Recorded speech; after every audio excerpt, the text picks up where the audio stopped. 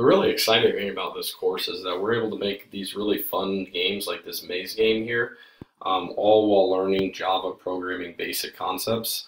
And I'll be going through uh, not just these tutorials, but also notes, vocabulary, things like that. Here's an example right here. Here we have our class dog. And within the class of dogs, we can have multiple different dogs. These dogs can be different breeds, ages, colors, sizes, but they all have some of the similar behaviors. They all can bark, sleep, eat. In the yellow box up there, I've programmed out what it would look like to create class dog with the different fields. Um, and I've created a new Chihuahua and a new Husky. Um, so two different instances of the class dog. So we have the Chihuahua and the Husky. I deliberately set up this course so that we can go two notes back into making our game and back and forth, not only so you stay engaged and, and have a lot more fun, but also so we break down some of these concepts into more manageable chunks that we can retain. Then here we have our Flappy Bird game where we are bouncing along, hitting the spacebar and trying to jump through these pipes. Um, it's a great way of using gravity as well as a score counter within our game programming. Now I'm going to show you guys an example of how I explain myself while we're creating these games and I'm not just showing you guys how to do it, but I'm explaining the reasoning behind it. And here's an example of our snake game because we're getting cur the current world, which is my world. We're creating a reference for it. Okay, so we can go into my world. We can access blue counter because that is a method in my world. And then within that, that reference references to the counter class, which has our add score method for our blue counter. So now you can see if I move my score out a little bit, my score for the blue counter going up. Um, if you notice there's multiple players, um, I use the arrow keys in WASD to battle each other and see who wins. And last but not least, we have the piano project. We will be using loops and arrays to build a full functioning piano. Now this preview focused mainly on the activities that we're going to do. Um, I left some notes before the comments section. And I spent a ton of time on this course really trying to perfect it and organize it in a way that uh, helps beginning Java learners the best it can. So please, if you're interested, go ahead and start taking the course. And if you like what you hear, feel free to like, subscribe, or leave a comment at the bottom of the page. Here are some of the main programming topics we're going to cover. Um, we have classes, both sub and super classes, objects, methods, Java and Greenfoot libraries, um, inheritance, variables and data types, uh, if, else if, and nested if statements, loops and nested loops, arrays and lists, and um, some other game programming skills. And down below we have a picture of uh, the standards that we follow along the high school curriculum that I'm using and a little bit closer look at that. We explore what object-oriented programming means and apply some of those principles into the games that we create um, by using the integrative development environment, uh, using Java language and documentation, uh, as well as even going into Eclipse uh, at parts to explain uh, how it would look in Java as opposed to Greenfoot. We use game development tools and, and I'll use uh, industry standard language and making sure that we are using Java conventions and um, using object-oriented principles, controlled data flow using scope and variables, parameters, inheritance, and encapsulation, um, using private, public, static, void, and non-void methods. And not only that, but also some game design functions, uh, make objects move, turn, have a scorekeeping mechanism, a timer, design and create a fully functional game, control game operations uh, using the keyboard, enhance game control with a winning and losing screen, uh, design, build, test, and complete a fully functional game project.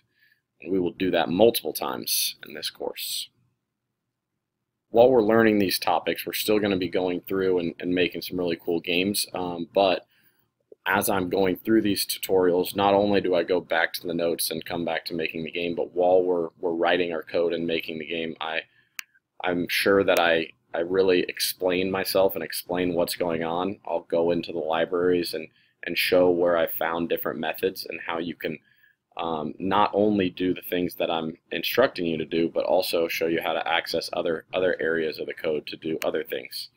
And then here is an example of the asteroids game with a score counter, health bar, um, able to fire projectiles and destroy. If you destroy all the asteroids, you win the game. All right, well, here we go. I hope you're excited to take the course.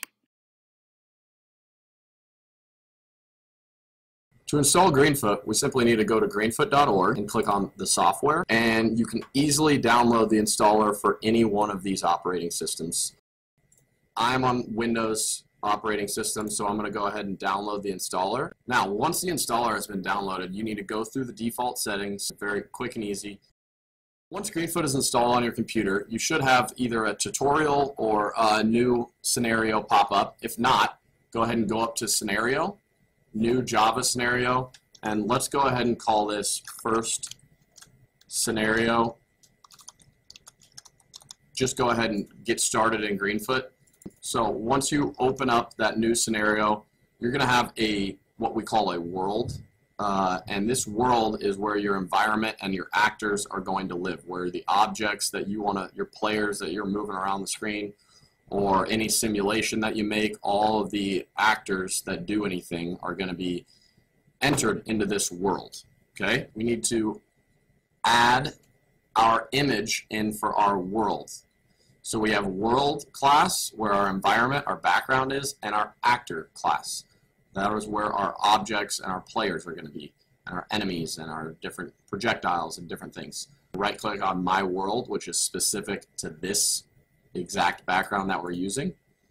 And you are going to create a new background. I like the space background image. You're welcome to choose what you'd like. You have your execution controls down here. Speed, reset, run, act. These are different options you'll have when executing your program or game. The first programming topic we need to talk about is what a class is. So a class is a blueprint for creating objects. The class holds attributes and behaviors that we want our objects to have and do. And so I was talking about height and hair color for a person, maybe their name. Um, all these things could be attributes that you could attribute to an object. Um, but if you notice here in the example, we have class dog, and we'll make just one class for the dog, and we will describe different options, let's say, um, that the dog can have for their state or attributes, uh, like their breed, age, color. It's not the same with every single dog, so we need to we need to give the opportunity to have different attributes uh, for each one of these dogs, as well as behaviors. Um, dogs bark, sleep, eat. Uh, certain dogs might have um, attributes that cause them to be maybe they run faster um, and different things that you might need to incorporate into their behavior uh, based off of their attributes. Um, so it defines a set, a class defines a set of properties and methods that are common to all objects of one type. Here we have our class dog, and within the class of dogs, we can have multiple different dogs. These dogs can be different breeds, ages, colors, sizes, but they all have some of the similar behaviors. They all can bark, sleep, eat in the yellow box up there, I've programmed out what it would look like to create class dog with the different fields. Um, and I've created a new Chihuahua and a new Husky. Um, so two different instances of the class dog. So we have the Chihuahua and the Husky. So now we'll talk about how we can incorporate a class and how it looks in Greenfoot, as well as uh, how we will use them in Greenfoot. So here in the background, you can see we have three different asteroids. Um, these would all be different objects of the class asteroid in the world. So our class name here is asteroid, but we have maybe asteroid object 1, asteroid object 2, and asteroid object 3. And we can describe their attributes and the way they behave um, within the class. And so that's what we're about to create. And our objects inherit that information from our classes world. And you notice our world class and our actor class are highlighted. Now those are our super classes and they've been created by Greenfoot so that we can take some of the information that is stored in this world class and actor class and we're able to use it within our game. So our world class has a lot of information that we will get into and you will be able to see, but that has attributes and behaviors for the world. And then our actor class holds information that our actor subclasses can use. So our asteroid, enemy robots, projectile, ship player. Listen and we'll, we'll go through in Greenfoot how we are going to create our classes and from that add the objects, instances of the class into the world. Now that we've set the image of the world, just simply click reset and your image will pop up. Now we're going to create an actor for our My World. So you right click on actor and you create a new subclass. Now this actor needs to be named something. And so, for this new class, and we're going to name it ship player because we're going to use the rocket image and I've picked that before so it automatically pops up but it's under transport and rocket right there. Now we're going to add our ship player one instance one object of the ship player class into the world. So we're going to click into my world so you can double click or right click and open editor. And we are going to now we're going to add our object of the class ship player. We're going to add our object that is of the class ship player. It is important to leave comments in your code so people know what you're doing with your code and it's very good practice. You're rarely going to be programming completely by yourself in the real world so it's important to leave comments so other people can help understand what you're doing with your code.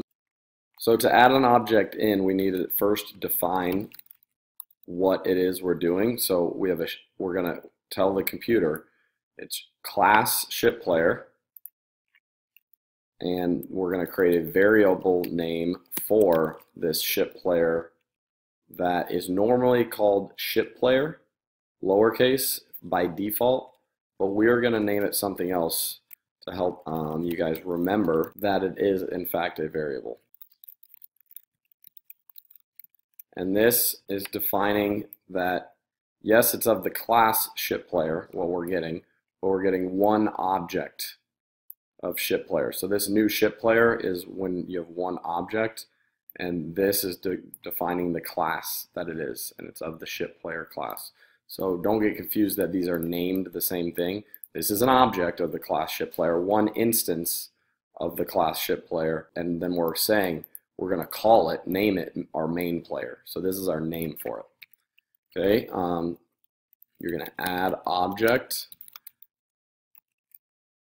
main player, which is we have set equal to a new object of the ship player type. And then we need its x and y value. So we want half of x value and half of the y value because that gets us the center of the world. Okay, and I'll show you how that works. So this gets us the center of the world because if we have the X value and Y value in Greenfoot and in a lot of programming and, and game development things, um, it's zero, zero right here. X value zero, Y value zero. So anything down is getting larger and anything to the right is getting larger for the X value. The Y value is getting larger going down x value gets larger going across.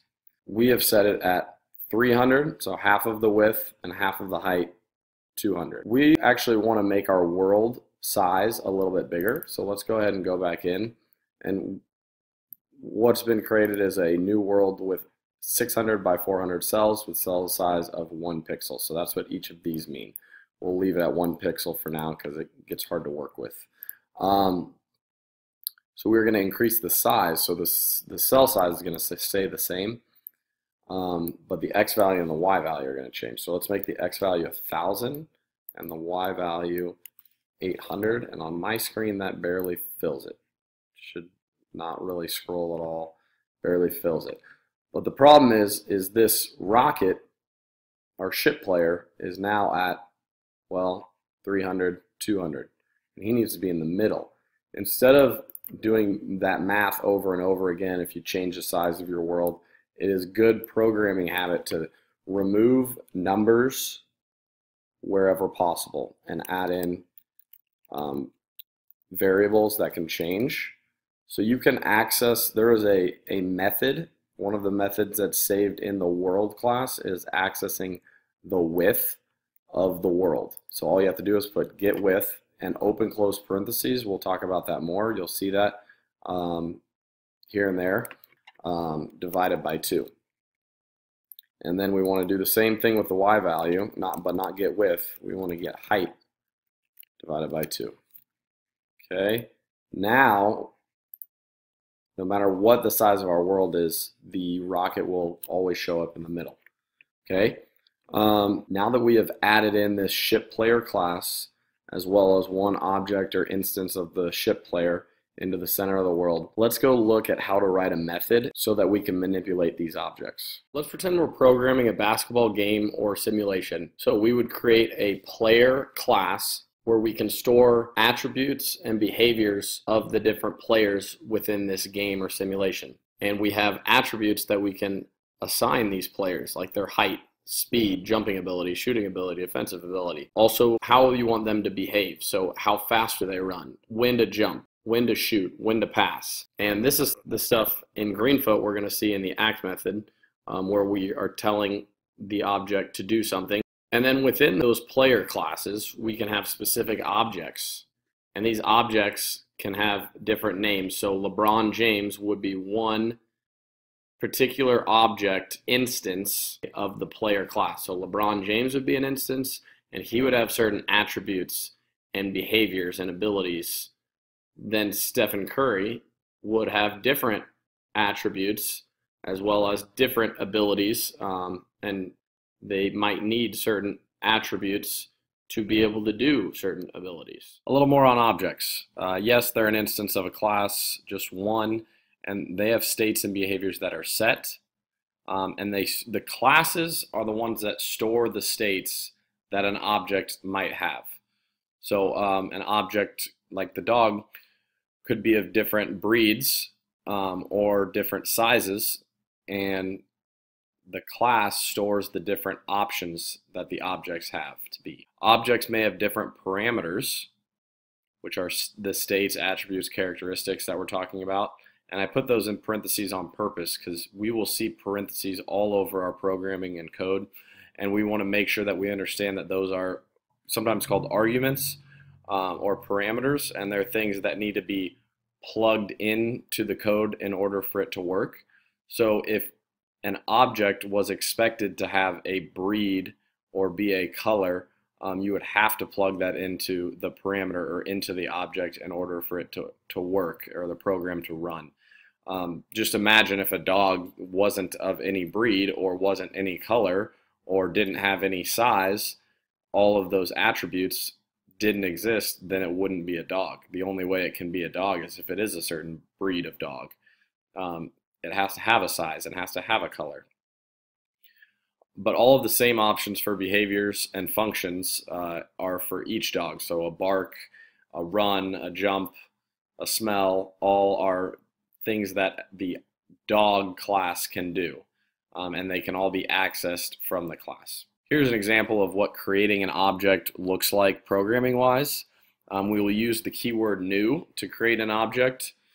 Uh, so Car is, remember, the class type. My car is the name of this particular car that I'm about to create. Um, so that is the variable name. And then it equals new car. And, and the car must expect a type of car or a make of the car and a model of the car. Uh, the gas mileage, excuse me, the miles per gallon it gets, and then the overall mileage of the car. So we have car, my car. Uh, so my car is a Toyota Camry, 32.2 miles per gallon at 100,000 miles. My sister's car is a Ford Focus uh, with 28.5 miles per gallon and 80,000 miles on it. And my mom's car is a Nissan Murano, 27.5 miles per gallon with 120,000 miles on it. Notice that each of these cars have their are of the same class, but all have certain states, attributes, and characteristics given to each. Most all of the behaviors, functions of these cars are the same, but the physical states and characteristics of each instance of the car class are different. So all of these cars would be able to drive, brake, turn. And so you can understand how all of their behaviors might be the same, but a lot of the attributes of each of these cars are different. So now we're about to create our first method. Um, a method in object-oriented programming is a procedure associated with a class. A method defines the behavior of the objects that are created from the class. So as we were just talking about our car class and how we would be able to turn, drive, brake, and all those things, um, those are examples of different methods uh, or sometimes called functions that we will put in our class. And so another way to say um, is that a method is an action that an object is able to perform. So a method has three main parts that have to be involved in creating the method. Uh, you'll see a return type, which many of our early return types will be void because we will just be doing actions and telling uh, the class to do something instead of expecting uh, to receive information back. And then you notice in the parentheses, the parameter is the value passed to the method. And oftentimes early on, we will have the, this parameter be empty um, because it's a little bit more simple to start off by just having empty um, parameters and void return types, just telling instruction our instructions to our class to do something. Um, here's an example uh, of a method. And so within our class that has make, model, miles per gallon, and mileage, our class is set up up top. Um, in red, you see public void act, um, and this is going to be common in every one of the actor subclasses that we create. The only thing that will default show up in that class is our class setup, our basic default class setup, as well as the public void act. And this um, is the main method in Greenfoot. And when we run, when we push the run button, uh, that is what will happen. Uh, our different methods that we need to create, but these are the names of the methods. So we have a drive method, a brake, a turn, a honk method, and make sure that you're adding semicolons uh, when you're ending statements. Uh, this is a basic rule, and it just declares that the expression of the statement is over. And so you don't want to use a, a semicolon when you are creating our classes, our methods, if statements, loops. Um, here is different blocks of code, and this is what we call blocks of code. So uh, these curly brackets will block off to start and end our code. Uh, sometimes they are on the same line as the class name. So you have class name, open, close parentheses, and then a curly bracket to start up there. In an if condition, we won't have the semicolon to after the end of the if and then the parentheses for the condition. Also, uh, the method name, we will not have a semicolon there. And then our for down on the bottom right is our for loop, and that will um, not have a semicolon. Here we have two different methods. One of the methods is our act method here, and the other is our move around method. Now our act method, even says in the comments, will do whatever the car wants to do. So whatever we instruct the car to do. Once the act or run button gets pressed in the environment, this method will be called. Within this act method, you are calling another method. So our act method always gets called when a but, when the act or run button is pushed, and within that we're calling the move around method. So this is a method within a method. Our move around method is described partially down here. It has two if statements shown. The first if statement says that the move key must be pressed and the key up must be pushed. So when those two keys are pressed, your rotation will be up and you will move one. If the move key is pressed and the right key is down, your rotation will change to zero and turn right and your move will be one. Within the ACT method, we're going to be adding more and more methods within it. And each one of these methods needs to be named very particularly for what they do so that not only you can organize your code correctly, and you can make changes when there are errors or different things that you need to change within your coding but also other people that might want to come in and look at your coding. It is important that your methods are named correctly. And also, oftentimes, you will be using methods that you create more than one time. So if you create this move around and you have other classes that can inherit this move around method, then you would be able to save time from having to copy and paste or recreate this code. Um, and you can just call this method. Now we are going to create our first method. So just double click on ship player and your editor will pop up. So whenever the act method or the run method gets pressed, this act method will happen over and over. And then it says add your action code here. So this is what you could tell the ship player to do. So it explains what the class is. It's the ship player class. That's where we're at. And it extends actor, meaning it has access to all of the pre-made code that Greenfoot has made um, for the, their actor class. So in order to search some of these different commands that you're able to do in different methods, you got to click and go to documentation. And here is a list of methods that are inherited.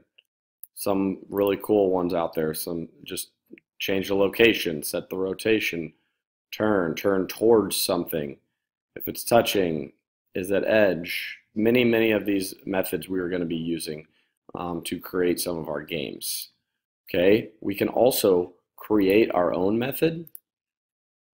And in order to create our own method, we need to have the same setup as we did as they already have for the act method. And we have our public void, and I want to move around method.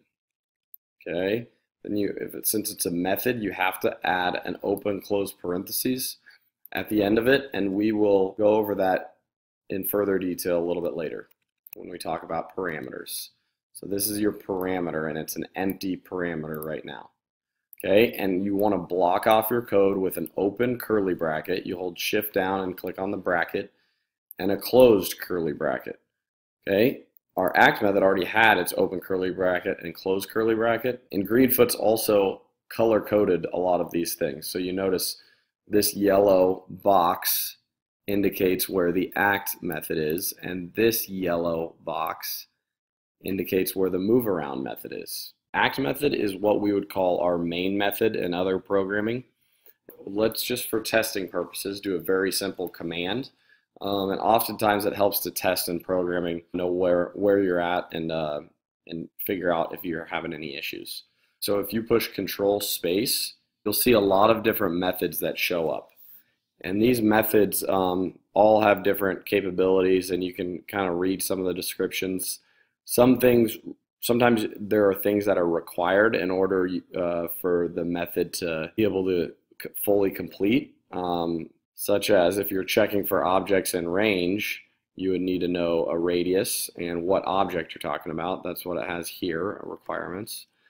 Getting the rotation doesn't have any requirements because it is just finding the rotation of the object as well as many of these. So um, the one we're going to do is just this move. So it's move, open parentheses, int, close parentheses. Now this int stands for integer, meaning that inside of this parameter, which is this parenthesis and this parenthesis, um, a integer number is required because it's gonna that's gonna be the distance or the speed at which you travel. So um, the move command requires an integer that is representing the distance that you're traveling. Okay, so if you just click on this, it'll actually pop up move, start of parameter, and then the end of parameter, and even highlights what that it, you need to put something in there, an integer. So we're just going to put in 1 and see what happens. Okay, and so if you click the act and you look very closely at that ship, is slowly moving along there. Now, if you push run, it will, it's like holding down the act method and it runs 60 times per second while the speed is right there in the center. Okay, so if I push run, it'll run 60 times per second, meaning it will go one pixel, since it's move one, it'll go the distance of one pixel 60 times per second, so 60 pixels per second. Okay. Now we're going to create a new method that is not part of the act method. I'm going to erase the move one. That was just for testing the act method. And now we will learn about these, what we call keywords later. You notice public and void are highlighted. That's because they're special words that we use. And we're going to do uh, call our method name our method the move around method. And we're going to have an open close parentheses. And then you need to block off your code with an open curly bracket, and I always do enter, enter, close curly bracket. Um, you know, different people program a little bit differently. Uh, I think it's easier for teaching to have this on a separate line, but oftentimes you will see um, that top bracket on the same line as your method. Okay, but for me, I'm going to put it down here. So we want the move around method to have the capability of the user saying how far or what direction uh, the object is moving. So we are going to have to do something we're going to talk about here in a second, but I'm going to give you an example first of an if statement. So if, and we can access a different library of Greenfoot code that has been imported in, and you can do Greenfoot dot, which means it's accessing the Greenfoot class. Okay, there's a Greenfoot class that has been imported in. And if you do control space here, it'll show you all the Greenfoot commands that are in there. Get random number, um, play sound, set world. These are all Greenfoot methods. Um, we are going to be using if Greenfoot dot is key down. And what key? Well, we're going to start with the right arrow key, so the right key. Add a second parentheses because there's one right here, as well as right here. So you need two close ones. Now we will not have a semicolon on this line because this is not the end of our line. If we had this, we could have this in one really long line and be really hard to read, but this is really still part of this if statement, so we're continuing on with it. So there's no semicolon. So if the right key is down, we want the rotation of the object pointed to the right. So if I do control space, let's look and see if we have anything in there for the rotation. All right, we have get rotation. That just finds the rotation of the object. Return the current rotation. Oh, see set rotation. Hmm. All right, let's look at set rotation. Set rotation requires an integer. Set the rotation of this actor. Rotation is expressed as a degree value 0 to 359. Okay, so if I wanted to point to the right, that is the way it is currently pointing. So that rotation would be 0. So to the right is 0. Remember that? Um, and that is always the starting rotation of the actor. So if you have, find an image that's pointed to the left or up or down, well, its rotation will be zero at what whatever direction it's starting at. You can see over here the ship is starting to the right, and all the objects that are saved in Greenfoot uh, do start to the right. If Greenfoot dot is key down left, we can do set rotation again but do 180 instead of 0. And then we can actually just copy, not reinvent the wheel here.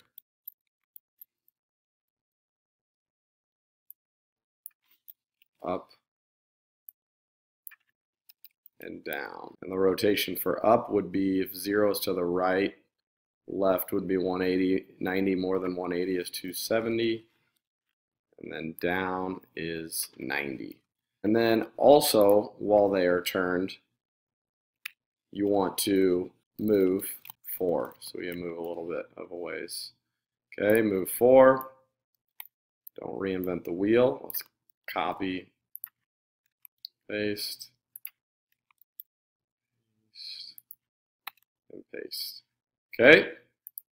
Now, our ship player still will not move because when the run button is pushed, only the things in the act method, okay, only the things in the act method are done. And so nothing is done in the act method right now, but you can actually do a method call, which puts this move around inside of this act method. Now you might think that's silly, why don't we just do all these if statements inside the act method? But we are going to have a lot of code in our programs and it makes it easier to find errors um, and know where the problem lies if you have split up the methods. There's also um, a way to inherit methods from other classes so it can save you time so you don't have to redo and remake the same method over and over as well as many other reasons. So let's test and see if we can move around. Okay, so now you have a ship. You've created a class ship player. You have one object called main player, and you can move around. Now, if I add in other objects, they will move in the same way that our first object was because they are all of the type ship player. If I hold shift and add all those objects in, um, but when I reset, they are not saved into the world unless you hard code them into the world. Now we're going to talk about if statements for a moment. An if statement consists of a boolean, a true or false expression followed by one or more statements. So over here on the right, we have our flow diagram. Uh, we have a condition, and if the condition is true, we will do the code that is in the condition. If the condition is false, we will just skip skip the code. Um, and we just created our if a key is down, we will turn and move. Uh, that would that was our if statement that we just created. Another example of an if statement is here, and this is not the Greenfoot IDE. We are still uh, creating a class that we're just calling a test class, and we're going to create public static void main, which just means it's our main method. That's our act method in Greenfoot. We've set a value x to 10, and if x is less than 20, we print out that this is an if statement. So this is just a good example of what an if statement would be. So x is 10, 10 is less than 20. Um, so it does print out that this is an if statement. Now that you've learned some of the basic Java programming concepts, we're going to go ahead and create our first game. Now this is going to be a new world that we're going to create. So a new class, a new subclass of world. So we're going to right click new subclass of our maze world. So that's going to be our first game is going to be our maze game. And you will go to backgrounds and you will choose the let's try this sand background and then you do new maze world uh, would create a new object maze world and that's what your background looks like okay and so we're going to need to create a new subclass of actor that's going to be our walls in our world in our maze world so a subclass of actor and we can just call it um, maze block. And we are going to choose uh, a background image because uh, it's nice and block and square um, and it's it's easy to manipulate and it, it is 50 by 50 so it's very easy to utilize um, as you're creating your maze so in order for our maze world to have walls that can line up easily um, we're going to change the pixel size so right now, every little tiny pixel that you move, um, you could put this maze block anywhere in here, okay? And it can look like this. But when we create our maze world and we have our cell size, so we have 600 by 400 with cell size 1 by 1. So this 1 is the size of the cell, the, both the width and the height of the cell, 1 by 1. So if I change this to 20, I would have to divide each of these numbers by 20 in order for it to um, be the same size. Okay, so 30 times 20 is your 600, that's what you'd get, and 20 times 20 is the 400 that you'd get. So if I compile here, I have the same cell size, but these maze blocks, you can kind of see they line up a little bit more square. Now we are going to make ours so that they line up perfectly. And knowing that they're 50 by 50, um, you would need to choose to do 50 here. And let's go ahead and do about a 12 by 12 maze. So this allows you to have a fairly big maze and you can line these up perfectly right here. Um, and so my suggestion now is to quickly create a maze. Um, does not need to be super complex we will be creating enemies and different things in there. So the the ability to get through the maze is not the main objective here uh, to make it difficult to get through the maze or confusing. Um, you're welcome to make it however you want, but I'm going to go ahead and create my maze right now.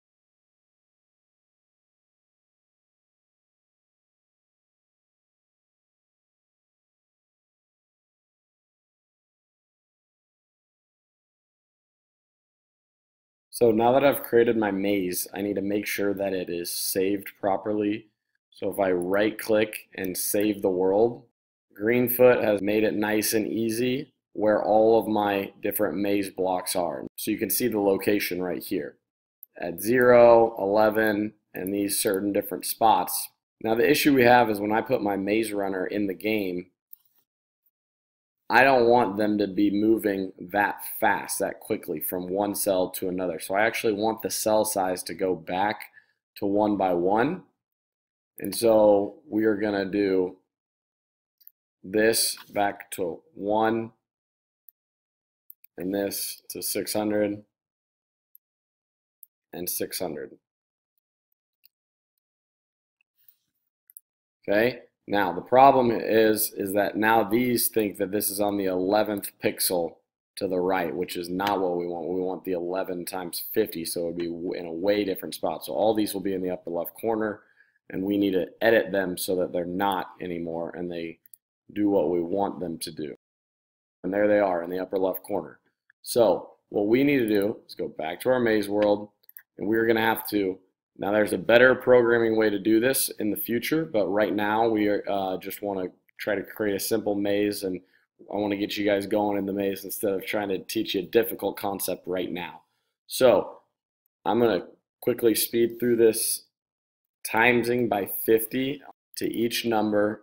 Okay, so as I go through this, there are quite a few, but I'll go fast.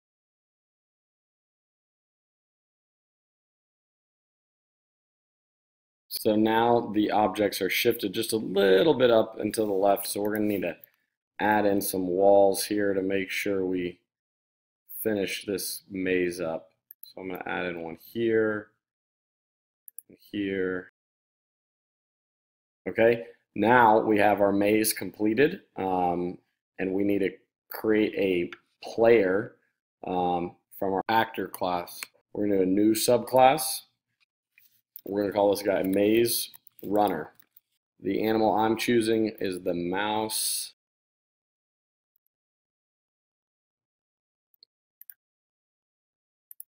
We need to put our maze runner into the world. Um, and if we put our maze runner in there, it's a little bit bigger than we would like. Okay, so um, how we're going to do this is we're going to get the image of the mouse that we already have and shrink that image down immediately as it's added to the world. So the way you do that is we're going to create something called a constructor method.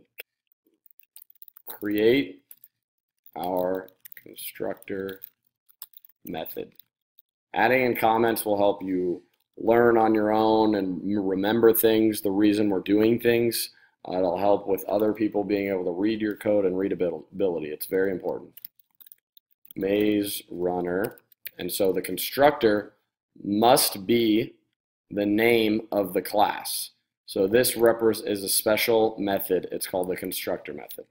Okay, it has to be the name of the class. Okay, and so this allows you to edit things in the maze runner. They have an empty maze runner method. You can always create a constructor method, um, but by default it's empty with nothing in it. But we're going to change that. So we're going to access the image maze runner. Okay, get the image. So now that we have our constructor set up, we need to change the size of the image. So we're going to get image. So if we look in our documentation, there's a lot of different things, but right here, there's a get image option. So we can access the image that we currently have. And then within that, there are different methods that you can do within an image. Okay, so within this image, we can mirror it horizontally or vertically if we're trying to do um, a little bit of animating, turning a character left or right in a little a Mario platformer game or something. You might want to mirror horizontally. Um, but what we're going to do is scale. And uh, what we can do with scale is we can access the image's current width. So we're going to access the image one more time to get the width. Okay, and then we're going to take the width. So we're going to scale the X, we're going to scale this image down to the what the current width is divided by 2, which will cut it in half. And then take the same thing, get image, So we're going to access the image so that we can scale the image. And then we're going to access the image again to get the width of the image for the x value and divided that by 2 and get the height and divide that by 2. So that allows us to access our image and why we don't want to put this in our act method, this will happen 60 times per second when you push run. And so the act method will happen over and over again. The constructor method will happen once just before the, when the world is getting constructed. So before the act method is pushed, the you'll notice that when you scale, so now that we've gotten done scaling, um, and it's in our constructor method, uh, if you go check and you add in a maze runner, it's going to be half the height and half the width. So it's going to be nice and small and perfect for us to get through the maze. Okay, the reason that works is that in our constructor method, before the act method is, is run, just when we're building our world, the maze runner, uh, we've created a, a constructor method will be half the height and half the width. If we put it in our act method, it would cut the height and width in half 60 times per second. So over and over and over and over and over again. So we definitely don't want that to happen. Okay, so now that we have our maze runner, let's put them in and let's save the world. And now uh, we need to put in our code for our maze runner. Now, our code for our ship player is going to be quite similar to the code for our maze runner. What I would like to do is create a superclass that is our movers um, and we're going to have different methods for them. So we're going to put the move around method in there so that the maze runner could get that method whenever they want. Um, so it'll show the opportunity that we have with superclasses to make them very useful. So we're going to create a subclass of actor. It's the first thing we're going to do. We're going to call it uh, movers. Okay, and they're not going to have a picture. This is just going to be our superclass.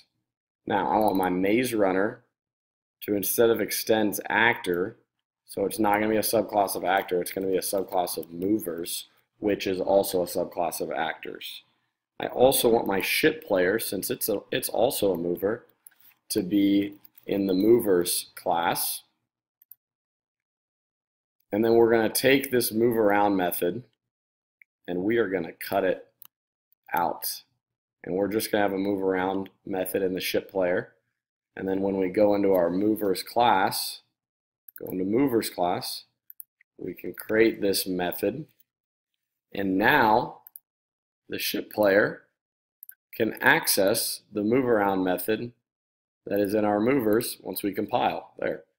So now ship player can access move around and maze runner, all I have to do, since it extends movers and movers has the move around method, maze runner just put move around, open close parentheses. And now, even though we're in a, we're in a different world, our maze runner can move. Okay. Um, some of the issues, though, that we see with this is that the maze, the mouse will flip upside down, um, and we don't want that. And it'll go up. I just want my mouse to face forward and just move. So I'm going to actually change the name of the move around to move and turn. I think that is a better name for it. Um, and it'll make it so that our ship player can still have the move and turn. And our maze runner is not going to have the move around or move and turn. We're going to add in a new method that'll be a different way to turn.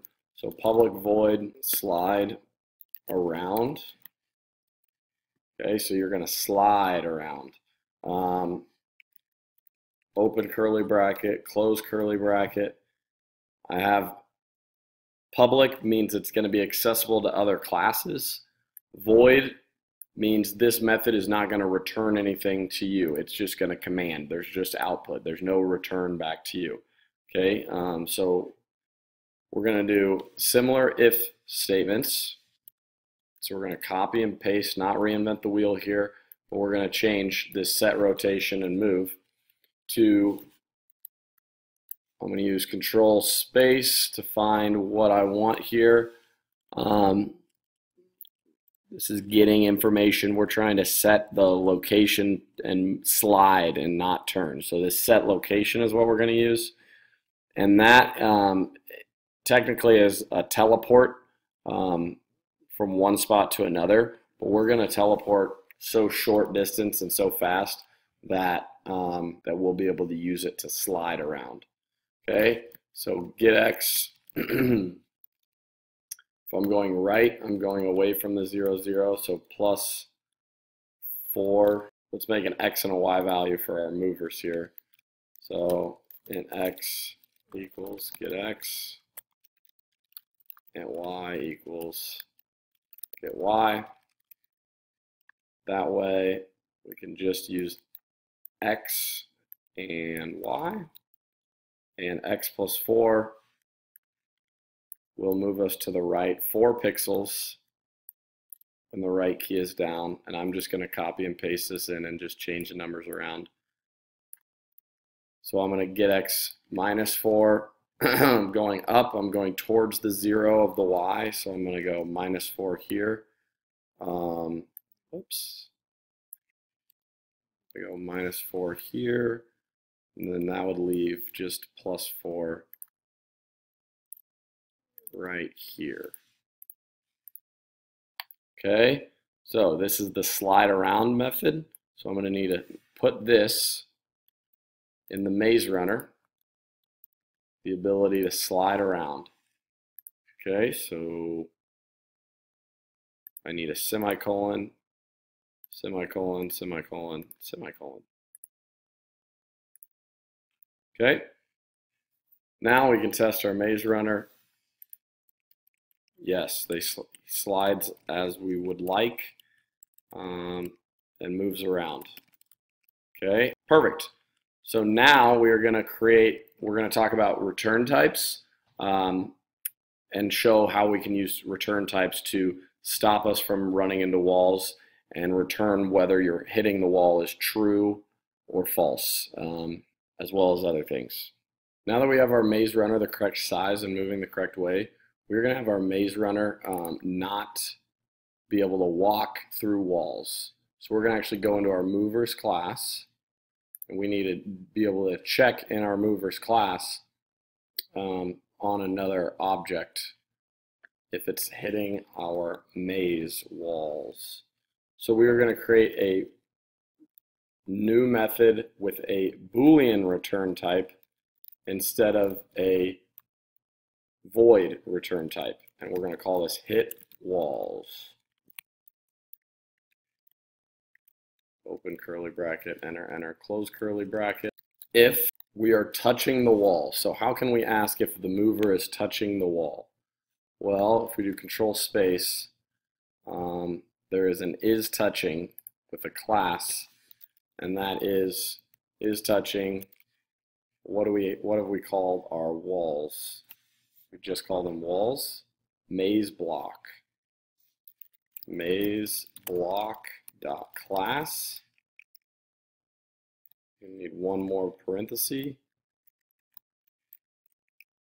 We will return true because you will, this method will return, will be true if you are touching the maze block. So you are hitting the wall.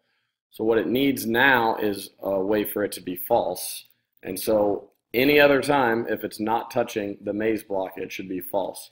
So we're going to use another keyword that you can use, and this is a else, an if else statement. So if this is true, return true. If it else, we are just going to return false. So our hit walls method needs to be implemented in our slide around method. So we are going to copy that method call. We call that's a method call. So we are going to whoops.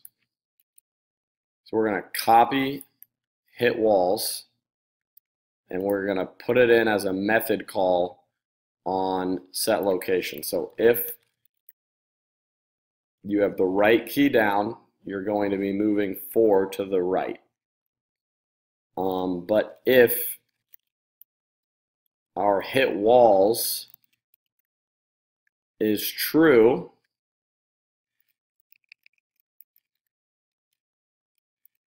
if hit walls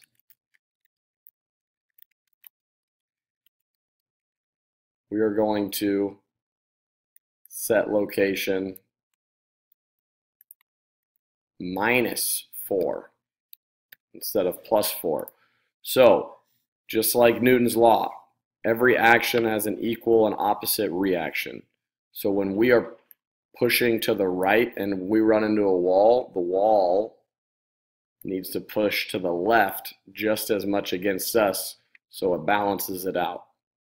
Okay, so you're going to use this in each one of your right, left, up, and down, but you just want to make sure it's the opposite. So we're going to change the y here on up and down to plus 4 And the y here to minus 4 to the y. 4. Now, if you have any trouble after this, you need to test your code and make sure it works. Okay, hit walls, maze block. So, we go in.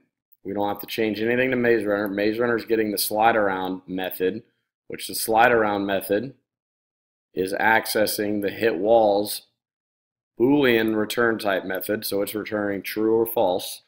And now we can easily manipulate our right, left, up, and down. Okay, these methods make it much easier to read your code and understand what's going on. So now we know if we hit the walls, we're going to get pushed.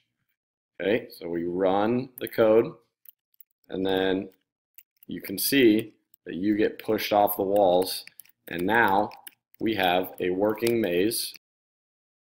Okay, that you can run through. Okay, now we're going to talk about variables. Um, within our code, we have all these numbers here that we're using, uh, and it's nice if we try to change a lot of these hard numbers in here uh, into variables so that we can manipulate them at any time, uh, and it, it, makes for a little bit better readability and people understanding what this these numbers represent if they are actually variables. So we are just going to start off with a basic uh, speed variable. So we're going to do this outside of all of these methods because these methods run over and over and this is setting um, our variable equal to 4. And if we're going to manipulate it in here, we can't have at the beginning of each one of these methods it get reset to 4 over and over and over again. So if you have it outside of the method, speed is just 4 once to start. So just right at the beginning, speed will be 4. And so we could replace it all in here, but we're not using the move and turn method. We're using the slide around. We can change this to speed. And don't reinvent the wheel. Copy, paste. Oh, make sure your commas don't get erased. Didn't even mean to make that rhyme. All right, make sure you get it every time. All right, so now we have a variable that is called speed. And notice that none of this, this method has no numbers in it. Okay, speed is stored as 4, and so it won't change at all for us. Um, but now we can manipulate speed and kind of do what we want with it. And that's what we want in our code is that is that ability to manipulate whatever we want. And so um, if you want to format your code and make sure everything's lined up correctly, a great thing to do is Control Shift I, Command Shift I, and that will auto format. Um, so if I have you know these all over the place and spaces where I shouldn't, Command Shift I will relocate all that back to where it's supposed to be. So that's a good way to clean up your code. Okay, um, so now that we have a variable, let's try to manipulate this variable. So we're going to need to create another subclass, and it's just going to be an object, it's just going to move on its own. So it's not going to be one of the movers that we have. So we're just going to create um, speed boost. And we know that mice love cheese, so might as well make it a cheese pizza for us. Okay, our speed boost is right here. Um, let's go into our maze runner and actually copy this code and put it in our cheese pizza speed boost. Create one more public. What? How do we make a constructor? What is this going to be called? It's going to be called the class name speed boost. And we want to reset the size of this before the act method gets run. It's just going to happen one time. So we want it in our constructor. And then when we compile this, speed boost is a little more reasonable of a size. Okay, so go ahead and I'm going to put a few speed boosts in here. And then I'm going to save the world. So now our speed boost objects are in there, but we need to have our maze runner react, something happen when we collect the speed boost. Okay, so in our movers class, we have our speed as 4. Um, we need to manipulate that. So we're going to create public void collect boost. Okay, and so now that we have our speed variable, we need to manipulate the speed variable um, with a method for when we collect the boost. Um, it will increase our speed. So if we are touching the speed boost, we need to increase our speed and then remove the speed boost from the world. Okay, so our is touching um, once again will come into play. So if we are touching the speed boost dot class, open curly bracket, enter, enter, close curly bracket, we are going to have our speed equal speed plus 1.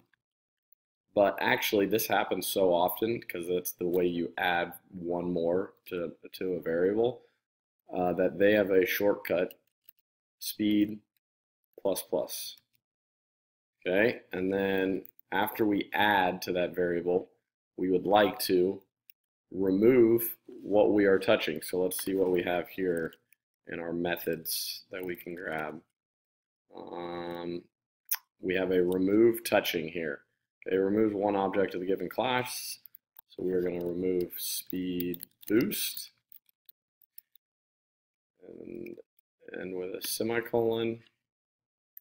And now our collect boost method is stored in our movers.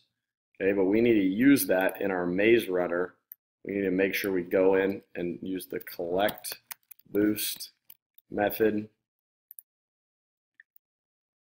And then we need to check, make sure this works. We're to run, okay, and then are we faster? Okay.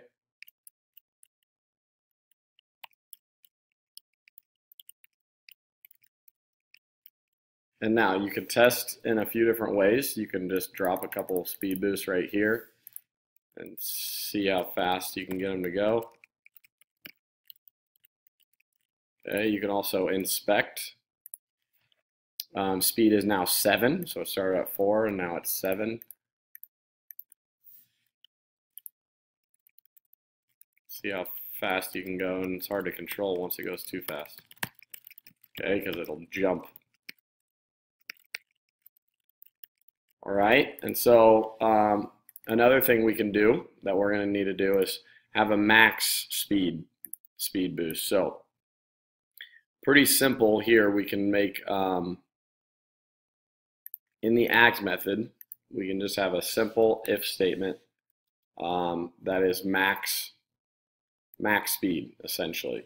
So we can create our own method if we'd like. Um, might as well. Public void max speed. And we're going to set our speed variable. So if, and we're going to use um, a math expression here. So speed is greater than 7. Actually, we're going to do greater than or equal to. So greater than first, then or equal to. So if speed is greater than or equal to 7, open curly bracket, close curly bracket, we're going to do set speed equal to 7. Okay, so that means the max it'll be is 7. So if it's greater than or equal to 7, it'll just stay at 7. Okay, um, compile. Let's make sure this works. If I add a whole bunch of speed boosts right here, should be stuck at 7. Okay, 6, let's add one more. 7, let's add one more. Max speed needs to be placed in a method in your maze runner. Okay, and actually max speed might be more specific to our maze runner, um, but we can just call it in right here. Okay, so now the max speed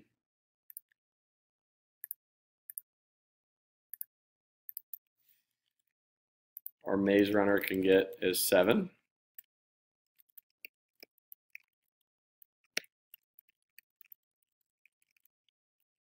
I'm going to try dividing our size by 3 so I can get a little bit more room to go through the maze. Notice I've been bouncing off the walls a little more than I have in the past, so give you an opportunity to get a little bit more flexibility moving around the maze a little bit better. Yeah, I like that better. Okay. So let's go ahead and do that. Um, scale it down to a third of the size so you can move around a little bit better. Um, you don't have to do that, but I feel like that's a good thing to do. Um, now let's move in some enemies. And now these enemies are going to move on their own. So we're going to create enemies class. and we're going to have our enemy flyer and we are going to set the image of the enemy flyer to something that can fly that might intimidate a mouse. Okay, we have our pelicans. Okay, now we're going to use that same code to make these pelicans a little smaller. Okay, so we're going to copy um, let's go ahead and go into our enemy flyer, public enemy flyer.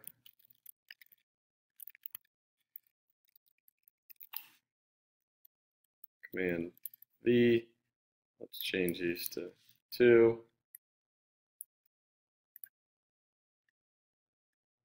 Okay. Now these pelicans will be nice and small. Then we can get going with the enemy flyers and their movement. Okay, so I'm going to have just a very simple them move forward. So there's just the move method. That's all we really need right here. Um, and we'll just have them move five. So we'll be moving pretty fast. Okay, and then within that, we we'll have our wrap at edge code. And so um, we're going to create a method in our enemies because I could see us using this in multiple levels um, to create our wrap at edge public void because we are going to want to wrap our enemies um, at to the edge of the world and so wrap at edge we're going to be using if statements to check if the object is at the edge of the world. Okay, so the edges of our world are get world dot get x or get width get world dot get height because we can access our get world code and we can do control space and see what it gives us. This is still our actor code dot. Okay, now we have dot. Now notice that that's different here. Okay, so what can we do? Well, we can get width and get height. We've done that before. So we're going to get world dot get width. And if our x value int x equals get x and int y equals get y. And we can do if x is greater than the width of the world minus 1, because remember we start at 0. Um, we also should create a variable int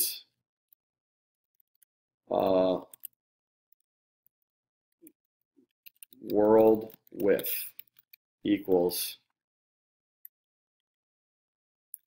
get width minus 1, get world, get width minus 1. Okay, creating this into a variable will make it much easier um, to work with. So we're going to set our location to if our if we're greater than the width of the world, we want to go back to the beginning of the world. So that would be 0 on the x value, and our y would be just y. Leave our y the same. Okay, now we're going to do a combination of that, but but moving some some things around um, on each side of the world. So if x is greater than world width, well, what if x is less than or equal to 0? Okay, so if x hits 0, what, what, where do we want it to go? Well, we want it to go to world width, and we actually need a minus 1 more from world width because, and we need to set world width greater than or equal to.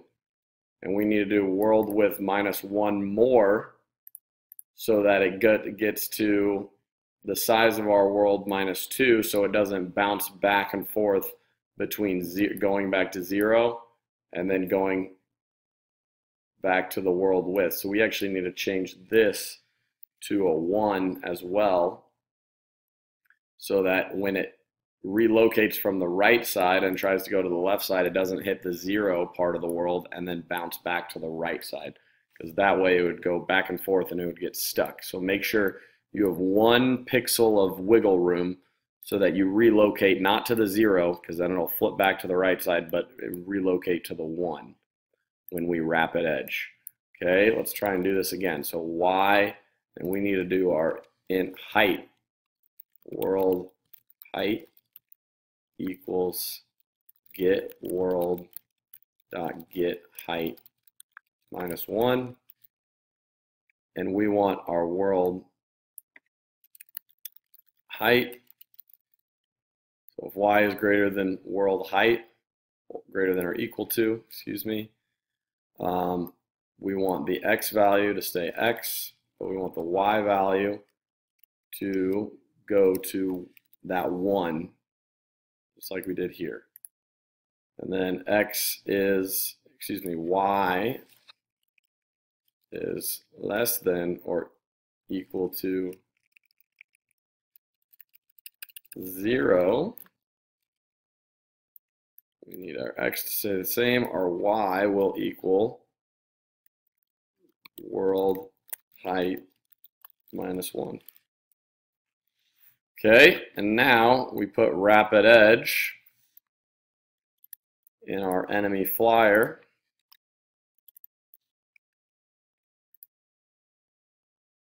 Um, get height, open close parenthesis. All right, so now we test. So if our enemy flyer's in here, we run it, whoo, they're flying. All right, it wraps. Wraps at the edge. Okay, and so that's how we create our enemy flyer and have it wrap at edge. And so now we want to make it a little bit more difficult to get across our screen. Okay, and so we are going to create an enemy flyer object.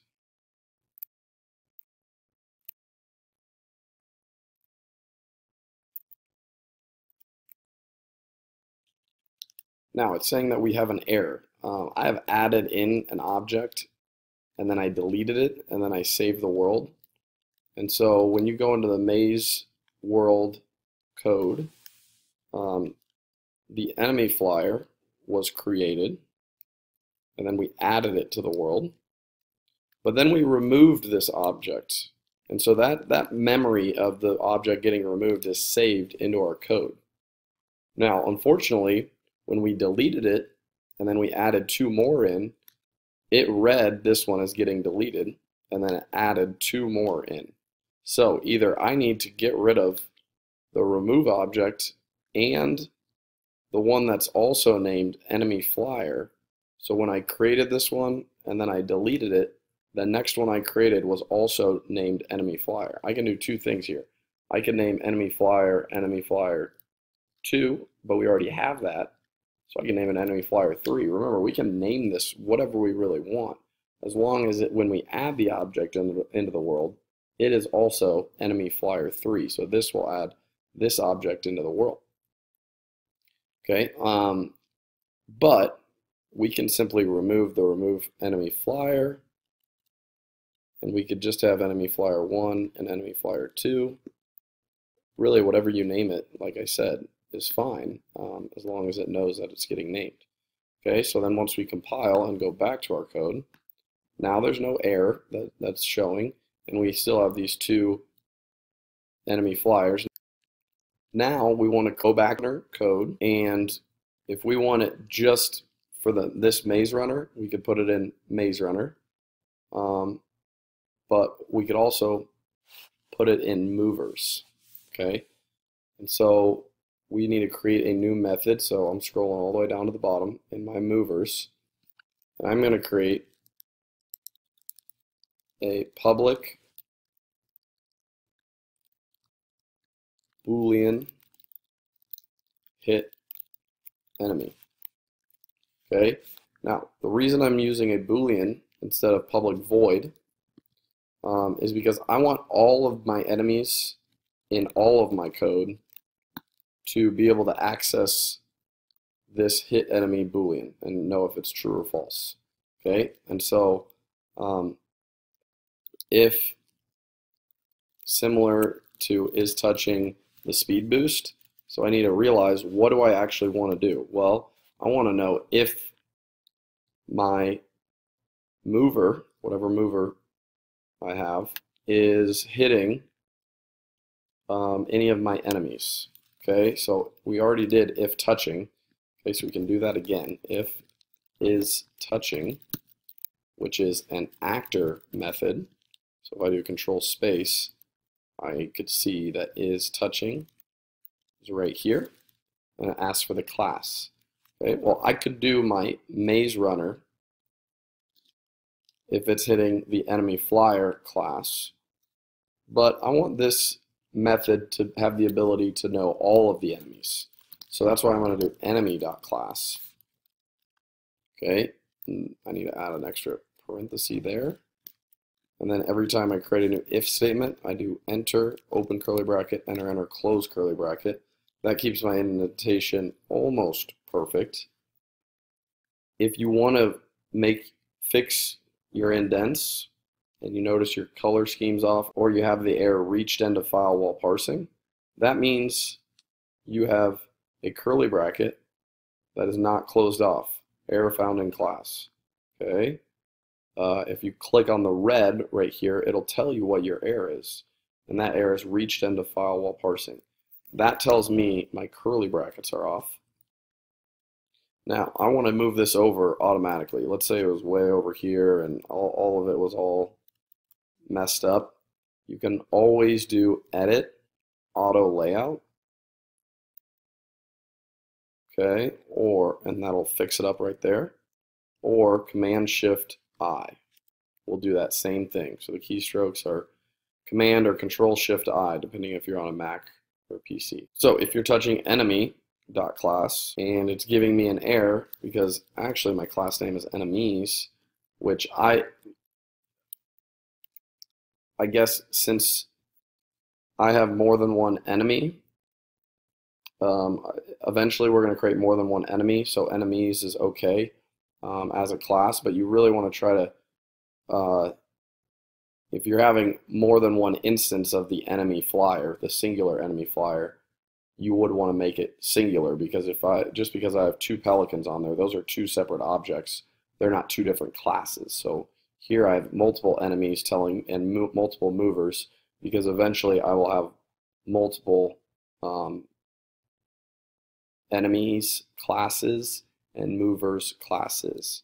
So if we're touching any of the enemies class, we're in the movers, uh, we want to return true. Okay. The reason we, another reason why you want to use a Boolean return type, here's the return type, um, is that we have the ability now to access if hit enemy is true or false. And then within our specific mover, we can say what we want to do now that hit enemy is true or false. So what if we wanted to do something different um, in different in different classes? So like our maze runner, if our maze runner hits an enemy, we might want it to relocate to this exact spot. But our ship player, which is in a different world, we might want it, if it hits an enemy, we might want it to do something completely different. And so you want to have that flexibility in your code, and, and that kind of goes on and on. The more in depth coding and the more game development you have, and programming in general, having the flexibility to to use if it's true or false and have use that in different ways and have that react in different ways is is very helpful and very good. Okay um, so we need to have another so if I just left it like this there would be an error okay? And the error would say missing a return type. Um, basically a boolean has to either return true and have another way of returning false. So basically else otherwise if we're not touching an, any of the enemies class we want hit enemy to return false.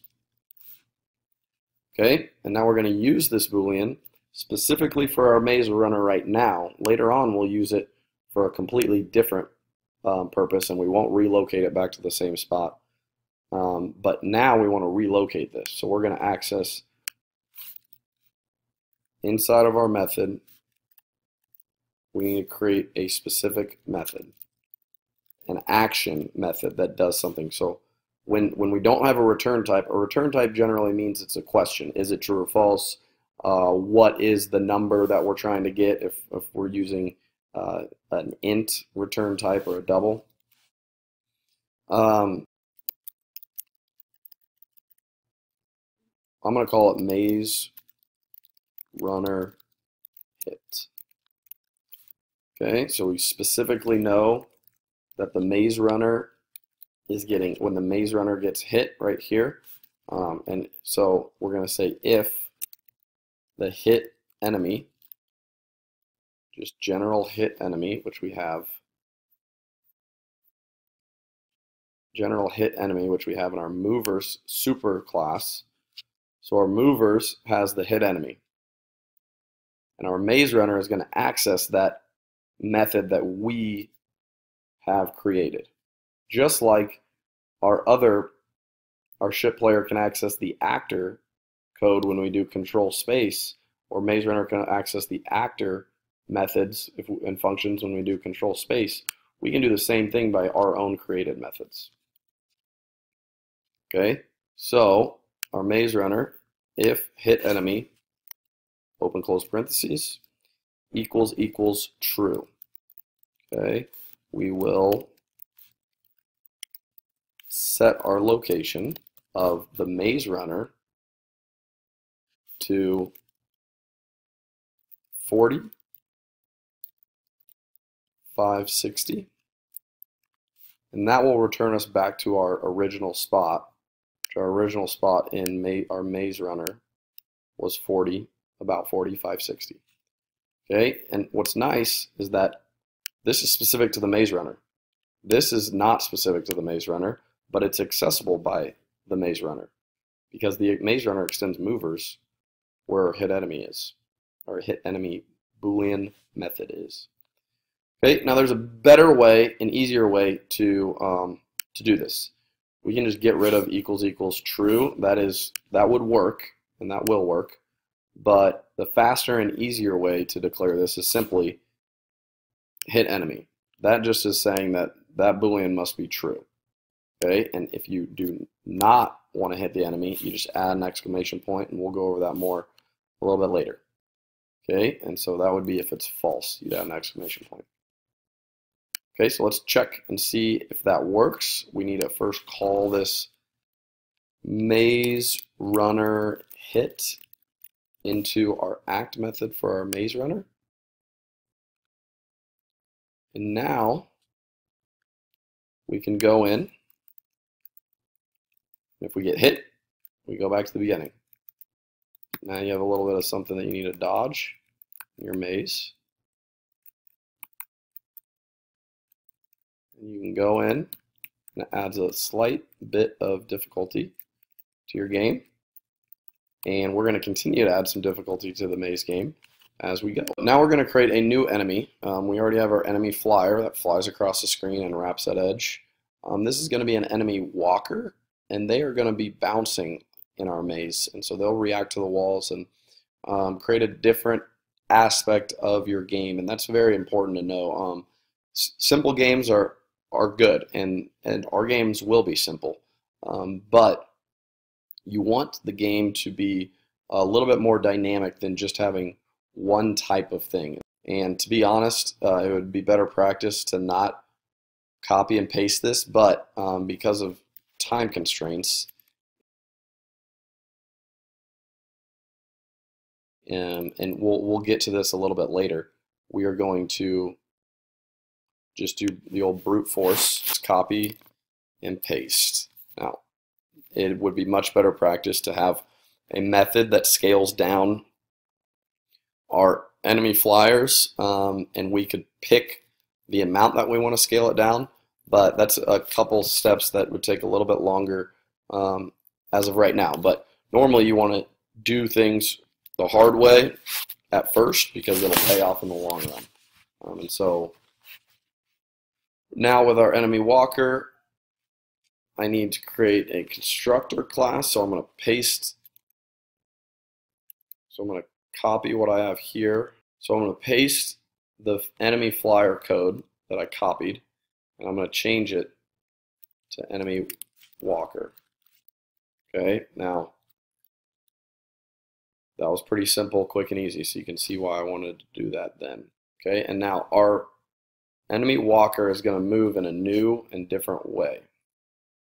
So our enemy flyer moves in one way, very simple, very straightforward and has wrap at edge. So we can access wrap at edge um, in our enemy's code if we need it for our walker. Okay, um, but we should create a different way for the walker to move. So um, I want this specific to the enemy walker. I don't want this method accessible to other classes. Um, so I could just call it private void move around and that will make it so that it's only accessible to this class. Now the reason uh, most time we do public is because as I'm going through this, there's going to be times when I'm going to be accessing different methods from different classes, but this move around method for specifically my enemy walker is just going to be for my walker. So now that we've set up our method, we need to really think about how we're creating this method and what we want this method to do. So we want an enemy walker to be able to be in here and bounce back and forth along the walls. Okay. Um, we also want, want it to bound down a class. We can first do set up our x and y like we've done before.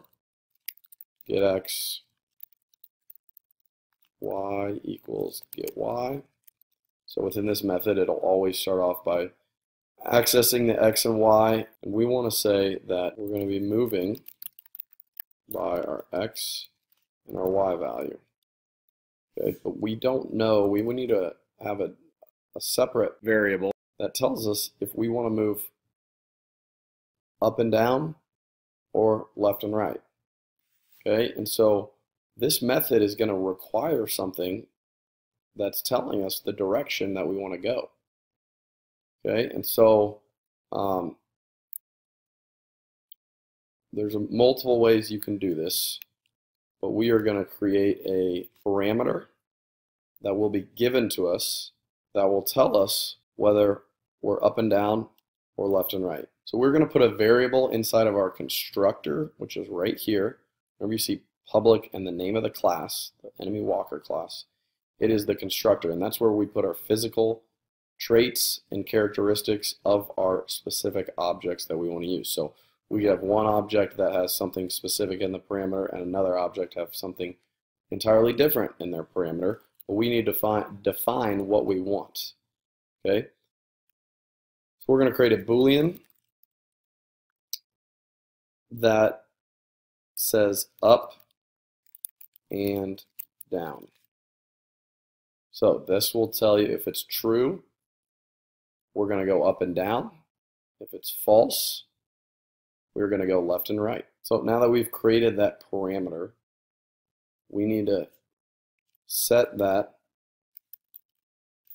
equal to something that is available within the class. So it gets given up and down, but enemy walker class needs a way to receive that information.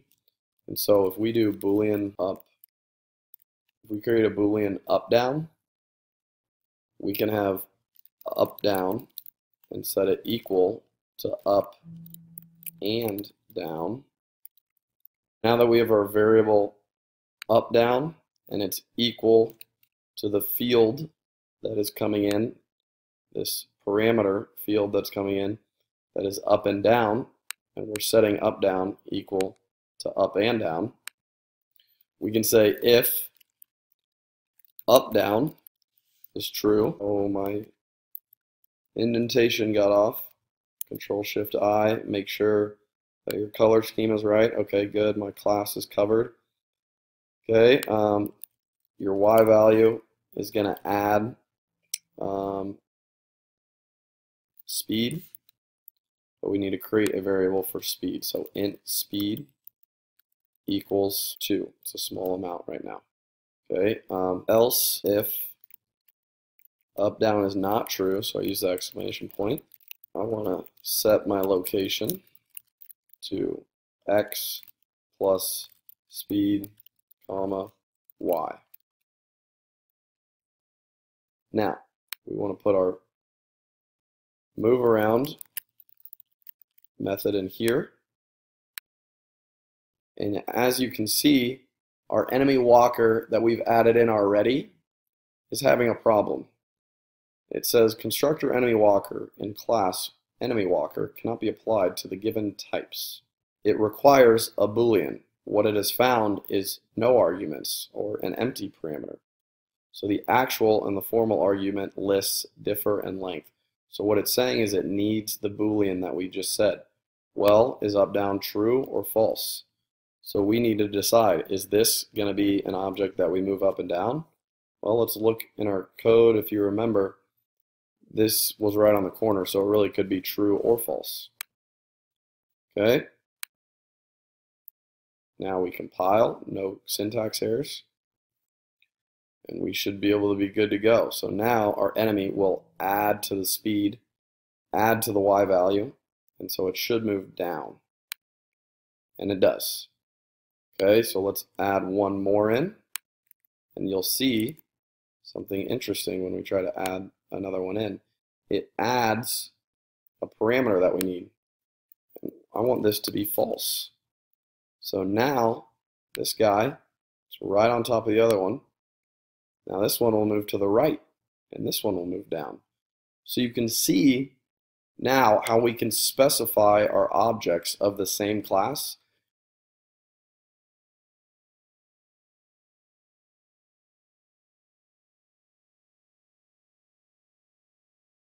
have in our movers hit walls. So this method could actually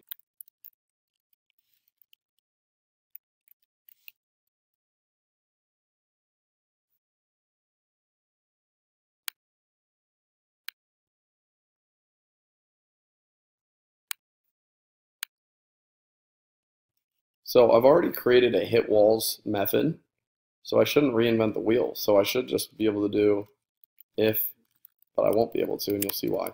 If hit walls,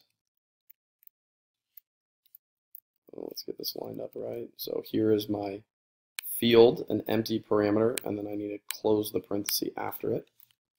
Open, close. Now there's an error. Okay, and the error pops up because we don't have access to the hit walls. If you remember, our hit walls is in our movers class. Our enemy walker is all the way over here.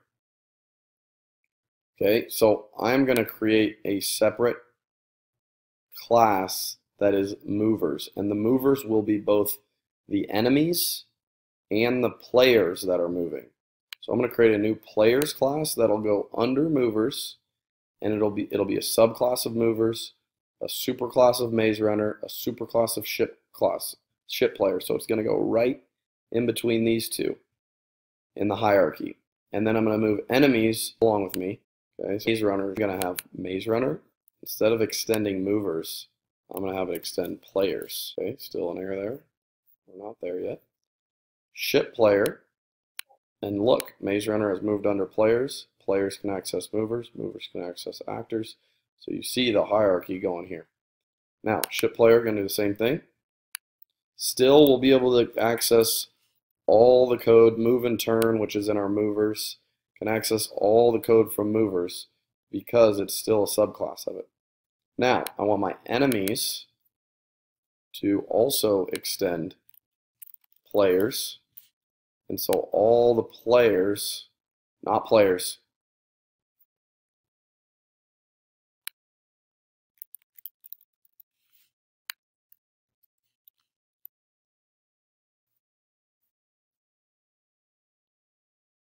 So I want my enemies to be able to be a subclass of all the movers because an enemy can move and so can the players, but they're on two different sides. The players we're going to control and move around on our own, and the enemies move move around all by themselves or and the enemies move all by themselves. Okay, so we go into enemies. And we're going to change extends actor to extend movers. And now, if we compile, we go back in here, we have our mover superclass, that's all up here, and we have enemies, we have two enemies in there, and we have our players, and we have the maze runner player in this world, and our ship player in another world. Okay? So, now, we want to go back, and we are trying to have our enemy walker be able to hit walls, and now they can, because our enemy walker goes into enemies, and then the superclass of that is movers. And what do you know inside of movers is that hit walls method. Okay, so instead of having to copy and paste and move it around and figure out where I'm going, now I'm going to say if hit walls, shoot, we already have a way to hit walls, but we might do something a little different than our maze runner. So if our maze runner hits a wall, it's going to relocate we don't want, oh, hits an enemy. But if our maze runner hits a wall, and if we have slide around method, if our maze runner hits wall, this happens. But we're going to use a different method for our enemy walker. If enemy walker hits wall, we're going to do our own thing. So um, let's create our own method, always a good idea. And this we might use for other enemies, um, so we might as well make it public. We can change it later and we want to make sure that this method is lowercase so you know the difference between a constructor class that you're throwing in there or a class that you're referring to would be capitalized and a method and variables are lowercase. So you always want to keep with that practice. So enemy hit walls. So now that we have our enemy hit wall set up, control shift I, Okay. Enemy hit walls. So now I'm going to use this code that I started here. I'm going to move it down to hit enemy walls. So if enemy hits hit if the enemy hits the wall, what do we want to have happen? Well, we want the speed to so the speed moves it up and down. Well, right now it just moves it down because it's plusing the speed. Okay, and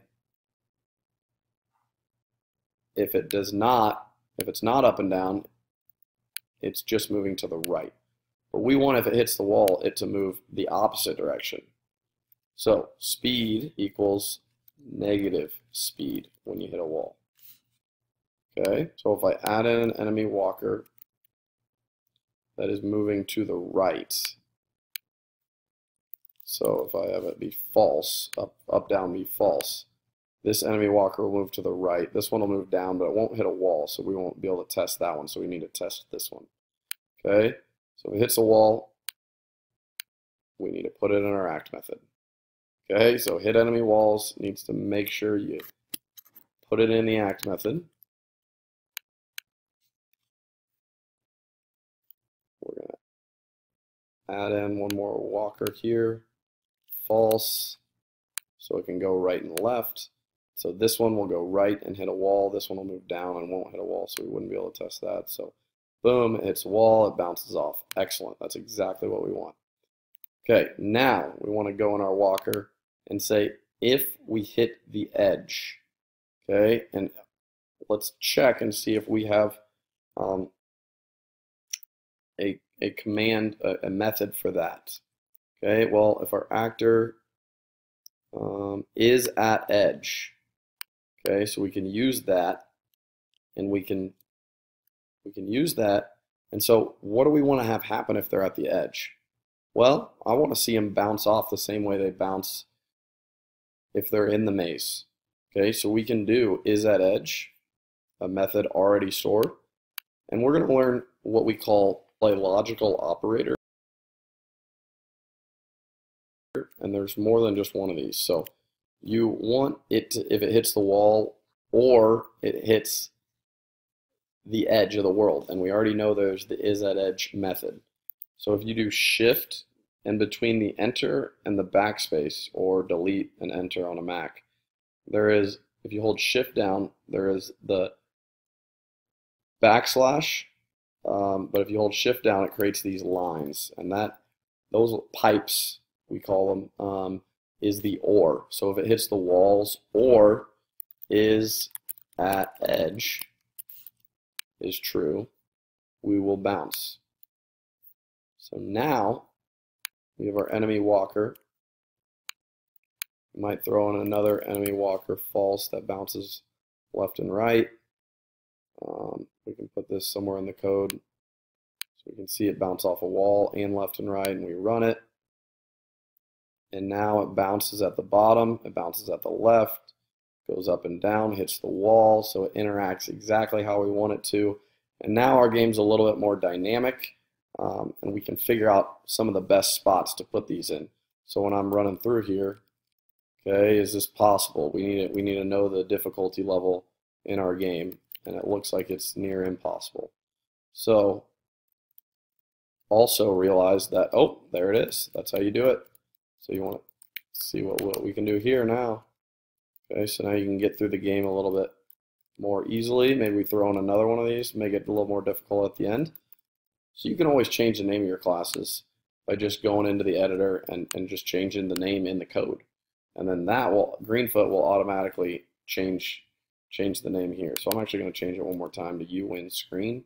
So there's no confusion on what's going on. Um, and then I'm going to say, and these aren't movers, so they can have their own class for now. And if I need to make a super class later, because uh, I'm seeing the same thing getting used, then I'll do that. But uh, I'm going to create the UWin platform, and, we can have a create a door.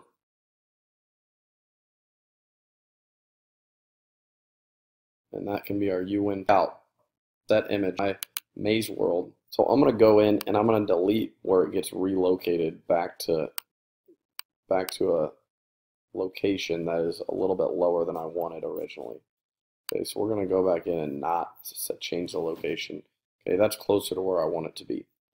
Okay, so sometimes you got to fudge, fudge numbers around inside the code. You can't just delete this and add in another object and keep deleting and adding. So um, if the maze runner hits a UN platform, actually if any player hits a UN platform, we want the UN screen to pop up. So our players, um, we can do public because we want to be able to access this later. You win method. So if we win, lowercase y here. So set up our method. Enter, enter, space, control shift I. Um, if any player is touching a UN platform,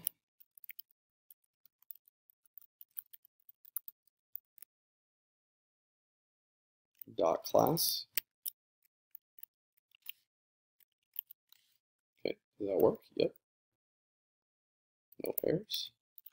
So if you're touching the UN platform class, we want to add an object. So we need to do get world because inside of our world code, that's where add object method is available. Just like how in our actor class there's move and turn and set location, our world class has add object. So we need to go add objects. We need to access the world class. So go back into players. We're going to do get world. So we're going to use the get world method, which accesses the, the world class.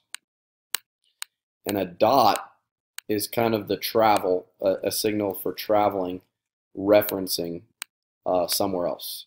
So we're going to reference the world class, and we're going to steal their add object method that they have. And the add object method will um, create a new object of whatever class you put in here. So we want the U win screen. Oh, no, we don't want to add a whole class in there. We want to add one add object. So we've actually already done this before. So in our maze world, it does it for us. We add object and the name of the object. So what is what is this enemy walker 3 literally? What object is it? Well, it's a new enemy walker. Now in this case, it's got a specific parameter. But when we add object UN platform, we are just creating a new UN platform, but we're naming it lowercase UN platform.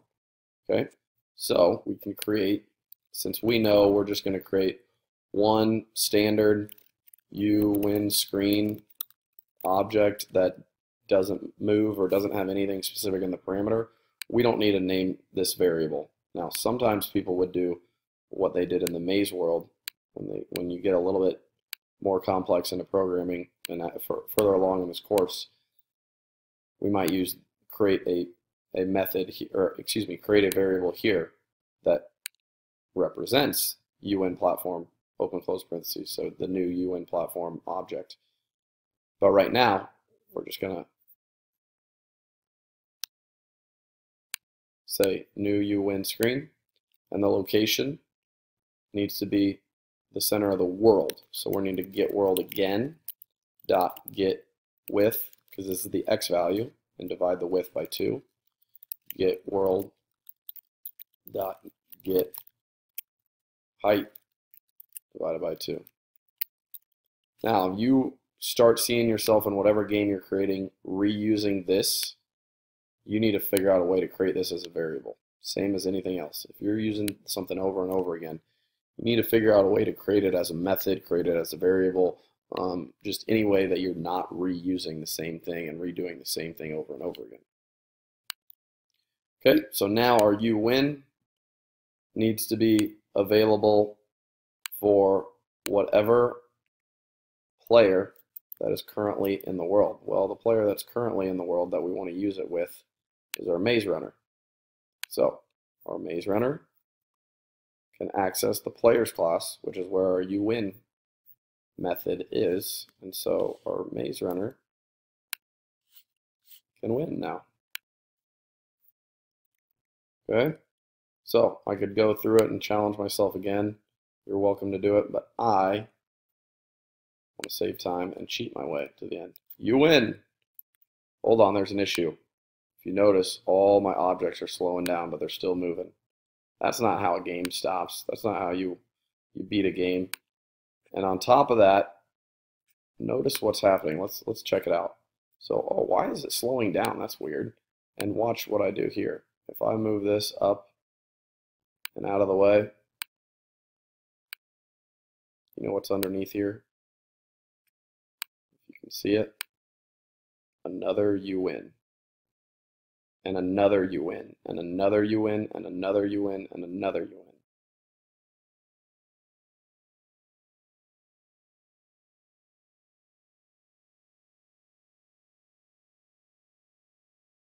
So there's a couple ways you can do it. We need to go into the uwin. We need to change something in that code.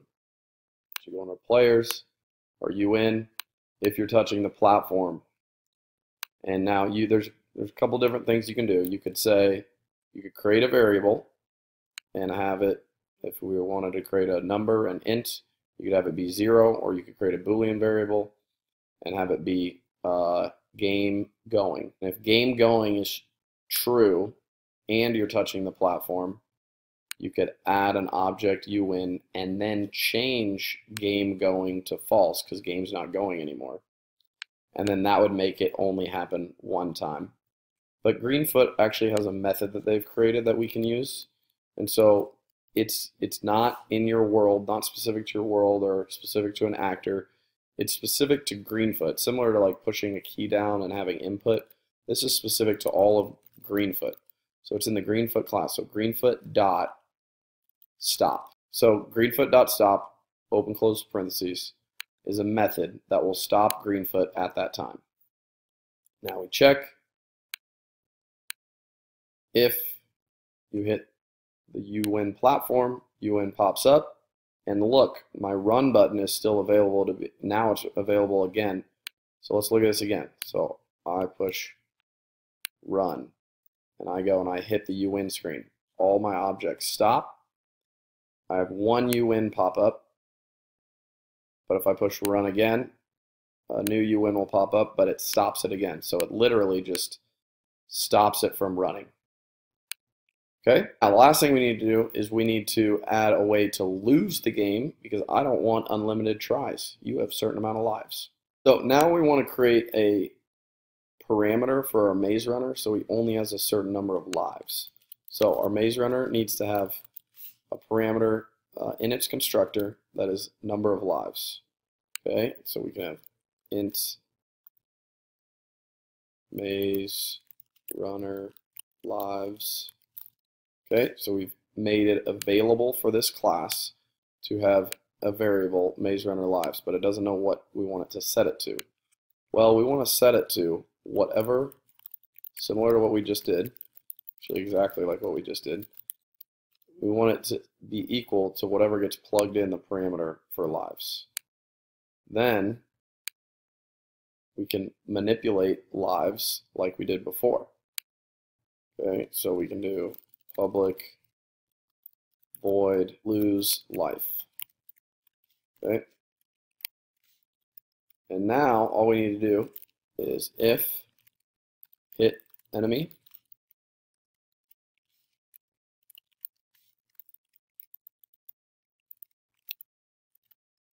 lives, which is what we've plugged in. But wait, it doesn't recognize lives. Ah, because the only thing that it recognizes are variables that have been created within this class. So we actually need to do maze runner lives, which is equal which that is equal to what we've plugged in. So essentially it's the same thing, but the computer doesn't know what lives is as is.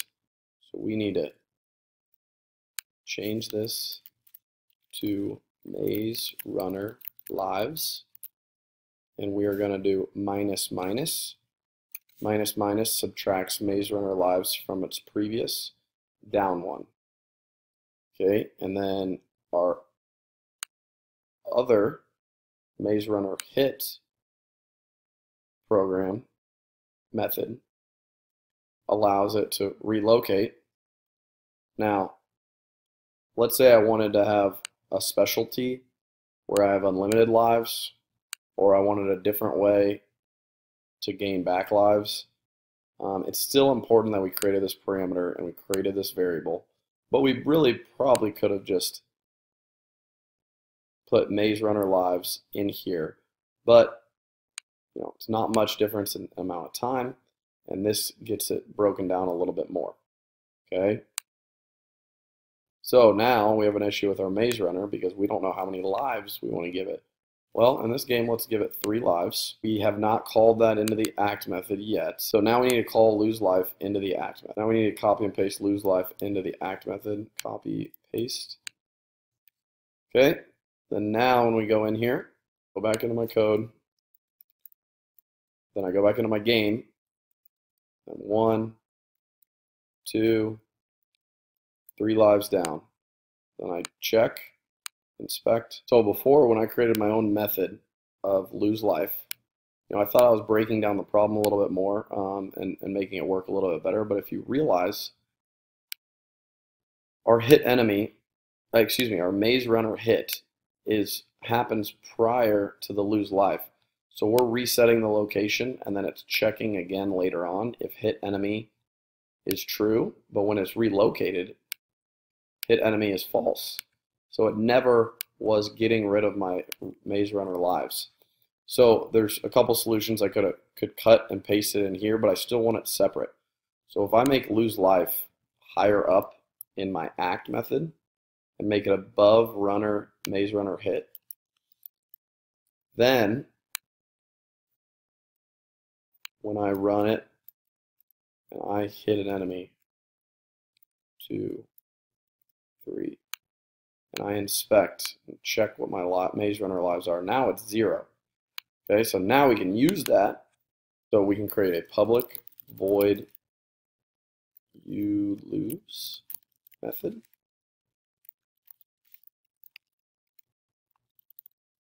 If, whoops, control shift I, okay, if um, our maze runner lives equals equals 0.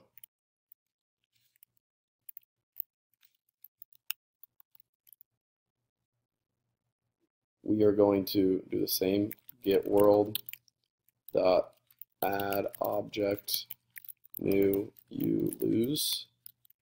So we're going to create a class you lose and we are going to add it in similar to how we did with the UN. So get world, get width divided by 2, get world dot get height divided by 2. Now, I've already written this code twice now in my in the same game. Um, and I have a feeling I'm going to continue writing it. So in, in a future lesson, I'm going to show you how you can create this um, in a way that we can we can manipulate this and, and do this automatically because this has taken a little too much time um, for my liking. So then I'll do greenfoot dot stop again, um, because if you lose, you want the, the game to stop. So the new you lose needs to be created. So there's going to be an error there because the you lose has not been created. So just like the you win platform, instead we don't need a platform for the you lose. We just need a you lose, and I need to capitalize this. I didn't capitalize it before. So I need to go back into Maze Runner, and I need to capitalize the Y in U, and you lose. And then again, we're going to create a new, we're going to set this image. Do need to make sure that the you lose is in the act method, as always. Something that can be easily forgotten in Greenfoot. You need to make sure you put it in your main act method so that it actually this is where the action happens, so it actually happen, runs.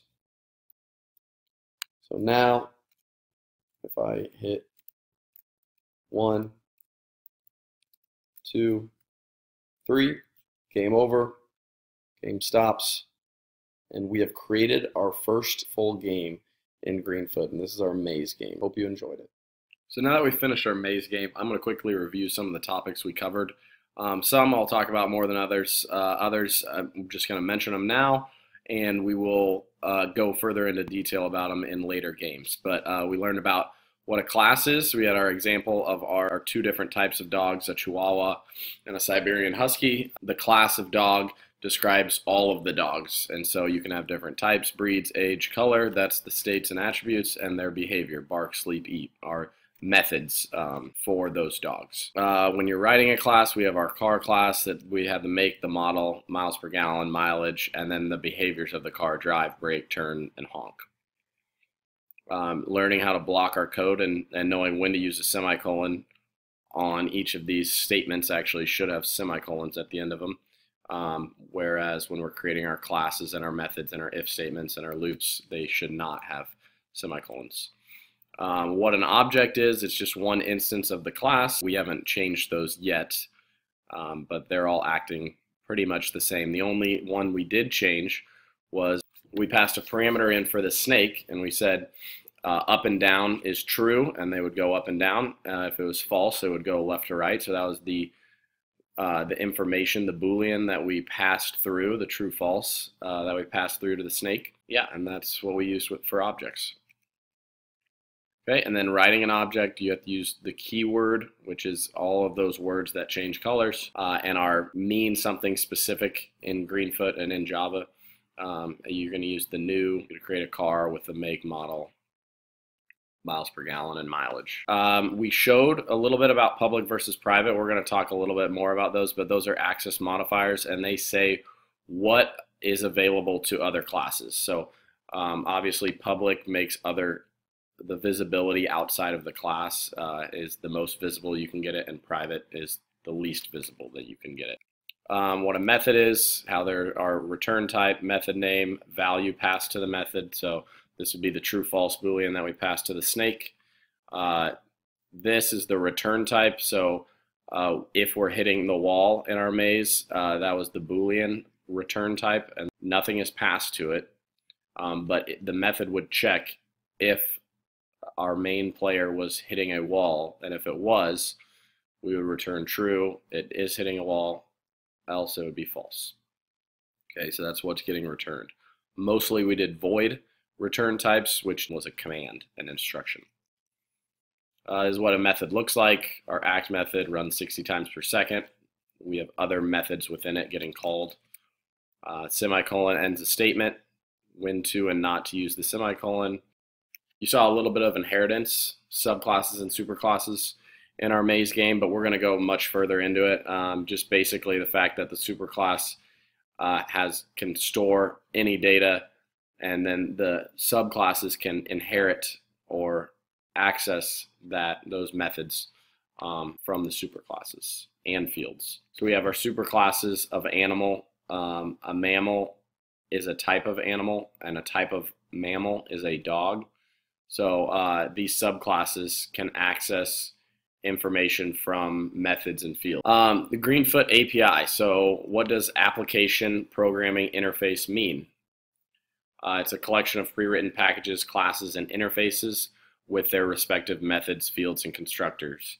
So we have a screenshot of the Greenfoot API um, and some of the methods that are in the actor class. They have the ability to act, get access an image, get objects, do a lot of different things. Uh, what a variable is, we talked a little bit about that. Um, Variables are used to store information to be referenced and manipulated in a computer program.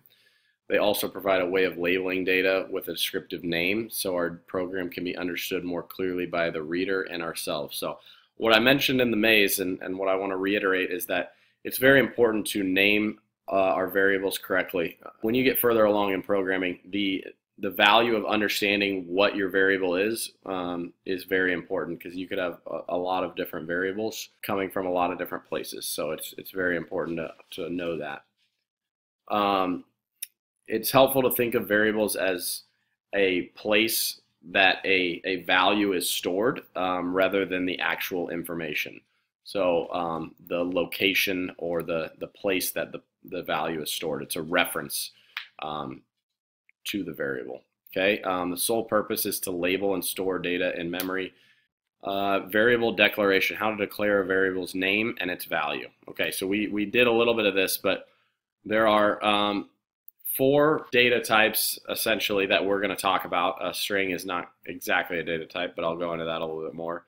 Um, we have string, which is shown and looks as text, int, uh, which is integer numbers, uh, double, which are decimal numbers, and booleans, uh, which is true false. Congratulations, everybody. You've just completed chapter one. Um, if you've gotten this far, you've, you've done a lot of great things, and, and hopefully you're taking notes along with this, and um, you're, you're listening to all the instructions and the PowerPoint slides uh, and utilizing that information so that you're you're going you're going to be able to create your own games at some point. So you learned a lot of different uh, programming topics this this chapter: uh, classes, objects, methods, if statements, variables, int, double, boolean, string, uh, inheritance, both sub and super classes, and how those interact.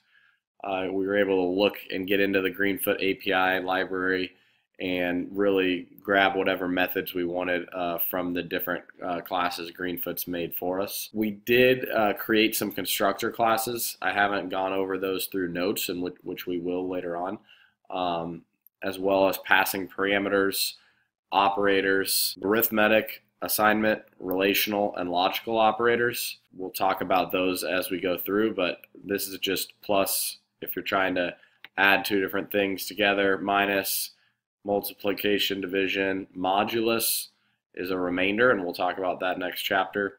This is up incrementally, so up by one, and this is down by one. Um, assignment operators, which assigns one a variable value to another value. Um, and so, and then the plus equals will add and set it equal to, and the minus equals will minus the value on the right and set set it equal to that. Um, and so on and so forth here. And then the relational operators comparing one value to another. Um, if it equals to it, if it's greater than or equal to, if this value is greater than or equal to that value, um, and then less than equal to and, and not equal to is the exclamation point equal sign. And then there's the logical operators. The two ampersands is checking if this is true and this is true. This is the OR operator, uh, and this is used with what we call pipes and you just hold shift and then between enter and backspace you can make those pipes. Then the exclamation point uh, is the not equal to or the not operator and then uh, so if, if something is not true. And then these gaming concepts we talked quite a bit about and we, we gave examples of. So we created multiple lives, uh, added enemies in, had player control, and then the enemies could wrap at edge, bounce off the walls. We had a you win, you lose screen, uh, as well as a speed up variable and, and doing a lot of different things. So I, hope you guys have enjoyed it so far and uh, maybe take a little bit of a break and then get back into chapter two. Now that we've completed our maze world, we're going to make it so that we can have the ship touch an object in our my world. So we right click and select new My World. And now we're back in our My World class. Now we need to have an object in our My World that allows you to transport to the maze world and you start your maze game. We're going to create little mini games along here so that we can uh, access our different worlds. So I'm going to create a new subclass of actor um, that is called maze game. Um, and so I'm going to go into our maze world and take a screenshot of the look of my maze. And that, in our maze world, will be the new picture that we will use for the maze game. Okay, so we need to import from library.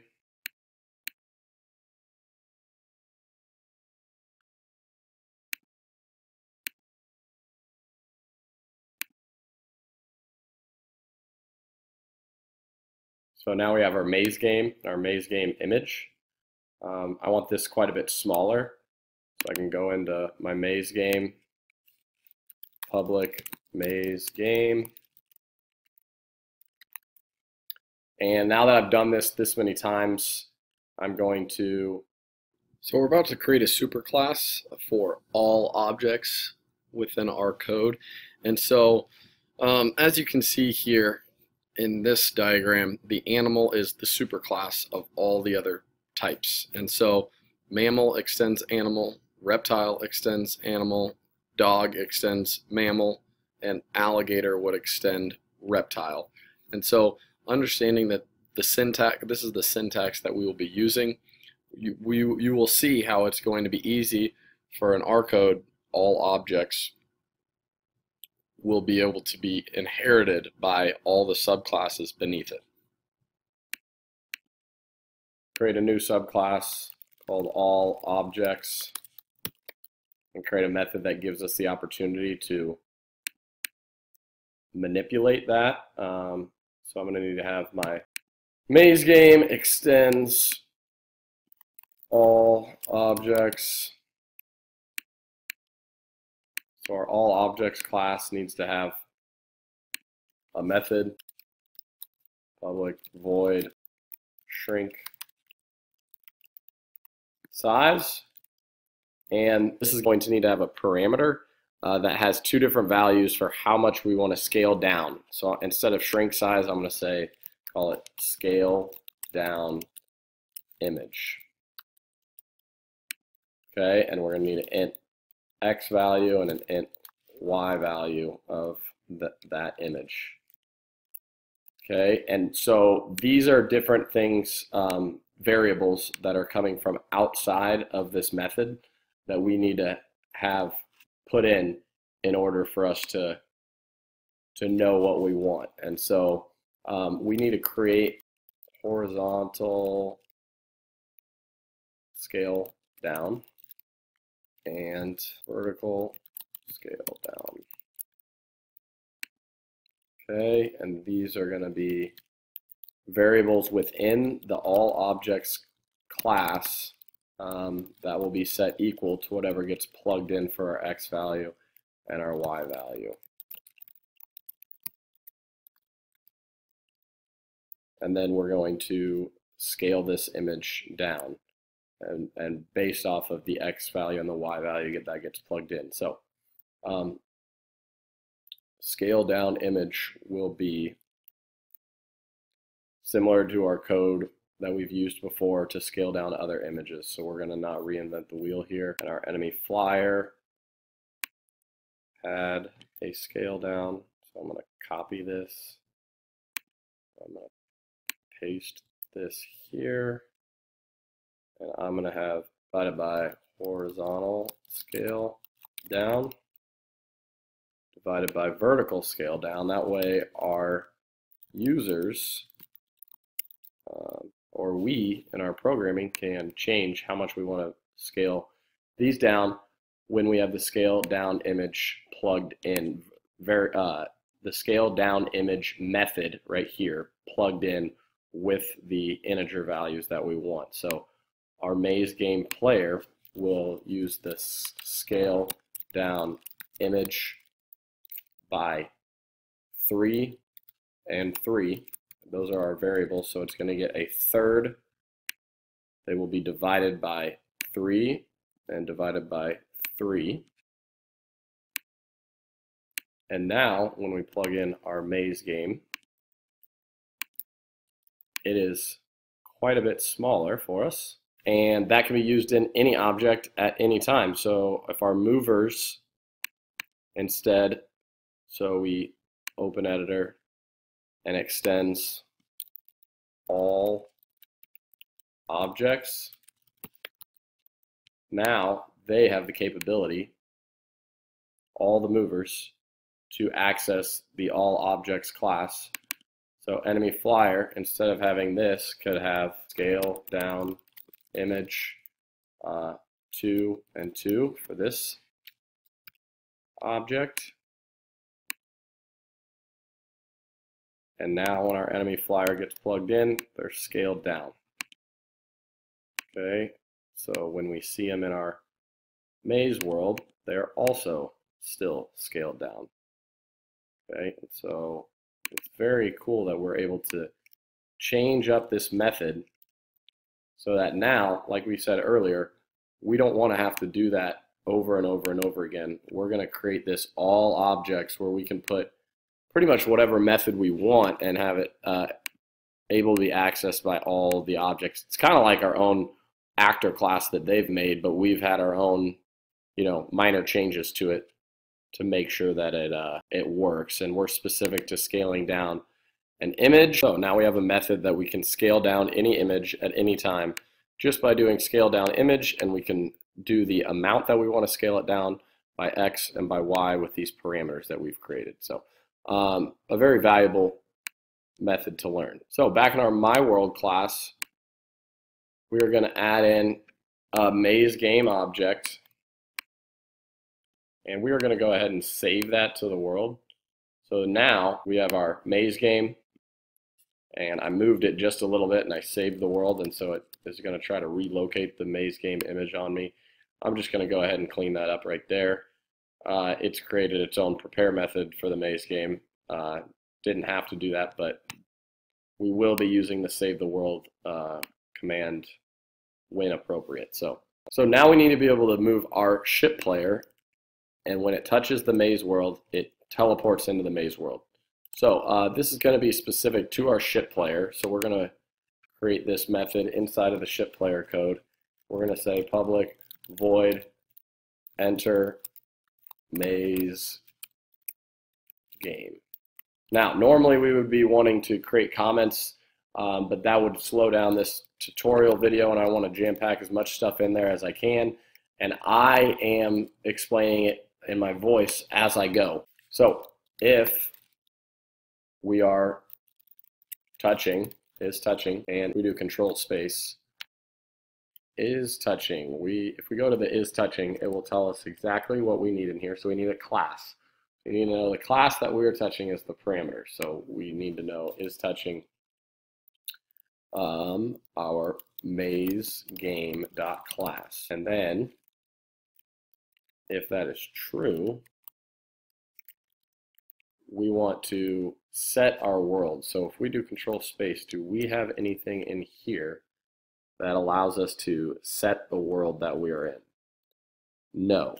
Okay, so in our My World or our Maze World, we can access the documentation. And since we're trying to go to a different world from My World, there is a there is not a way to set the world from your world code either. So what you're trying to really do here is we're going to go, eh, there's a Greenfoot method that is created in, in Greenfoot that is able to be used to set the world. So we are going to set world and we need the name of the world. We're going to do a new maze world. That will be our, ob our object. Even though it's a world class, it is one instance or one object of the maze world. So if we go back into ship player we can do Greenfoot, access the Greenfoot class here. And once we access the Greenfoot class, you can do control space and search through the Greenfoot class. And you can set the world to a new maze world. We're entering the world. So now we need to enter maze game. It needs to be a method call in our act method because it won't happen unless it's in the act method. So make sure you enter it into the act method and then we play, and we play our, and then we're right into our maze game now. So if we can play our maze game and we succeed, we now want, when we hit, instead of the you win screen and the stop, we're going to go into our you win screen. And once that you win screen object gets created, I want to have a counter uh, that equals zero, starts at zero. And then right when it gets built, I want it to increase. So I'm going to have count plus plus, and then if count is greater than 200, remember this happens 60 times per second, so it'll be about three seconds, a little bit more. Then I'm going to set the world back greenfoot dot set world to a new my world screen. A new instance of my world. We go in and we enter our maze, we can go in and if we win the game, I'm going to cheat my way to win. One, two, three. So the reason that didn't work was that our count is getting reset every time we create a new you win screen object. There is a new term that I want you guys to understand, and that is static. So class variables, also known as static variables, um, are declared using the static keyword, um, and they are declared outside of the method constructor or a block, but inside of the class.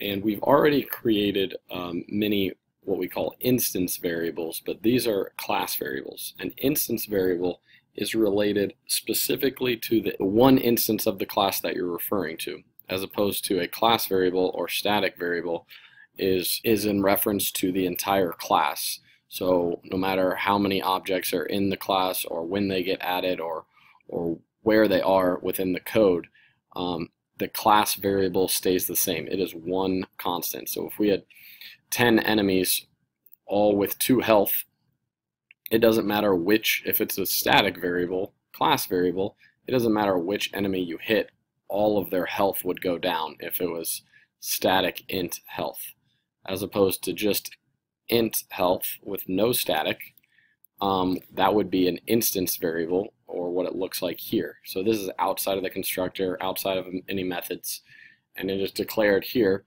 And this is an instance variable. So each instance of Flappy Bird would have its own count, its own gravity, its own jump pressed, and passed pipes.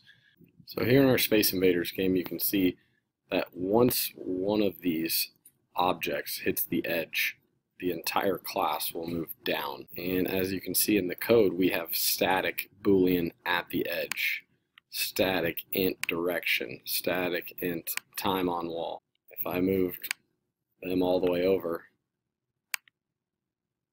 I would hit the edge of the wall all the time. Okay, so it doesn't matter.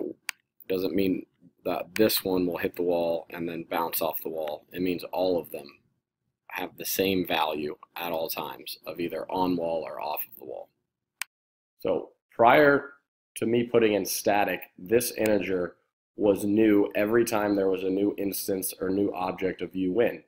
And we have been adding uWin, adding object new uWin every time you were touching the platform. So even when my maze game was not finished, even when I hit the platform, the you win would add over and over and over and over again, um, adding in new objects and resetting the count. But once I put in static for the you win screen, uh, this now is just created for the class and it stays with the class, not with each new instance, does not reset the count. So the the static makes it so that this is one variable allocated to the uWin screen and it's always always there and always constant as the variable for the uWin screen. There is not a new one every time a new instance is created. So our count starts at zero and the second that the uWin screen is available a, one instance of the uWin screen, count stays steady throughout. Count does not reset to zero every time there's a new instance. It, keeps going uh, with the class. So now we have a way of accessing the maze world and then bouncing back. And we're going to need to create a new game now. Greenfoot.stop, where you would um, have to replay Greenfoot and you would just it would keep running and stopping because the game would be over. I want it to just pause the game um, without stopping the the simulation from happening. So right now when you push run, the simulation happens. So in our maze runner, we have the public void you lose method right here, and we are going to change greenfoot.stop to something else. So I'm going to do control space stop. There's a delay right here that we can use. Okay, and this delay, we want it to delay for how long and pause how long and how long. So um, what that's going to do is that if I put in a number like 150, it will pause for two and a half seconds. 120 would be two seconds. It paused for 150, 60 frames per second. It would pause for two and a half seconds. Um, so then we would say within that if statement, we want another if statement that allows you to push a button and that button will take you back to the previous world. So we're going to do greenfoot.is key down uh, 1 and the once again we're going to use the greenfoot method that is in here that is set world. And the world we're going to go back to is my world. Okay. Um, now if we run it, one, two, three, and then this will delay, but then they'll move. It'll delay, and then they'll move. And now if it doesn't pause the simulate, it just delays the game if I paused it myself, I could look and see that each time after one and a half seconds, it does create a new you lose, but they just stack on top of each other and adding in a few images doesn't really hurt you at all. What it does do is that it leaves it running.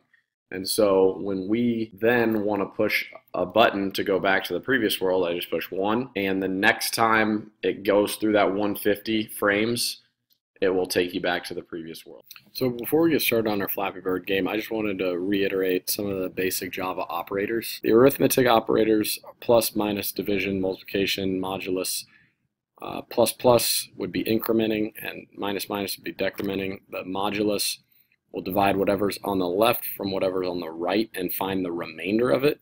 So 5 modulus 4 would 4 goes into 5 one time with a remainder of 1. So that answer would be 1. If something 5 modulus 5, that would be a remainder of 0. We do this a lot when we want to time something out. If something's constantly counting up, we're going to count it. If we wanted something to happen once a second, we would have if the variable that changes, maybe it's count modulus 60 equals equals 0 that would mean every time count divided by 60 had zero remainder, we would do that if statement. Okay, and then we have the relational operators. Double equal sign would be comparing whatever's on the left to whatever's on the right and seeing if those were equal to each other. And this would be not equal to. This would compare left to right, less than, is greater than, less than or equal to, greater than or equal to. Then we have the logical operators. So if this on the left and this on the right is true, we would do the if statement. This is the OR operators. You hold shift down and do the backslash between the backspace and the enter. And then the exclamation point is the not. Um, so this would signify if something is false, we would not do it. Or we would do it if this is false, if whatever is in this is in front of is false. Then we have the assignment operators equal sign. Don't get that confused with the double equal sign. This will assign, like if we want our variable to equal 5, we will use one equal sign. So I, I like to associate this with the variables that we create. We always use the assignment operators, making it equal to something. This plus equal sign will add. So if I did speed plus equals 2, it would add 2 to the speed and set speed equal to 2 more than it was previously. Then the minus equals sign does the same thing, subtracts speed minus equals 2. It would subtract 2 from the speed and set it equal to 2 less than it was previously. And the same thing goes for these as well. So the arithmetic operators are used in mathematical expressions in the same way that they are used in algebra. The following table lists the arithmetic operators. Assume integer variable a holds 10 and variable b holds 20. Then these would happen. A plus B is 30, A minus B is negative 10, and so on and so forth, and you're welcome to pause and read through those. The relational operators, we have A holding 10 and B holding 20 once again. So A is not equal to B, so that is this statement is not true. A not equal to B is true because they're different. A greater than B is not true. A, a less than B is true. A greater than or equal to B is not true. A less than or equal to B is true. And you can read the descriptions if you'd like. These are the logical operators. So um, this is just comparing A and B. Um, so if both are non-zeros, um, this is just checking if A holds true and variable B holds false. So if both the operators are non-zero, then the condition becomes true. So A and B is false, that is not true. A is true, B is false in our example. Is A or B true? Um, yes, A is true, so that A or B is true. And this is a tricky one, so this is if A and B is not. So exclamation point reverses the logical state of the operand. If a condition is true, then logical not operator will make it false. So A and B is false, like we set up here. Um, but we put the not operator in front of it, so that is then true. Now the assignment operator. So C equals A plus B will assign A plus B to C. C plus equals A is equivalent to C equals the old C plus A, and so on and so forth. Now we are going to create a Flappy Birds game. So I'm going to create a new subclass. I'm going to call it Flappy World. So this will be a new world class. So I have my sky blue and I will create a new Flappy world. Now I want to make my world a little bit larger than it is. So we will open up our world class and here where it's created our world class, we have one at 800 by 600. Okay, now our world's a little bit larger. Um, we're going to create an actor. And our actor is going to be one of our players. So um, I'm going to create a new subclass of players. It's going to be Flappy Bird. Okay, and then I will insert my image for my Flappy Bird.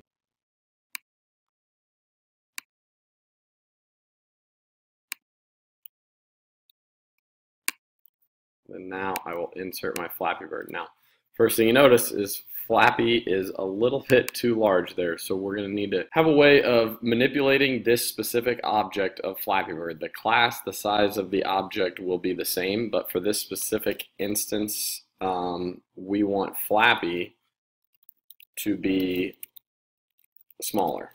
And so we are going to create a constructor method um, which is specific to when a Flappy Bird gets added into the world and there's no fields, no set fields for it.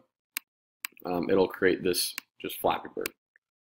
So with that, we are able to change the aspects of that specific object and resize the world. So we are going to set image um, and we're going to set image. Actually, we are going to do our method that we created. Aha! This is why you create your superclasses.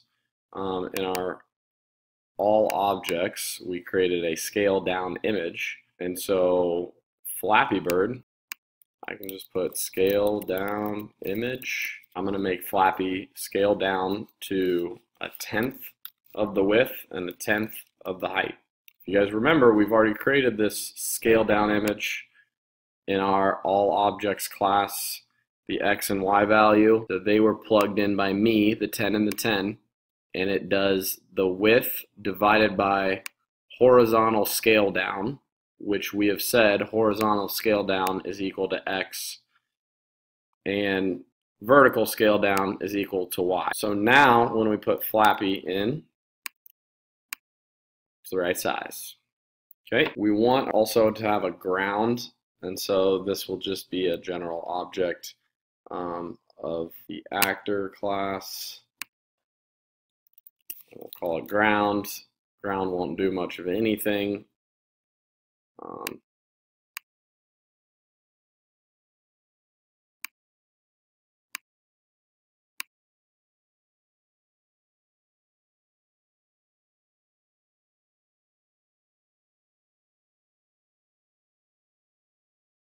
So once you lay the ground down, I have three grounds here. You line them up evenly. Uh, you want to right click and save the world. Now this right clicking and saving the world will put in your Flappy world automatically create the ground objects, ground, ground two, ground three, ground four, uh, exactly at the location that we dropped them. Okay, um, and we can add in our Flappy Bird as well and we want Flappy to be just about right there, about 50 down and about 50 to the right. Okay, sometimes when you try to save the world or reset the world, um, or after you save the world for a second time, it will remember where you moved an object and then it will move it back um, to where you relocated it one time. So we don't want these set locations in here. Um, if you make a big game like the maze game, that's what um, can happen if you make a lot of walls and save and move them. Um, so you want to take out those set locations. And then we're good to go. Okay, um, so now we need to make our pipes. And our pipes are going to act like an enemy. And so I'm going to make a new subclass and I'm going to need to make both a bottom and a top pipe. So bottom pipe. And then we also need to create an enemy top pipe. And we want to set the image top pipe. So now that we've made our bottom pipe class and our top pipe class and given them images, we want them to be added into the world. Um, so we are going to simply go into Flappy Bird world. And while this world is running, we want um, pipes to constantly be coming and going from right to left across the screen. So we're going to need to access our act method. Um, it is not automatically put in your world class, so you actually need to set this up like this and type in public void act. Uh, and we're going to say we're going to have a, a count that constant, and I do this in games a lot. And so you have a count that constantly is running throughout your world, and then you're able to use that as kind of a timer, and uh, you're able to manipulate different things in your world using that. We're to have int count equals zero to start. And since it's outside the act method, it'll never get reset to zero. That's just what it starts at at the very when the class Flappy World is made. Right away. Okay, and then our count in the act method will always plus plus. Now we're going to make another method um, that will be called add pipes. So we're going to add our pipes in. When we invoke this method, we'll add our pipes in. So we're going to add our pipes in if count modulo 100 equals equals zero. Okay, now what is this modulo? Well, what it does is it divides whatever count is by 100 and then checks what's left over. If count was 100 and you divided it by 100, the remainder would be zero because they're divisible by each other. If count was 101, you would divide by 100 and the remainder of 101 divided by 100 would be 1 in this in that case. If it was 110, it would be 1 it would just be 10 and so on and so forth. So, so if our count divided by 100 equals 0, has a remainder of 0, is divisible by 100, we are going to add in our objects. And so basically every six, this is happens 60 times per second. So every one and two thirds of a second, we're going to add in a add object new bottom pipe at a certain x value and a certain y value. Well, so our x value want to be at the right edge of the world, all the way over here. If this is zero and our width is 800, um, you could put 799, but that's bad practice. Case I want to change the width of my world at some point, I will use the method to get the width of the world, and then I'll subtract that by 1, because that number would include, or would not include zero. So it would the get width would give me 800, and actually the right edge of the world is 799. So there would be an error if you just did get world dot get width. You have to subtract by one. And then the height on the bottom pipe should be pretty low. So it should be around, oh, if 600 is the Y value, I'd say at least 550. So that gives me 50 pixels of space below it in the world. Um, and since we're already in the world, I don't need to do get world. So that's why this error pops up. So all I have to do is get width. So now I'm going to add object new top pipe dot get width minus 1 comma 50 so 50 from the top. Now this will give us quite a bit of space but we want to first do step by step and kind of test this game out and then we can make some modifications as we go. So when we run nothing would happen because I have left add pipes out of the act method. Of course always got to check that act method. Okay um, so we run, and these pipes are getting added in, okay? So a couple things I've noticed. First of all, it's good that they are not adding way, way too many in. If I run, it takes a second, then they add one in. They probably added two, three maybe. Okay, so they've added two in.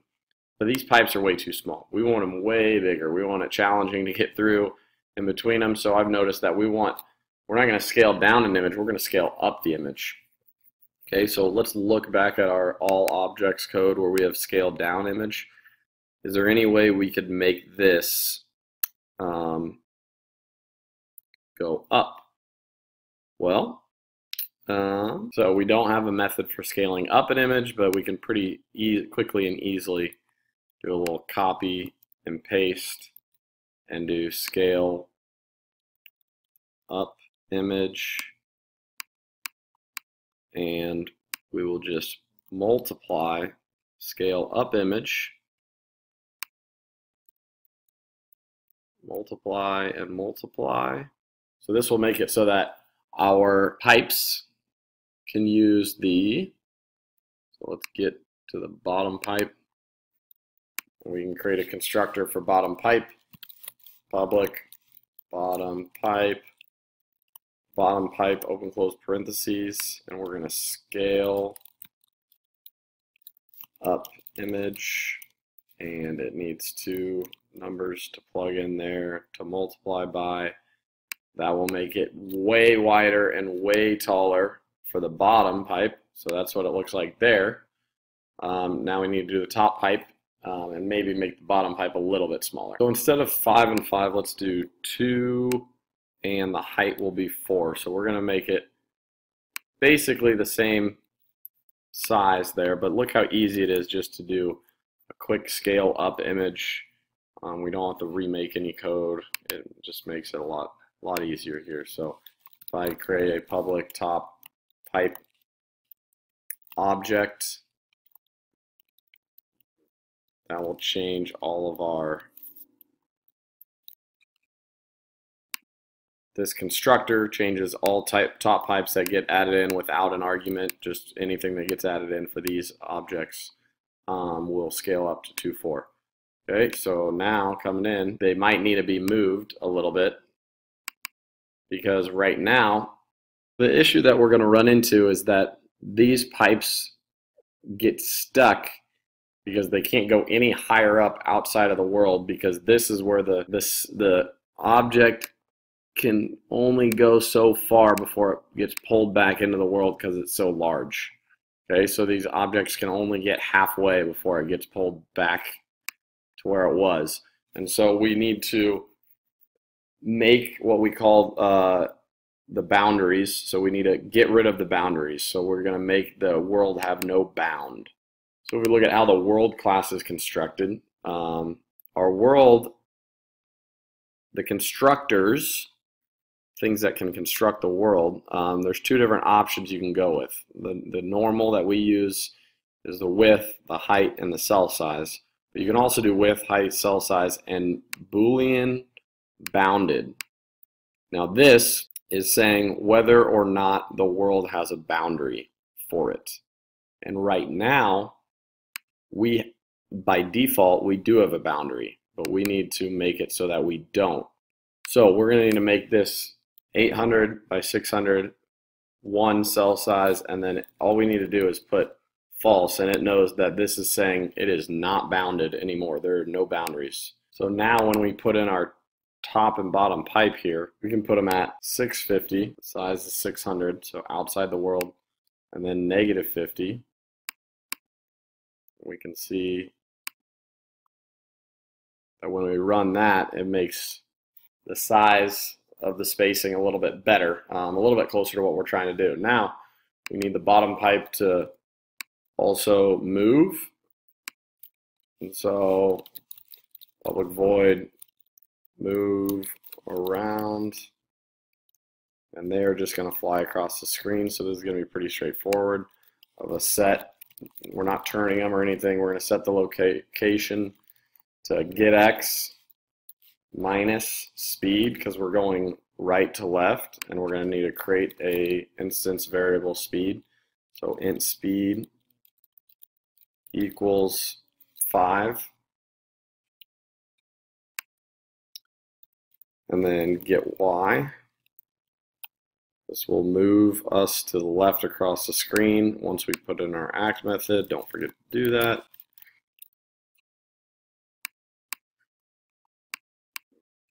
So now we're going to see them flying across the screen on the bottom and you can kind of see the speed at which they're coming in and you can almost see how this game's going to work. So we're going to just copy and paste, move around.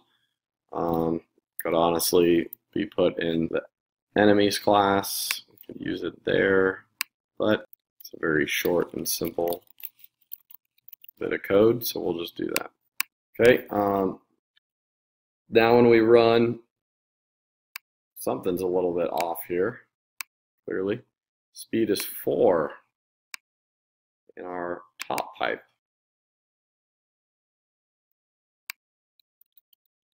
Ah, see. So, um,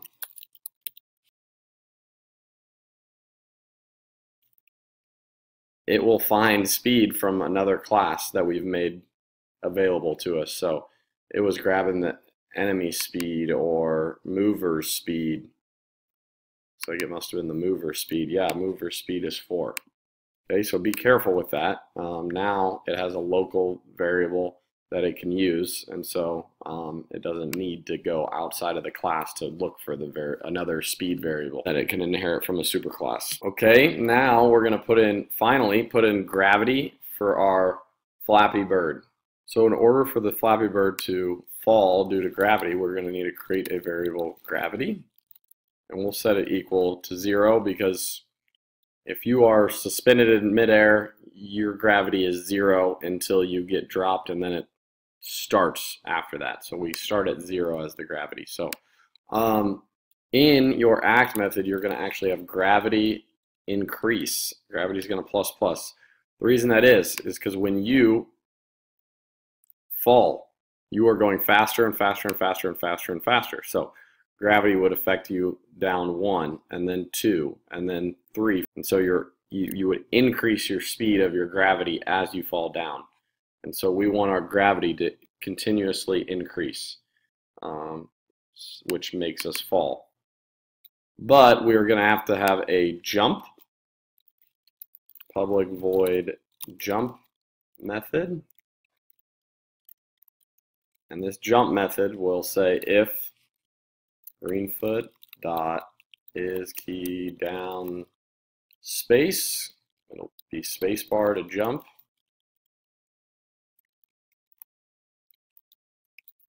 And then if space is down, we want gravity to equal negative 24. Okay, I've done the tests and I, I like negative 24. Um, but so right now, these are just numbers. Gravity will count up, up, and up, and then gravity will be set to negative 24 if I put jump in the act method uh, when spacebar is down. But we want we need a method that will also be for falling. That'll be our fall method.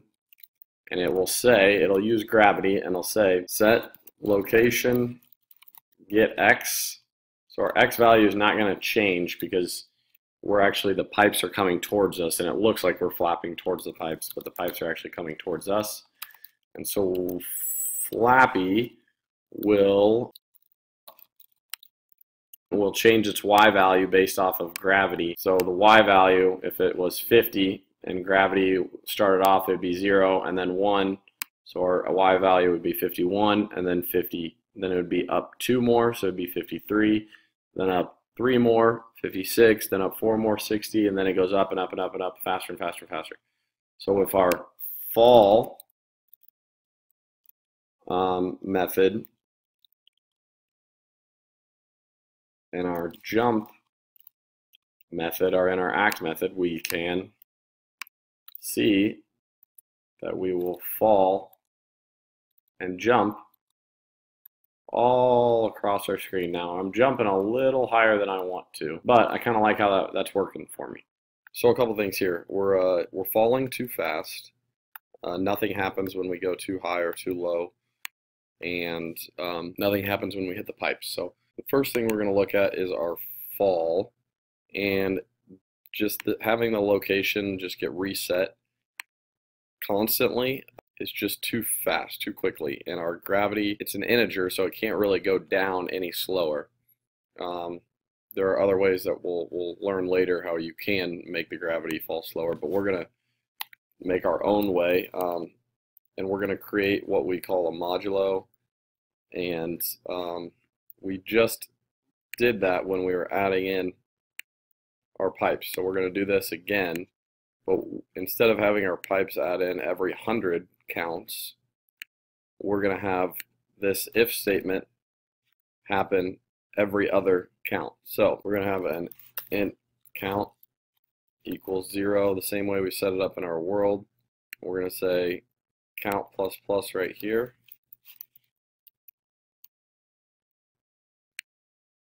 and then we're going to say if count modulo 2 equals equals 0, meaning count must be divisible by 2, so it must be an even number, so every other um, this will execute. And actually we're going to start using one line if statements. And so if you only have one command, you just have set location or just have setting gravity to negative 24. You don't need curly brackets around it. So um, just writing it out like this is absolutely fine. And uh, we're going to start just kind of practicing and seeing what places we can use that to try to make our code get written a little faster. Um, I personally like to throw them in there just so if we need them, if we need to add an extra command or method to it, uh, it'll be there. Okay, um, so now let's check our fall. See how this is falling. Oh yeah, that's a lot better. Okay, all right, so now we need to change our Flappy Bird so if it hits public void hit edge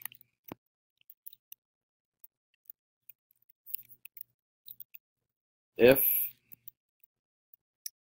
uh, is touching the ground class, ground.class, we want to lose the game.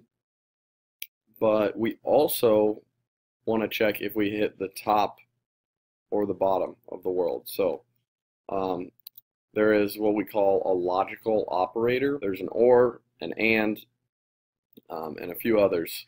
And we're going to use the OR. And so if you hold shift down and click the button between the backspace and enter, or on a Mac, delete and return,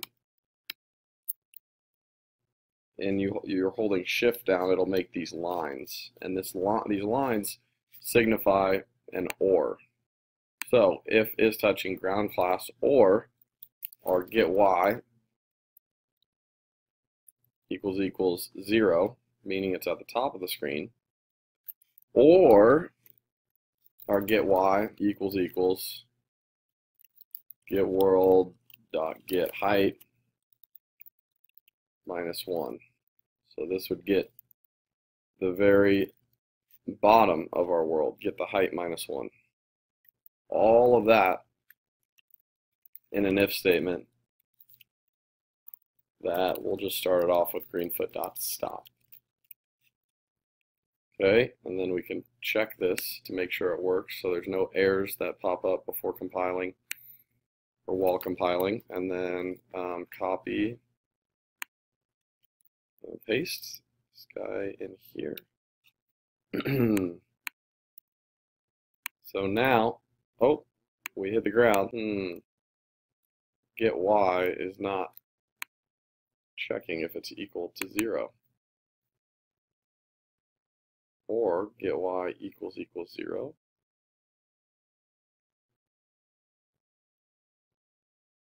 How about less than or equal to 1?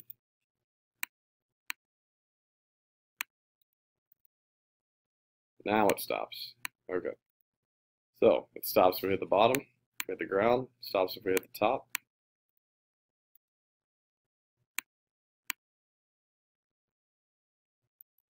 Now I am noticing something. If I hold down space, I do not want my Flappy Bird to keep going up. So I want the jump method to only happen once when you press spacebar down, and then you have to let go of the spacebar in order for it to happen again. And so right now you can just hold spacebar down and it keeps going up, up, up. Okay, so we're going to create a local boolean. Okay, and if you remember, boolean is a true false statement. So boolean um, jump pressed. And naturally, jump pressed will start off as false because you will not automatically be jumping to start the game.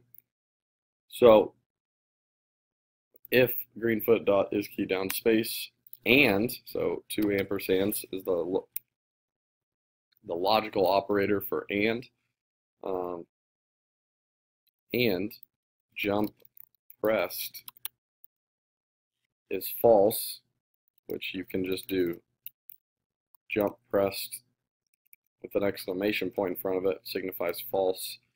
Just putting jump pressed would signify true, so jump if the space is down and jump pressed is false, we need to add back in those curly brackets that we took out, and we need to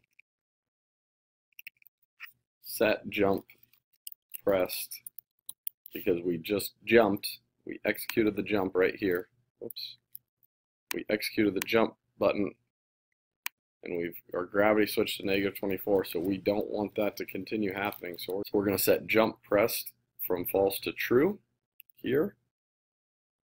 And then if greenfoot is not pushed down spacebar is not down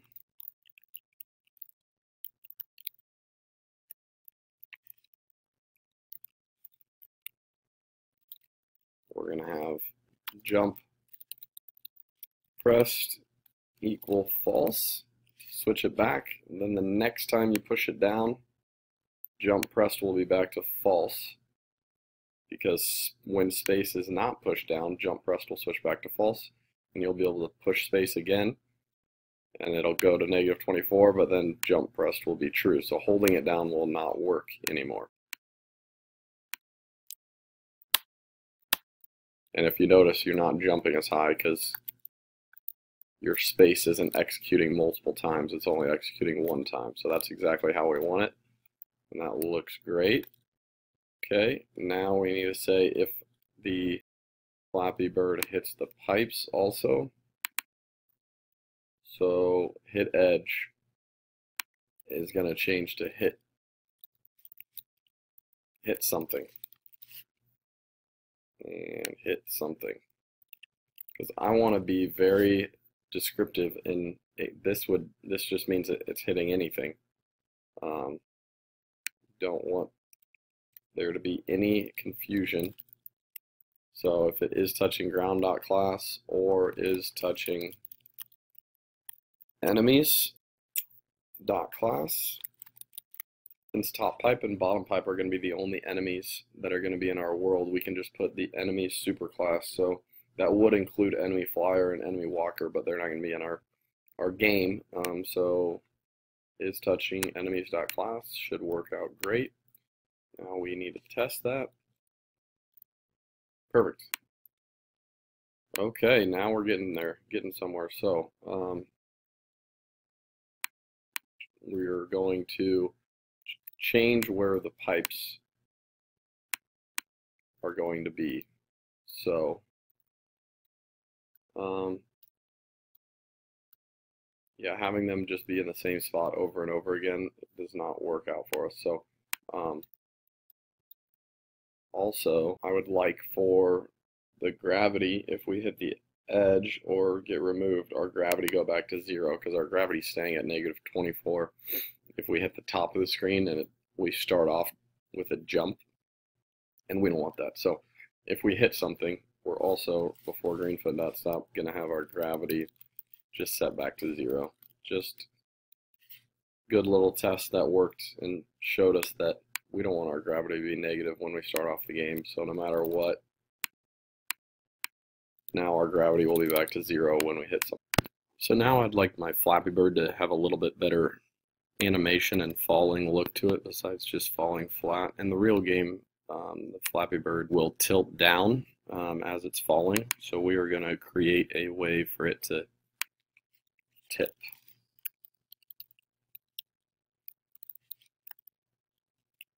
So I created my tipping method call. Now we're going to create our tipping method. So our tipping method will say that we are going to set our rotation because that's what we're trying to do. We're trying to change our rotation. So we're going to set our rotation to the current rotation. So we're going to access the rotation with the get rotation method. That'll give us our current rotation. And then we are going to add to to that rotation and that'll just tip us forward slowly. And so we will constantly be tipping and rolling right now, but we're going to change that so that when we push space down, it'll turn us back up. And so when we push jump, I'm now going to set my rotation every time I push my space to negative 75, which will turn us to about that 285 degrees at negative 75. So now every time we jump, we tilt up, but we're also always tipping down. Okay, so now we're going to have our pipes move slightly randomly. We, we've done a good job so far of having them stuck in a pretty decent spot, but it would be nice if we have them randomly either shift down, but all of them shift down, or all of them shift up. And so um, we're going to go into our world and we're going to use a random number.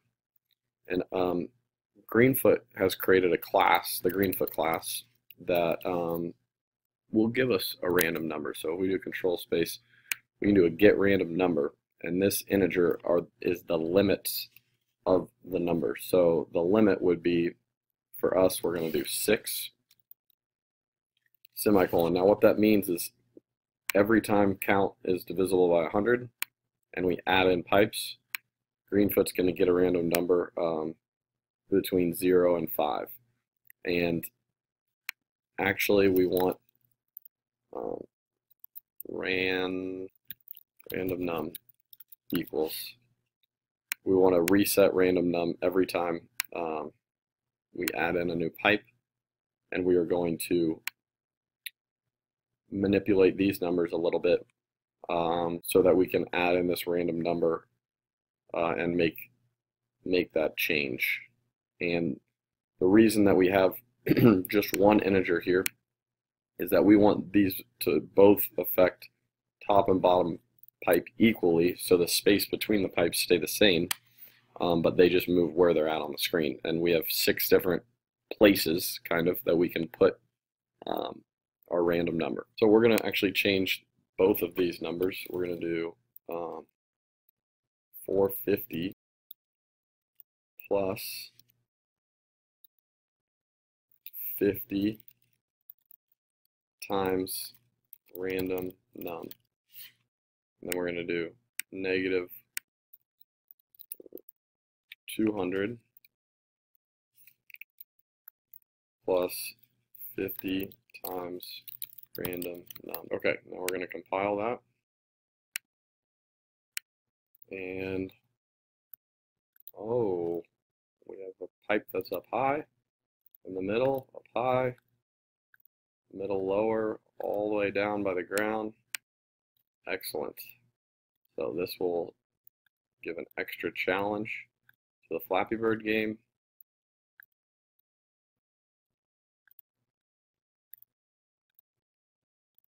Beautiful. Okay.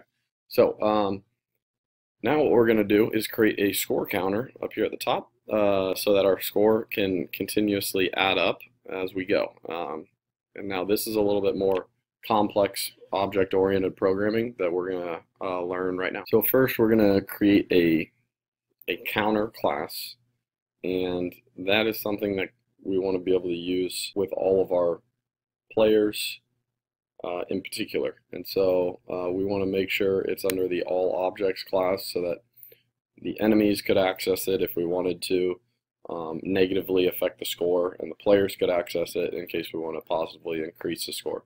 So just an, a new subclass of all objects, we're going to call it counter. And we're actually going to design our own image for counter so we actually don't need to set our image to anything.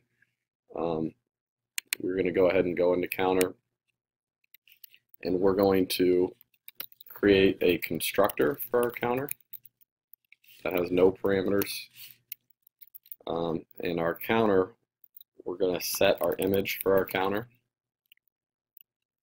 Um, now, what can we do when we set our image of our counter? It says we can either have a string that will just set an image for this actor from an image file so we can grab a, a, an image file that's a string and just plug in that the name of that file there. But we want to design our own so we're going to create a new greenfoot image. So we're going to set image and we're going to create a new greenfoot image and now our options from a new greenfoot image if we look at in our world class so if I just double click on world here, I can open up the tree that shows all of our different classes. And now the Greenfoot image class has different constructors that are available. One is just, so create a Greenfoot image from another Greenfoot image, create an empty transparent image with the specific, specified size, create an image from an image file we've talked about. Um, we can do a string size, foreground, background. That's what we're looking at there. So then we can do size, string, size, foreground, background, and outline, but we're just going to do Greenfoot image with string, size, foreground, and background. So this one right here. Okay, um, so back in our counter, we're going to do a string, and that will be score, space, and notice it turns green because I put quotes around it, which signifies that this is a string or string of characters or text. Okay, and then a comma. So that was the string. Now we need, need to have text size. I'm going to have it be 70, and that's just general pixel size. Um, so that'll be pretty big. We'll take a look at how that looks. And then we're going to do um, foreground color um, so in the foreground, um, let's have it be white, and then the background. Uh, let's try see what blue looks like on the blue background. So we have one too few parentheses, so make sure you get those both in there. Now we should be set. So when I add in my counter, Oh, there it is. We have our score right there. Okay, so just add in one of those. Um, we'll turn the size down to 50. I like the white, but let's change this blue to black. The background. Now, it looks, it's pretty basic, but that's all we need right now, okay? Um, so we have our score. And it's not automatically going to count for us, and actually, we need to constantly be updating it. And so, we are going to have to create a score variable um, that we implement into our code. So we need to do plus score. Now, the reason we do a plus is because it's called concatenating a string. So we have our string and we want to combine it with an integer value um, or a different data type, or even if it's another string, but we want to combine it into one, essentially one long string. And so that's what concatenating means. Um, I wanted to pause for a moment and make sure you guys were aware of something. This new Greenfoot image is an object because we're using the keyword new to signify we want a new Greenfoot image. The reason we're able to do that is because we've imported the Greenfoot class, which stores world class, actor class, Greenfoot image class, Greenfoot class, as well as the mouse info class. And so when we create a new Greenfoot image, um, we are just grabbing from that class. Just like when we add an object into our own world, um, this is just creating a Greenfoot image object that we grab from the Greenfoot class. And so we are actually going to not only do that, we want it to always be happening in our game. And so we want to copy and paste this into the act method so it's always setting the image to the most updated image. So we're not adding an object in here. We're just making sure that our counter object is the image is set to the new Greenfoot image. And so the image is always updating. So in case score changes, which it will, um, we have it in the act method so that it always is updating. So let's go ahead and throw this counter in there one more time. And look, now we have zero. Okay, so before we add in this counter, let's we need to, this is very important. So the way we are going to add in this score counter, we need to do it manually. And I'll tell you why here in a second. So the location is 90 by 9030. Okay, so in our Flappy world, we want to prepare and we want to just add in a counter, counter equals new counter. So we've set up a variable that we're referencing the counter class. So we know this variable is going to going to access the counter class and create a new object, new instance of the counter class. So just one. Um, and so we're going to add object counter at, what we say, 90, 30.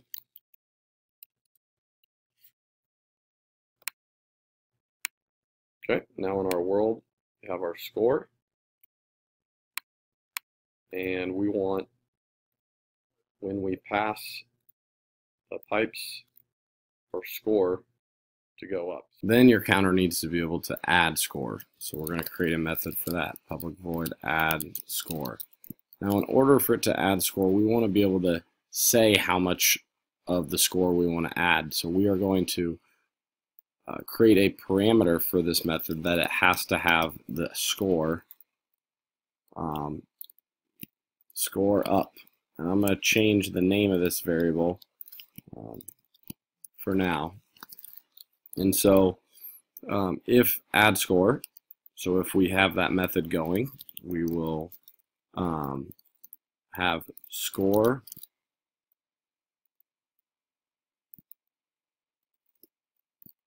up, which is available to this method. Um, and we will set our current score for this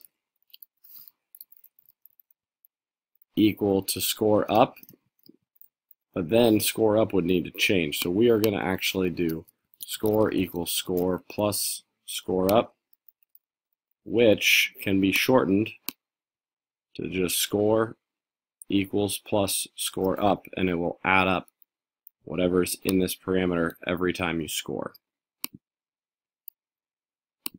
This add object is only referencing the information that is given in the prepare method, which is essentially nothing.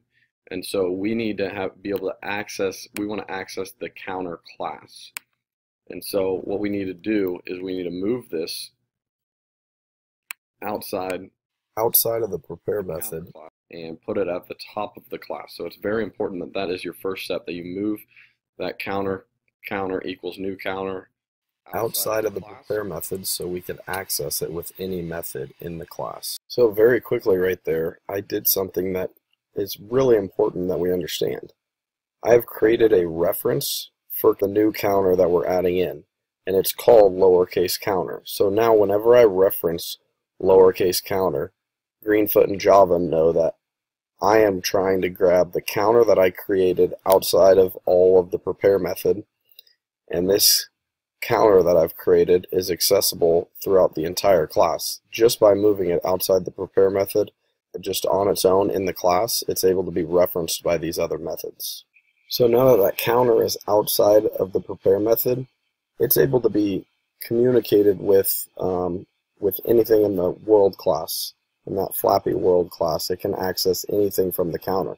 And what we're going to access is the score. So before our counter was a local variable, and it was local specifically to the method.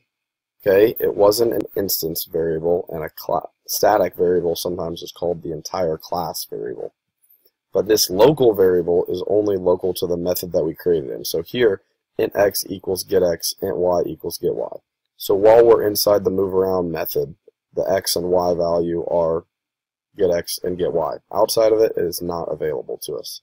Just like in an if statement, if I were to initialize it, it also works inside of that. So inside of an if statement or a loop, if you put x or y or, or put int x or int y and you initialize a variable or create it inside of the actual if statement, that will also only be local to the if statement or to the loop. Okay, so now that we've created counter, counter equals new counter, so we've created a name for the counter that we're going to use throughout. Okay, we first can still add the object counter in the prepare method, which we've already done. But what we also are going to be able to do, and I'll show you in a minute, is we're able to reference our add score method right from which counter? Oh, the counter that we created up here. Okay, so if you wanted more than one counter, you would need to create a second reference to a second counter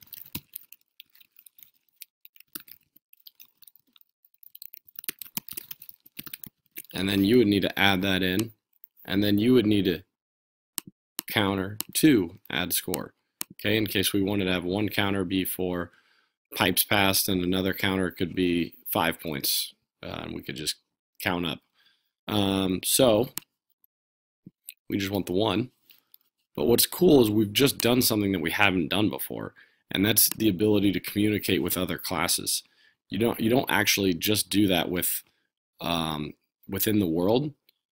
You could also, in some games, and I will show you, you will also be able to, in some games, um, be able to have multiple people if they all act the same or have some of the same um, behaviors, but they have different characteristics. Notice how I'm, how I'm wording this. Remember, a class has both traits and physical characteristics and they also have behaviors. Well, these people in this simulation have different names, um, but some and traits, but they have some of the same behaviors. And so, no matter which teacher I select,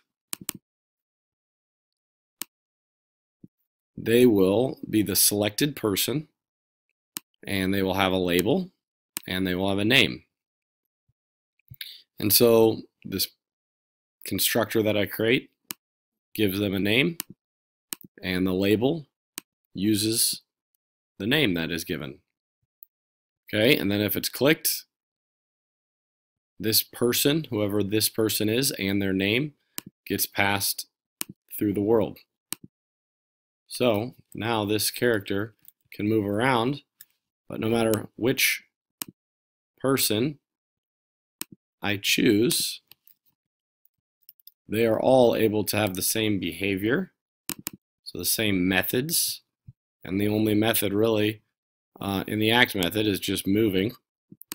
Okay, um, but they're also able to communicate between the labels that they create, the different worlds that they go into. So this is what you get to look forward to going into next. Um, and we'll do a little bit about inheritance um, and being able to pass parameters. So um, being able to reference different classes within each other uh, is, is, a very big big part, and we'll get into that in our next in our next video. This concept can also be applied to uh, Eclipse or IntelliJ. Um, here we had just have a simple program that you can enter your name, your age, and then the program will print your name is whatever you've entered your name as, and your age is whatever you've entered your age as. Um, but we've also given it, created a person class so that we could create more than one person and store their information. And so um, here we are just referencing person yourself equals new person. And so just like in, in Greenfoot, when we have created an entire class, um, maybe somewhere else in our code, um, and it, it, might show up in a different box, but we are able to reference um, any, we could reference the person class just by doing person yourself equals new person. Um, just like counter, counter equals new counter. Um, we can reference the counter class even though it's not visible on our screen. Um, it is still a class we have available to access. So that's how we do it. Counter, counter equals new counter. And then we are also able to reference the methods that are in the counter, or in this case, person, um, within our own class now that we have referenced uh, the counter. And so here we have your name is yourself dot get name. And so it gets the name from person and it plugs it in right there. For our code, we would, we're going to do counter dot add score um, and we're able to reference the counter class um, because we created a reference for it. And then now we're going to get our counter to function. And we're going to have our counter function in a way that we're going to count until we pass a pipe and that number, so right about there, we can check with our Flappy Bird or in the world and check, okay, our count is about 240. So just when it gets past this part, um, we will score. So now that we have our counter getter method available, we're now going to create a Boolean method that will check time to score. So it's going to check if it's time to score. Um, and so if our count equals equals 240, so if count is equal to 240, we're going to return true. Also, if count is greater than 301 and so if count is greater than 300 and count plus 60 so that will take whatever count is which we're trying to get to count at 3 340 and 440 and 540 all to set it to true because every 100 beats after this first count, the next wave of pipes are going to be passing our Flappy Bird. So if count plus 60 modulo 100 equals equals 0 as a remainder of 0, we will return true. Okay,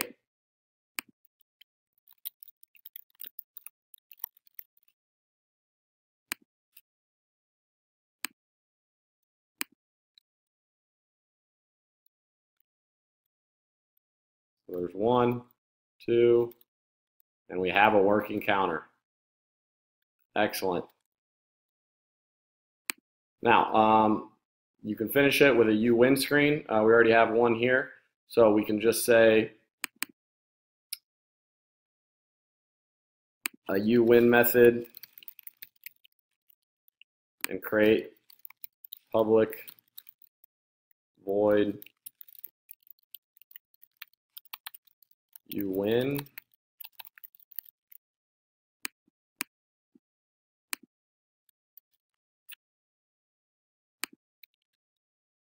and we will what we'll do with this un is say if and we'll access the counter one more time.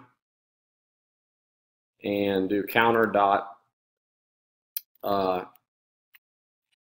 well we need to get the score. The score of the counter um, so we're going to do counter dot score.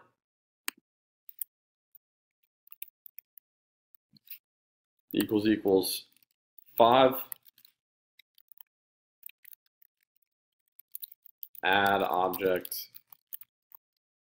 New you win screen in capital. So you know that you want to capitalize each one of these letters because it's a class the you win screen class.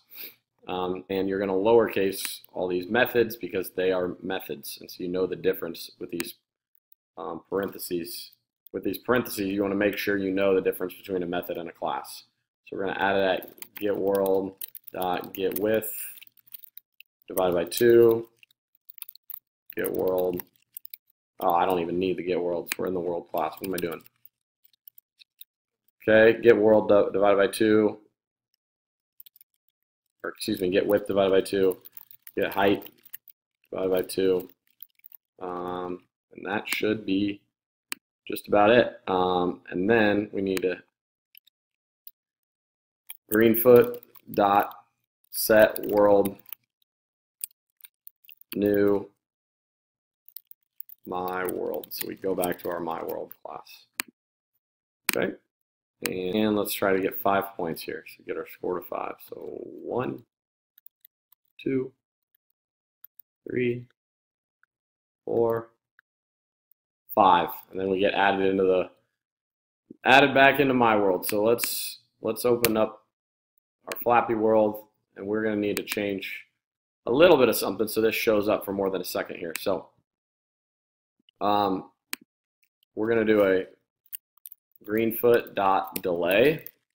We're going to delay for about uh, two seconds so you can see that screen. And so what I'm going to do is add score 5 and you're going to get a you win screen that shows up for two seconds, and then you fly back to your world. Um, and we need to take a nice screenshot for the world and then have a picture of it so that we have a platform for our Flappy world. And now you've created your own Flappy Bird game. Okay, so once we get a good picture here, you can actually manipulate it. The last thing we're going to do um, is we're going to go into our Flappy world real quick. We're going to go in our prepare method and say set paint order. And then you just say what class you want first. Um, and so we want our counter dot class, our Flappy Bird dot class we would want our U win screen first. So we just want the counter out in front and then Flappy Bird second. So those are the two things that um, I want to make sure is in the paint order so that when we pass over here, the score shows up in front. And I'm going to do Control Shift, Command Shift 4 and take a little screenshot here. Go back into our My World setup we're going to need to do a Flappy Bird game pick. Um, so we're going to do Flappy Bird game pick. Now that's a mouthful, but um, then we're going to set this image. We're going to import from our screenshots recent and I can get this Flappy Bird in there and I can easily go in and create a constructor to scale it down. So remember a constructor is the name of the class and this is what um, specific object we are going to enter into the world and so we are going to scale down. So scale down image um, what is it? Three by three we'll try first so when I add my Flappy Bird in that's pretty good size pretty good size so we got Flappy Bird up here we can save the world now um, make it so that if our ship player is touching maze game um, is right there, but we're going to not reinvent the wheel, so we're just going to do a little copy and paste. Um, and instead of maze game, we're just going to call it Flappy game and Flappy Bird, game pick, enter Flappy game.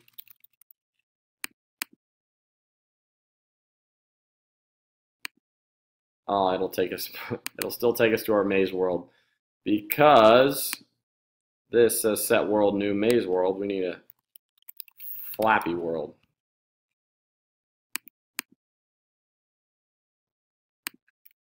Okay, now we can go and enter our Flappy Bird game. Um, and I think when we create this game, I think to start off, just to give us the opportunity to have a little bit of direction on Flappy Bird. So we're going to do a show text command in Greenfoot, or excuse me, in the world class. And all we have to do here is put a string, which is a set of words um, or letters strung together, uh, and our x value and our y value. So I'm just going to put it in the middle of the world. So we're going to do get width divided by 2, get height divided by 2. Okay, um, space to jump. You win when you get, we'll switch it to 10 points for the you win. Okay, um,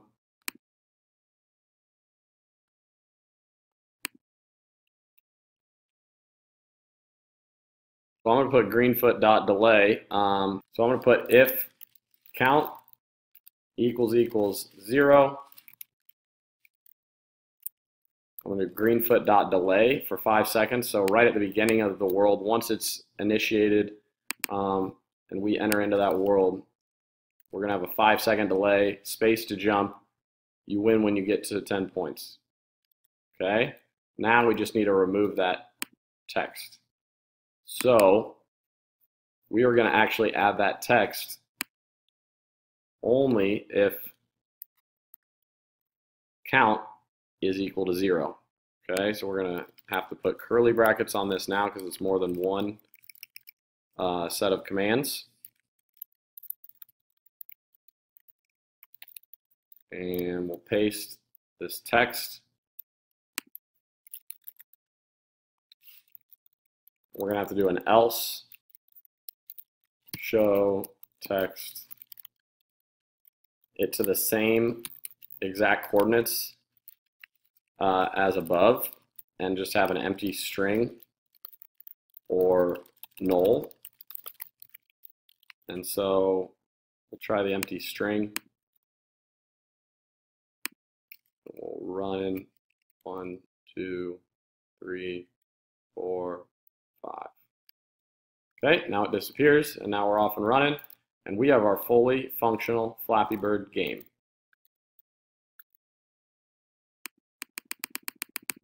Cheat my way through, and I win. Congratulations, you've now completed Chapter 2. At this point, I would recommend going into Greenfoot and designing a game of your own. You've created two games. Uh, you're able to move around the, the screen and control one of the players. You're able to move enemies in a variety of ways, uh, bouncing off walls, wrapping at edge. Um, you've learned how to use gravity uh, within your game. So a few games that I've we've created in the past are some asteroid shooter games, a platformer game, um, a Frogger game. We will do all of those, or you're able to do all those. I have videos posted for um, doing any of those games if you want, um, but I suggest trying to do something completely on your own. Struggle for a little bit, look through the Greenfoot API library to really search and find uh, some things that you want to do. The the only way you can really hone these skills um, is by trying going out and trying to do some of these things on your own. We did a lot more advanced um, passing parameters. Uh, you passed integer values into the scale down image. We passed uh, another integer value for the greenfoot dot delay. And then finally, we passed the amount we wanted the score to go up in our counter. Did a lot of variable manipulation in this game, um, specifically gravity um, and pulling that gravity down but we also manipulated the counter variable.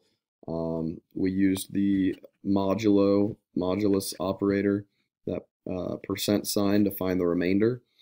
Uh, we created a score counter, um, just a, a, beginner score counter. We'll find a another way to create a score counter later on, a little more advanced. Um, we use the exclamation point, the not true operator. So if something is not true, um, we used that. Uh, we also used the increment operator so this plus plus adds one to the variable. Did a lot of inheritance, uh, whether it was the scaled down image or having a super the superclasses of our subclass, uh, the pipes and the ground. Uh, the or and and operator, we use that multiple times throughout our code and, and really feel like we have a good grasp of that. So next we're going to be creating a snake game.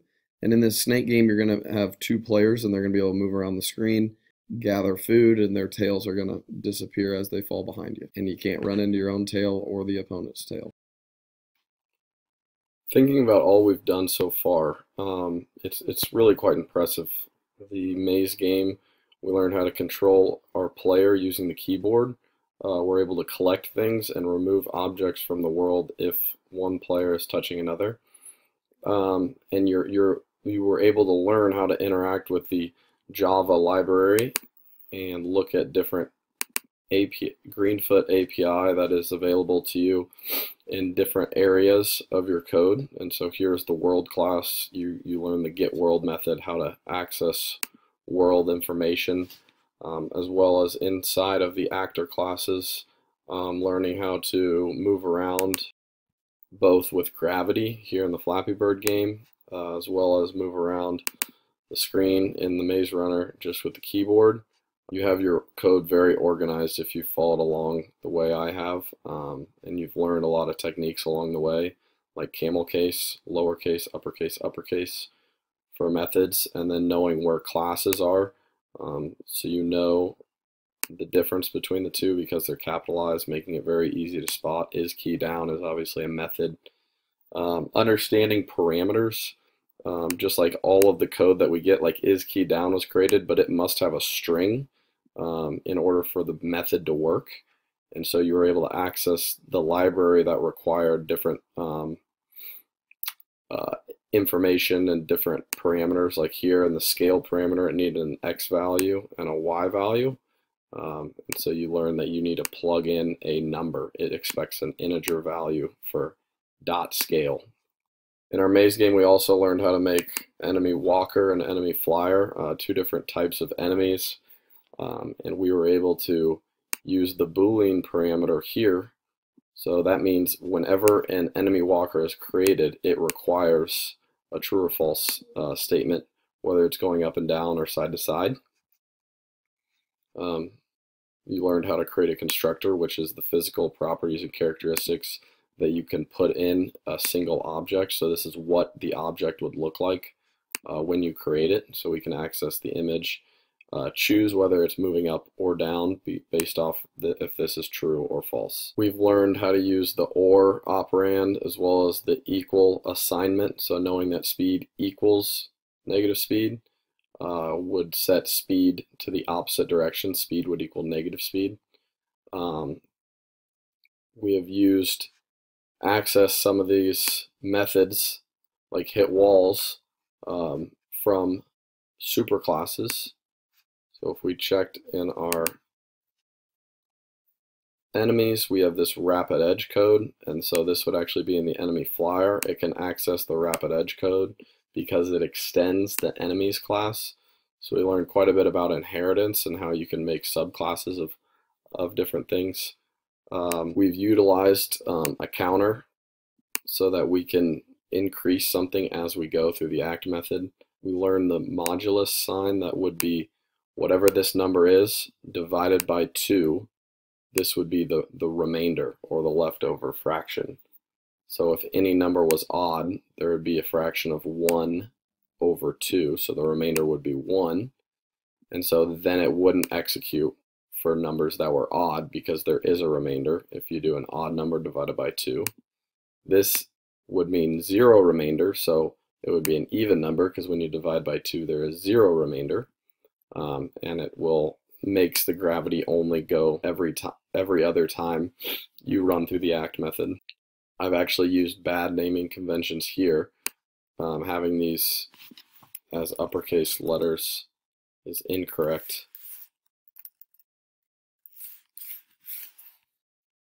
And bad practice.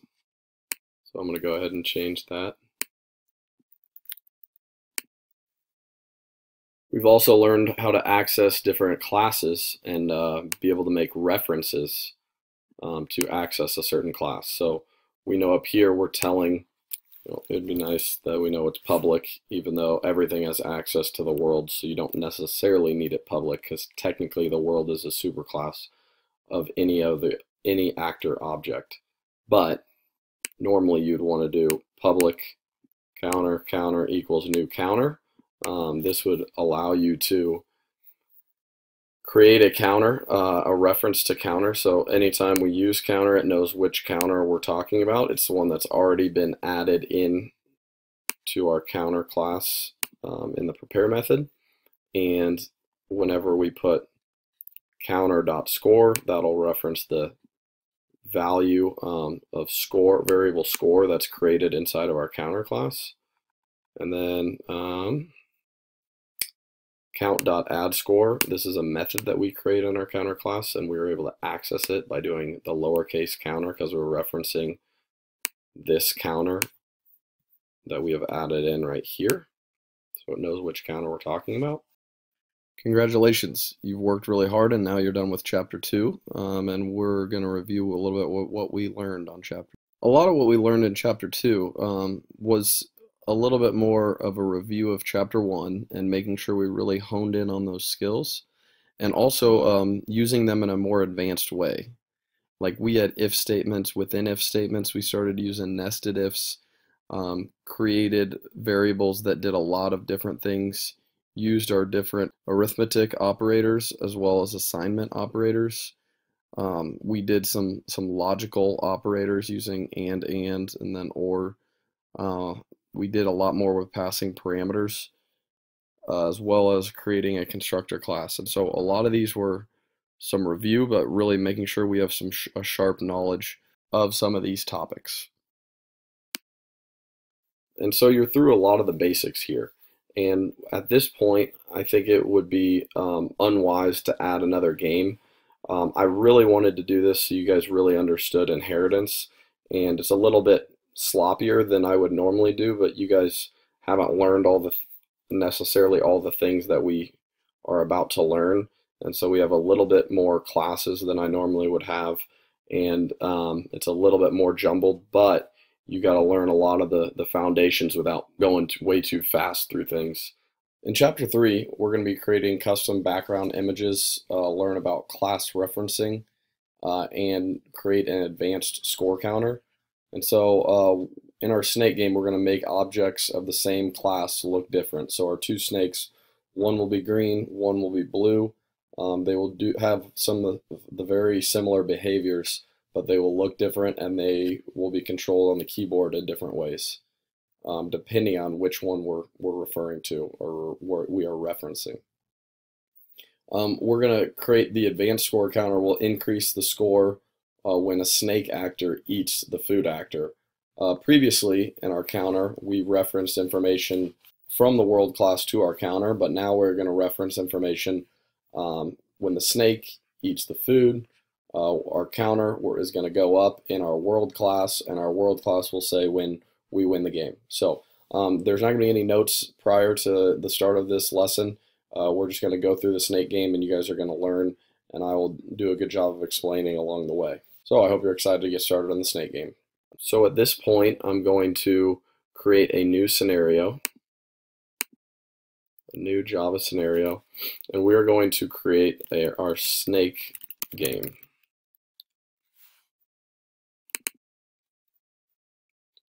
First thing we're going to do is want to go to my my world snake game. Um, and so we want to be able to access our background and then we want to change the color of the background. So we want to be able to get the background. So this is a method, and then you're going to set the color of that background that you just got. So this set color will need a has a parameter that requires a color. So you do color dot black.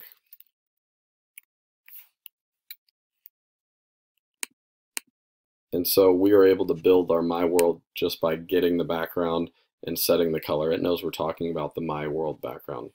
Okay, and then you can do get background dot fill and that will fill the background so we're we've set the color of the background to black here and then we've done our fill method right here okay and now when we compile now we have our black background okay, entirely black. So we know we're going to have to have uh, players that are in this game, and we're creating a snake game, so we'll have two players. They will, one will be green, one will be blue, and they'll move around the screen. If they collect a certain amount of apples, they're going to win the game. Um, they cannot run into their own tail or their partner's tail um, or their other or the other player's tail, or they will lose. So we're going. We know we need to make a players class, and we know we're going to be able to make a foods class. Player. And our player is not going to have an image because we are going to design our own image here. Okay, and so when we open our player, we know we're going to need a constructor because we're going to need to be able to build the player, um, the look of the player and we know we're going to need to have um, a color as well as um, their own controls. And within this constructor, we know that our players are going to be two different colors. So I'm going to give them it a red, a green, and a blue um, set of parameters. Okay, and so I know that 0, 0, 255 will be blue, uh, red will be 255, 0, 0, green, 0, 255, 0. So I can create my different colors there. And then when I add a player into the world, we could do it in the constructor. We know that, that, that we're going to need to add the object into the constructor because before the game even starts, we want them in the constructor, but we don't want it local to just the constructor of the world. So we don't want to add it in there. So once again, like we made a counter in our Flappy Bird game, we are going to make a class for players. Player, blue player equals new player. And they will be 0, comma, 0, comma, 255 because that's our blue player. And then player green player equals new player zero two fifty five zero. Okay, and for now, and if you want a red player, it'd be 255, 0, 0, and you could mix and match to make different colors with that if you wanted other colored uh, players in our game. Okay, so what we're going to need to do with that is now that we've made those two objects, we can add them in. Um, and so add object. See if I don't want to go look um, blue player uh, comma hmm, their x and y value. Let's go ahead and make it 450, 100, and then add object green player at 150, 100. So let's change this 100 to 300.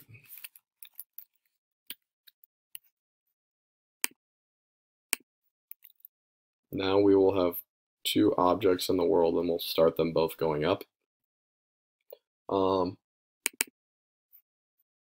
but now what do we do once we add these in? How do we communicate that these are getting passed to the player? Because they are. Okay, we've done it here. We've made a blue player and a green player. So how do we get this information? So they have been passed, but how do you receive them as the player? Well, you need to create um, different vari you need to create different variables that will match the variables in here um, that can be accessible in the player class. These can be received and read in the player class, but they cannot be stored um, unless you do it. Okay, so we can actually, if we're creating multiple integers, we can just do have them next to each other, um, especially if they are very related to each other. So we have all the colors RGB and you can do this R, so the R that is this instance of R, whatever it is. Okay, so whichever one in the game it is, this is instance of R will be whatever R got passed to it. And so in our game, both of the players had zero red get passed to it, but our R equals R. Okay, and then this dot G equals G. This, which the green had 255 passed to it, but the blue object, the blue player, did not have anything passed to it. Okay, and then this B equals B. Okay, so now that we have this, whatever instance we're talking about, we have their R, G, and B, we need a set image, um, excuse me, we need a get image similar to the background image. We need to access the current image of the player. And we are going to set their color just like um, the background. We're going to do a new color and we're going to put R, G, and B in there. And that way, whichever player we're adding into the world, whether it's the blue or the green, um, they're going to have their own color. And then we're going to get image dot uh, fill a rectangle image uh, 0, 0, 40, 40. Um, starts at 0, 0 of where we're adding the object in, and then it grows to 40, 40. Now we have our green and blue player in, but we want them to move a little bit. So first I'm going to set their rotation. So they're facing up, 270 rotation. I'm going to do that for both of them and I've already done it for both of them. Okay, so they start facing up. And now I want them to move, um, and we'll go ahead and put speed in there, and we'll create a variable for speed. And speed equals 3. Don't want to move too crazy fast. Now that we have speed in, we can go test real quick, and it shows both of them are moving up at the correct speed. And then we are going to need to create um, if statements. Greenfoot dot is key down. Um, right.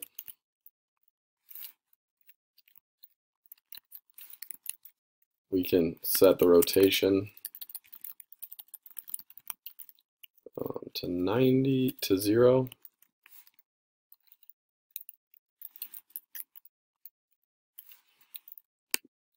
Okay, and we can indent that correctly.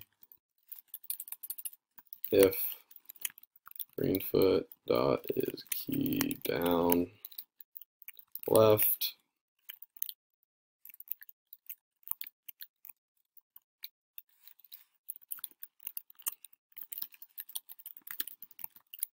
One eighty.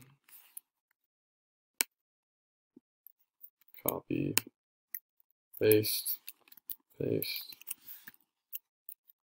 And let's change these.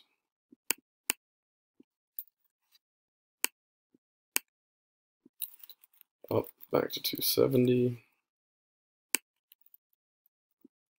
And down to 90.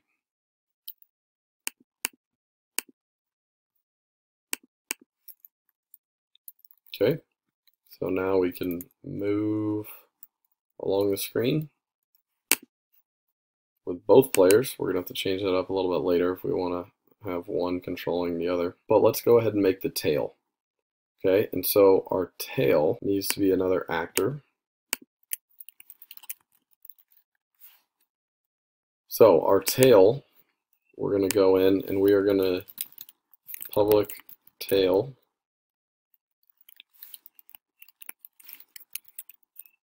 and we are going to need to create a way for the tail to access the RGB of the player and make sure that it is the same color. So when we create our tail, we need to make sure our tail is able to um, get the colors, uh, receive the colors uh, of the of the player. So we need to have its own R, G, and B. And RGB.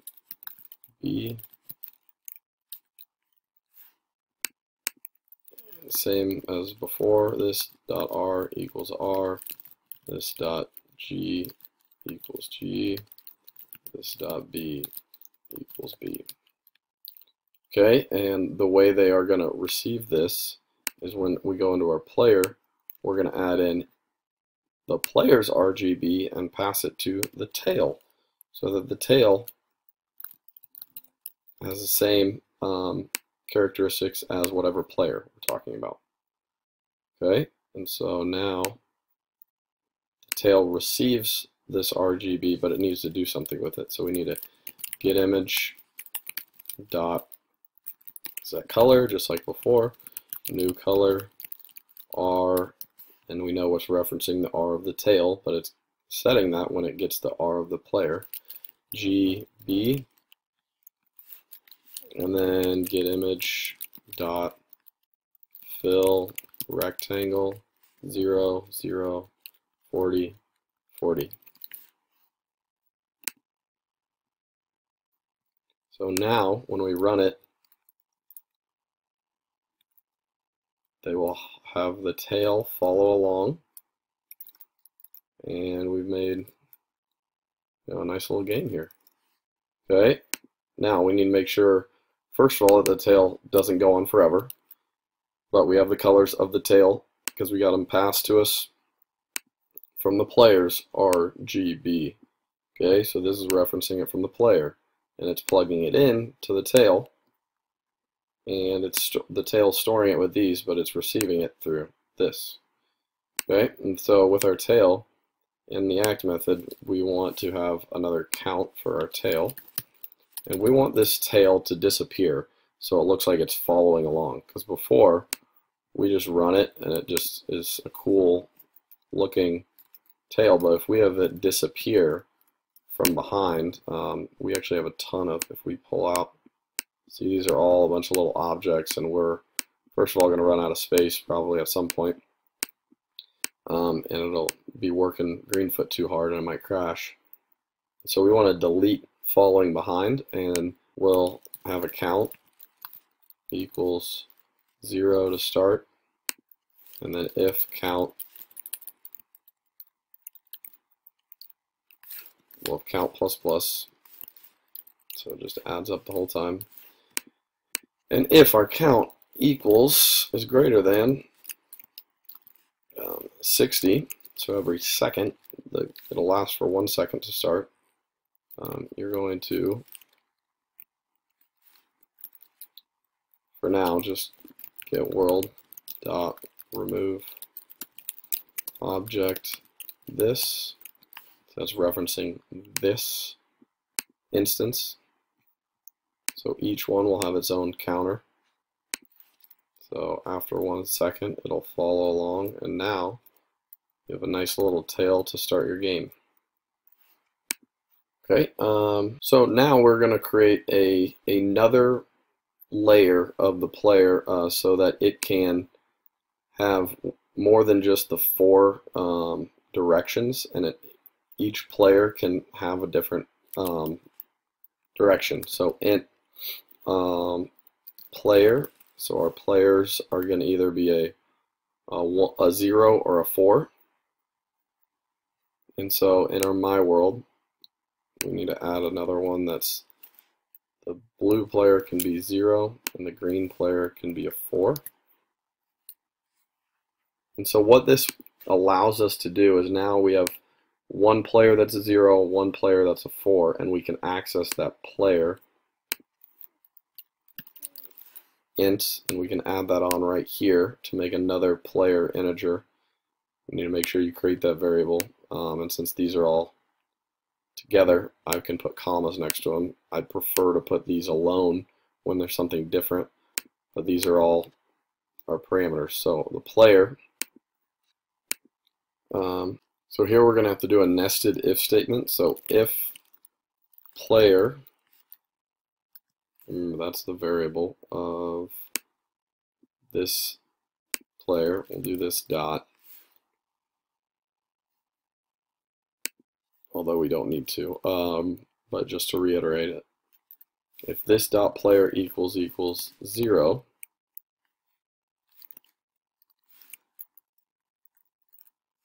and right, left, up, or down is pushed. So if we do Command Shift I, you can see how this adjusts.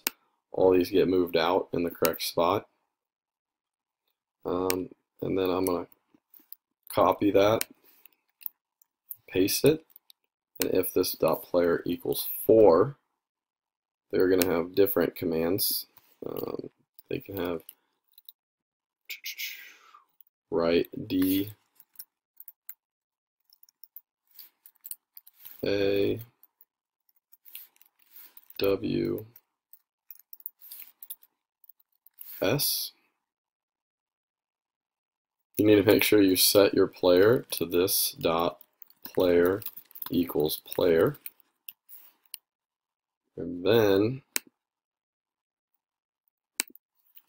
this dot and this dot.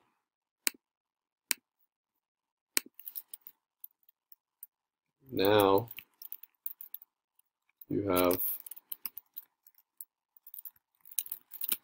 different snakes able to do all sorts of different things. Okay. Um, now we need to have some sort of damage done. Um, but before that, let's go ahead and create our counters. And so we're going to have our counter class.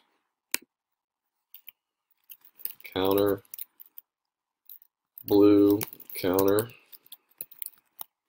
equals new counter. Counter green counter equals new counter. And we're going to add object blue counter at 450 50 green counter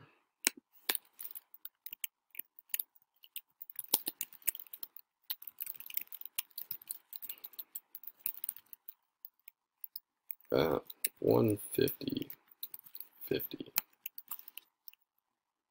okay. So now just need to do what the green and blue counters look like.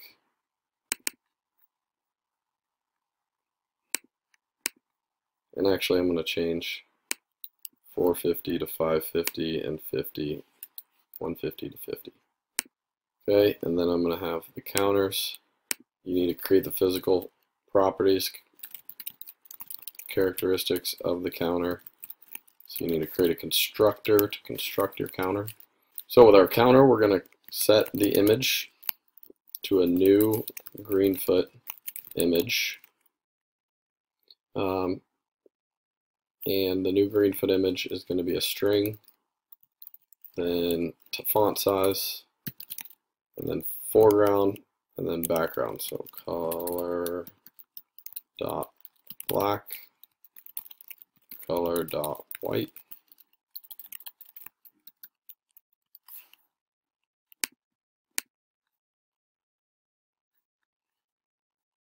So these, once they have text in there, would be the location of our string. So if we want to put a little bit of text like our score, then we could put that in there. And that might be a little bit big. So we can change that to about 30. I think that'll be just about right. Okay, here we go, score. Okay, and then um, once we have that, we need to have int speed, oh, int score equals zero to start. And we want to make sure that's public because we're going to be accessing that in different places. And then we want this to be not only in our constructor, but also in our act method, because um, our act method is going to update our score. And so we need a, this is a string, um, and it's that's what's required here. But we need to make a our variable that's an integer turn into a string. So when you add this plus, or sometimes uh, later on you'll do parentheses, is called concatenating, and it just makes um, the value, turns this, make sure that this is a string. So whatever's in front or concatenating a string, you to have to do a plus. With numbers, you would do int or double um, or boolean. Um, but for string right here, we want a plus score and plus score. And this will live, once we add the score method, um, it'll live update the score as we go. Okay, and so our score is zero, score is zero, and it can go up as we go um, once we create that method. So let's go back into our counter class and create that method. So public void add score. And we are not going to have a parameter passing to it because we're just going to add score up by one um, just to have a regular count. When we go back our score needs to add score when we eat food. So we're going to create our food. And our food is going to have the same code as our player. Actually, it's going to have the same code as our tail.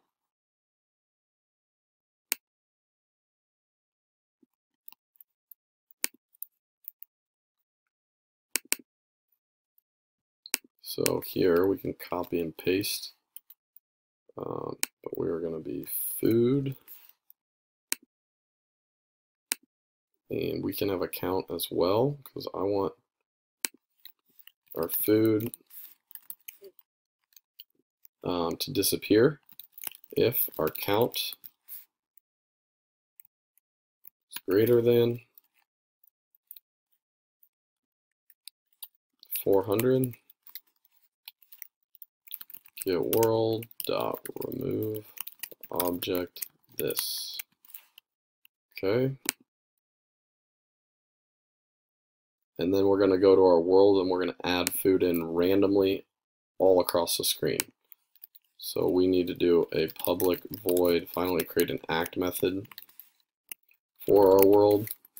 And we are going to um, count plus plus our world and we can just do int count equals zero.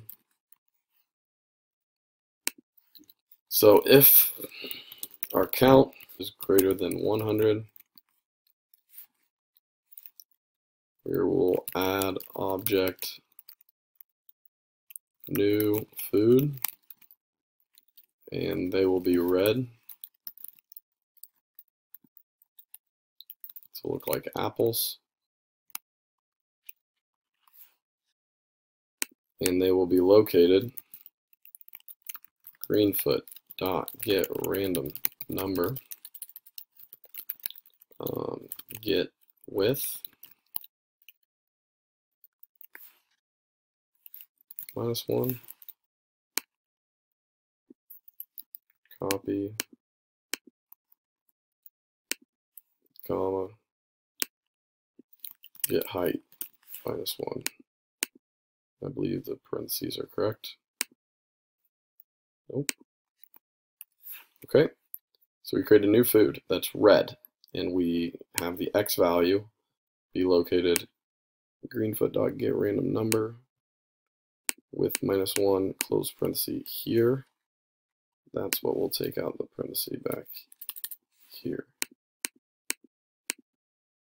Okay because this is going to be the random number that we're going to get um, and it's the height of our world. So anywhere between zero and the, the height of our world then it's going to be completely random and this is going to be anywhere from zero to the width of our world Which I don't need, think you need to do minus one but I'm going to do it just in case I think it goes zero to just before the edge of the world so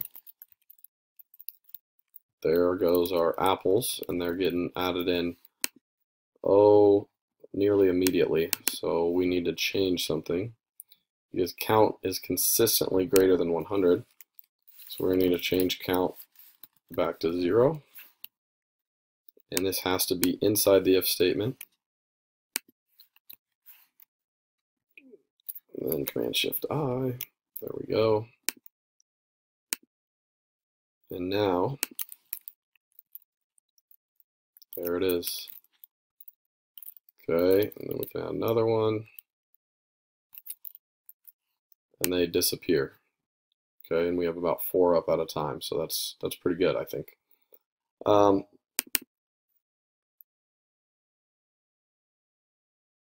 I'm going to make the size of our world a little bit larger. So I'm going to go ahead and do 7 by 5 and we might need to add 500 to this and the location of the blue counter could be 650 and the height of the world could go up by 100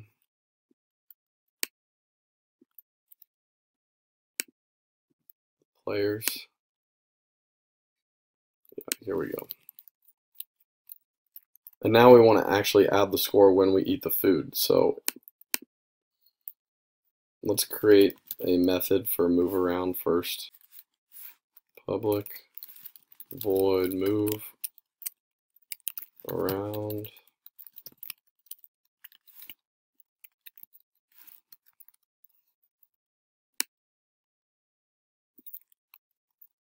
Let's go ahead and move that in here. Just have move around, and then say eat food. So we're going to create an eat food method. So public void eat food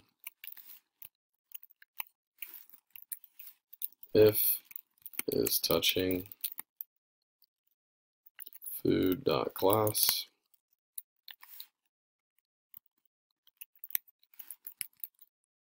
So we need to be able to access the counter from my My World, which we do. Um, but we need to be able to access which counter.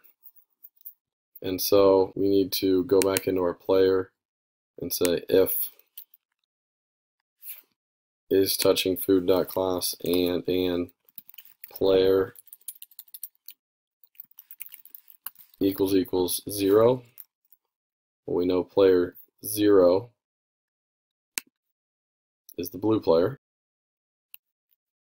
So we need a way for our player to be able to access our My World class. Um, and then in, within that My World class, they want to be able to access the blue counter that we have stored for our My World class. Okay, and so if we go back into our player, they have the ability to access the my world class by doing my world my lowercase my world so we're we're creating another reference to our my world. Now and this is a little bit different. We need to concatenate so remember when we turn like a string we had earlier in the counter we turn this string or excuse me this integer and morph it with the string now we're going to concatenate my get world method, which grabs a world, and we are going to make it of the type my world. So we concatenated it to making it a my world class, and then we're going to call it lowercase my world. So that when I do my world dot, I am referencing specifically the my world uh, the get world of my world. So like the current world that we're in. We're accessing the current world. We're to make it of the my world class type, which makes sense that that would fit because we're getting cur the current world, which is my world. We're creating a reference for it. Okay, so we can go into my world. We can access blue counter because that is a method in my world. And then within that, that reference references to the counter class, which has our add score method for our blue counter. So dot would be another reference, and then we can add score method. Now watch, this, this works and it compiles. So when we're going, you look at our score, we actually need to move this and have it only local because it, it gets confused. It needs to be local only where it's used. So only in this blue counter dot add score.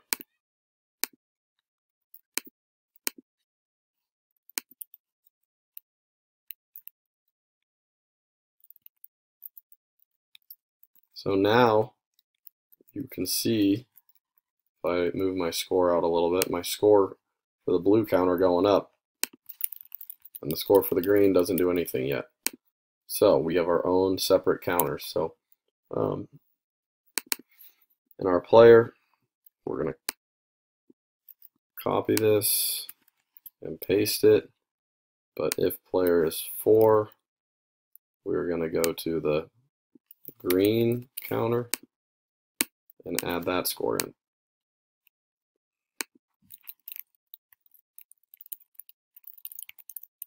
So there's our green counter going up and then our blue counter going up. And now we need to make sure that food disappears.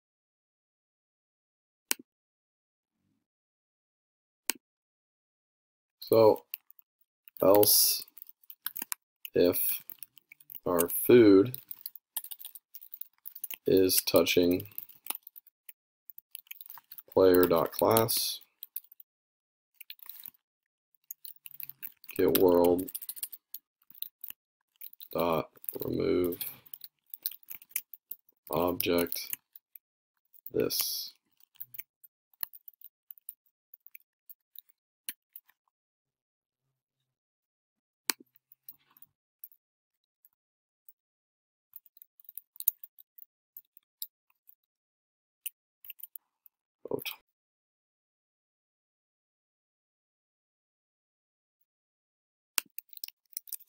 if our count length is greater than 10,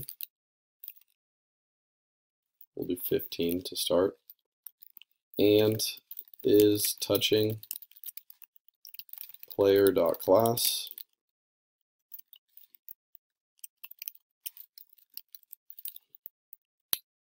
You are going to get world dot add object new you lose.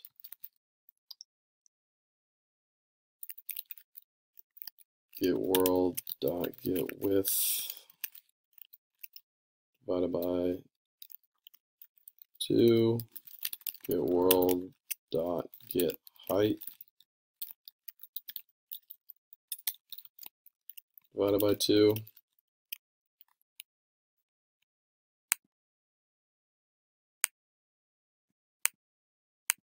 and we need to make a you lose screen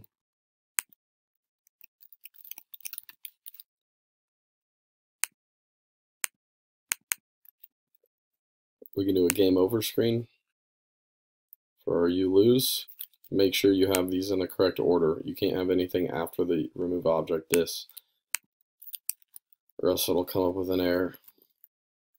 But there we go. If we run into ourselves, game over. We run into the other player, it's a game over as well. So we just need to have player or excuse me, tail.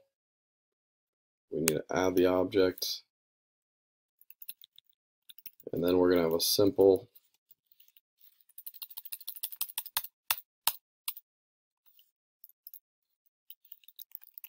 greenfoot dot stop if we lose okay? And then in our counter add a public void you win. If score equals equals 10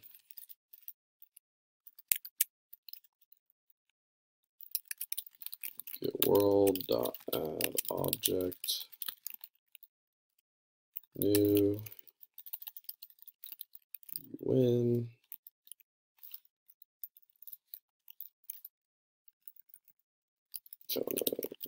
get world. Dot get width divided by two. Get world. Oh this beautiful. Get world. Dot get height divided by two this beautiful code that you have to do over and over and over again gotta love it uh, then you can do greenfoot dot stop as well, and we can just end our game there. We don't need to go wasting any time on stuff we've done before.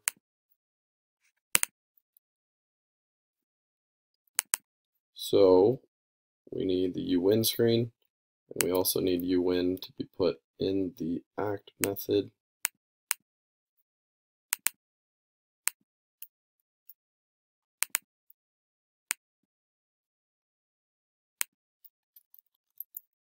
You win. we need a new actor. It's called you win.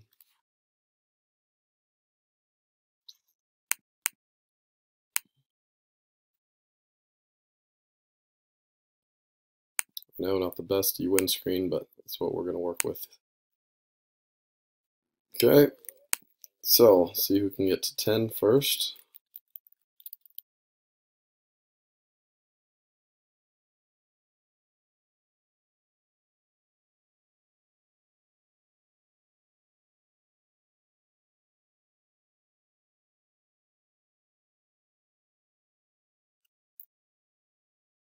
We won. Okay, so if we have two players, hopefully 10 would be enough.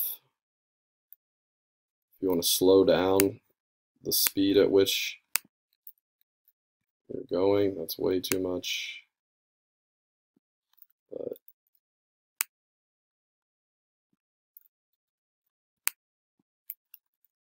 hopefully your control will be a little bit better. If you have two people. All right, there you go. So that is our snake game. Um, now we will go and move on to the, the final game, which is our piano project. So we're about to begin with chapter four and creating the piano. Um, I wanted to let you guys know that this is one of the most important chapters of the entire series. Um, you learn some essential skills uh, that that will help advance you into a more of an intermediate programmer and, and getting on to the advanced stage. So some essential questions I want you guys to think about well, um, well before we even get started is what the purpose of a loop or repeating code would be in programming. And then I want you to think about what you would do if you had a program and you needed a ton of variables, like a thousand or 5,000 variables, say you wanted to save a bunch of passwords, um, how would you be able to do that? Uh, we wouldn't have to create a thousand variables. That would just take too long. So we need to figure out a different way of doing that, and that's when arrays will come into play. And then what if we want a bunch of objects that have small differences, but function very similarly? And if you if you actually think about it, we're about to create a piano, um, like a set of piano keys would be a, a ton of objects of the key class. And they're not all the exact same. They're not going to work in the exact same way because if you push different buttons on the keyboards, we want different uh, keys getting pressed and we want different sounds coming out of the computer. Uh, we're going to go through a few of these definitions uh, before we get started here. So what is a loop? Um, looping in programming language is a feature that facilitates the execution of a set of instructions repeatedly. And so we will initialize our loop and then we will create while a condition is true. We're going to do the code in the loop and then we're going to update the counter that we're going to have for some of the loops and then we're going to check if that condition is true again and then we'll keep looping around and around.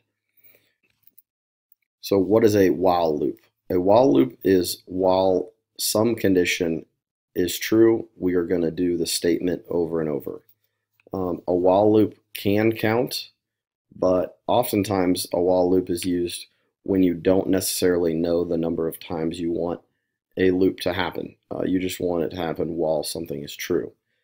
Uh, uh, an example I always use with my students is if I have a cup of coffee in my mind, the program that's running is while I'm thirsty and while there is coffee in my coffee cup, I will drink the coffee. I do not know how many times I will drink the coffee. That is just a condition while I'm thirsty and while the the coffee has the cup has coffee in it. Um, and so I don't know how many times that's going to happen. So I will just keep doing it until I'm not thirsty or coffee is empty. Okay, here's a while loop with a counter. And so this is how it would be set up in your code. int i equals 5. So we're starting, we're initializing it here, initializing our i, and that stands for iteration. You'll see i get used a ton in programming um, for loops because it's which iteration it is through the loop. So while i is less than or equal to 10, so it'll start off at 5. 5 less than or equal to 10. Okay, print 5 and you'll see it prints 5. And then it adds one to it, and it makes it 6, increments up, and it goes to the top of the loop. i is 6, less than or equal to 10. Yes, it'll print 6, then it'll change to 7. It'll go through and it'll keep looping through this, checking if i is less than or equal to 10, adding to i, and printing. Printing, adding to i, checking if less than or equal to 10. Print, add to i, and so on and so forth. So you can see 5, 6, 7, 8, 9, and 10 get printed. Um, and that is what a while loop will do for you. Uh, now onto a for loop. Um, the Java for loop is a control flow statement that iterates a part of the program a set number of times. I want you to focus on a set number of times. So our for loop is often called our counter loop. And that is because when you have a set number of times you want something to happen, um, that is more often than not when you're that's when you're going to use the for loop when you're supposed to use the for loop. Now, um, I, I use the example of my classroom. I have four desks connected, and and I'll loop through four times of setting one desk next to another. So while my desks are less than four, I will go through the loop of setting another desk next to the previous desk. So here is that same um, image we saw earlier. Check the condition. Is, it, is it the code inside the loop true? Update the counter, and this is where you will definitely have a counter in your counter loop. Um, and then you'll check the condition again. It'll repeat. So for loop is set up a little bit different. You will have the word for typed out, and then instead of while, and then you'll have you'll initialize it inside of the loop oftentimes um, saying int i equals 0 and i equals 1 maybe. Then you'll have a semicolon, condition, semicolon, your increment and decrement, okay, and your code to be executed. Um, this is what it looks like in example, and this for int i equals 1, i less than or equal to 5, i plus plus. So it's kind of like how the while loop had it separated out, initialize it above, condition inside, i plus plus at the bottom, um, excuse me, at the bottom right here. This kind of has it all in the for um, loop here. So in i equals 1, i less than or equal to 5, i plus plus means that we will start at 1. And while i is less than or equal to 5, with it adding up at the end, uh, we will print i. So we'll go through i starts at 1, print print 1, and then i plus plus, so i is 2. 2 is less than 5, print, add up. Check, print, add up. Check, print, add up. So here we got 1, 2, 3, 4, and 5. Okay, now we are going to talk about an array. Um, and so we, we had mentioned like what we would do if we had a thousand different passwords we needed to save. Um, and so if I wanted to store a thousand passwords in a program, I would not want to create 1,000 individual variables with password one, password two, all the way up to a thousand. We can create an array for that.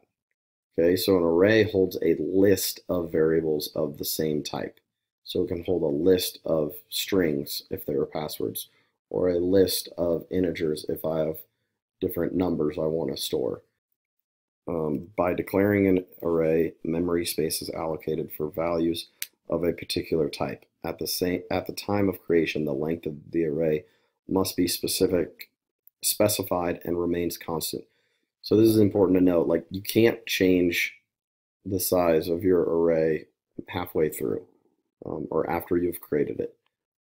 So an example of an array. So you would create the data type, so int, double, string, boolean, and then the name of the array, and then new, int, string, double, boolean, whatever the data type is, and then the the number or the length of the array, the number of values, number of variables you're going to put in the array. So if I put 10, it would give me 0 through 9. So the 10 would be plugged in right here. And then we'd put the array name again to set, this is how you would set a value in the array, the array name, and then brackets, those straight brackets. Notice these are all straight brackets, not curly brackets. Straight bracket, the element number chosen. So if I chose 0, that would be the first one. If I put 8 in here, it would be 0, 1, 2, 3, 4, 5, 6, 7, 8. So that would be the element chosen. And then this is the value in the element. So this would be this spot right here. I could have, you know, uh, students' names. Maybe that's my array name is student names. And those are all strings.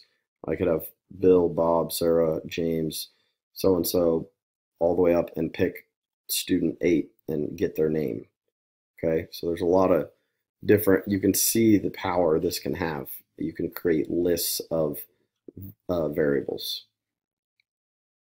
And so here is an example of an array, what it would look like in Java. Um, and so you would initialize your array by saying the data type, like I said over here, the array name, and then eventually they will set that equal to new int and the number of elements in the array. So this is once again, the data type and then the number of elements in the array. So there's six elements in the array, so 0 through 5. And they have set 10, 14, 36, 27, 43, 18 to each one of these locations in the array. And so it's asking to print that location too. So 0, 1, 2. And so that they would print out 36 would print out at the bottom. Okay. Um, so another benefit and what we're going to be able to see is how we can use loops and arrays together. Um, so we are going to create an array of all these keys and we're going to loop through setting each value of each location in the array to different values that we give it. And we were, were able to access all locations in the array. So we can set values, um, within the array by using a loop outside of it. If I wanted user input to set all the students' names in a class, I could have this uh, user input every student's name and they would be put at different locations. You can store different patterns in an, an array um, and, and do a lot of things like that. And then you can print the values, you can sort values in an array, and you can also uh, select if a list of, of salesmen reach a certain mark, they get a bonus. Um, this that would be a great example of a selection um, and sorting through an array. So now that we've gone through some of those topics, we're going to begin our piano project, and we're going to introduce all of these these topics as we go. If you have uh, downloaded the scenario below, the piano. We're going to start on the piano project. So open up Piano 1 and be sure to save as uh, your own custom piano. Um, so I'm just going to call it piano game. Okay, in this piano game, uh, we'll have some images already saved in there, but as you can see, there is not much of any code in there. Um, just ready for us to get started with it. So this game was created originally by the author of the Greenfoot textbook. So if you ever want to buy the textbook and get a little bit more information in Greenfoot, um, Michael Kölling is the author, uh, and this is the piano project. So the first thing we need to do with our piano is we need to build the piano. Um, and in our piano, um, you know, in the past, we've possibly just wanted to add in these objects right next to each other and try to make a piano that looks, you know, pretty close together and then save the world and all this other stuff. But that really is not the proper way we need to create this game. Um, we want these to be perfectly even, spread apart, lined up exactly right next to each other. Um, so we are going to learn a new concept, and that is going to be a loop. And there are two types of loops. There are for loops and while loops. Uh, for loops is normally considered the counter loop. So if we created um, a prepare method that will build our world for us, um, we can call prepare into the constructor and this will not return, no return type. Here, um, our prepare method will just add in our objects. Okay, so we need to create a loop, and so there's a for loop, which is considered our counter loop. It's when you know how many times you want something to happen. And in the first portion of our loop, we would want, um, this would be your starting point, we'll call it. And then in the middle, you're going to have your condition, and then and this will happen a certain number of times. So you'll start equaling, let's say, 0, and you're going to say, while this loop is less than 12 in our example, so it starts at 0 while it's less than 12, we are going to do this statement, and then at the very end, this last part, you can imagine, you need to imagine it happening at the very end of the loop. So right after the statements, you have the increment or decrement. Um, but that is going to be located right up top there. Okay, so let's create this loop here. So um, keep that up there just for a reminder. So for, we'll have int i, um, and that just is the number of instances that have happened in the loop. Um, so it's happened zero times so far, and so that's a common one to start with. And while i is less than 12, less than 12, we will go up by one each time. But when i is less than 12, remember that's when we go down and do the statements. Okay, so in the curly brackets, we need to do what do the statements that we want to do. Um, and we are going to uh, need to create a reference to key. Key, key equals new key. And then we are going to add objects key at certain positions. Okay, so our object key would need to be at, and I've already looked this up, 54. And then we want it to be at about 130 for the Y value. Okay, now we have our first key there. It's lined up pretty good. Um, the problem is, is we have all of our keys settled right here. Now we want them perfectly distributed evenly all the way across.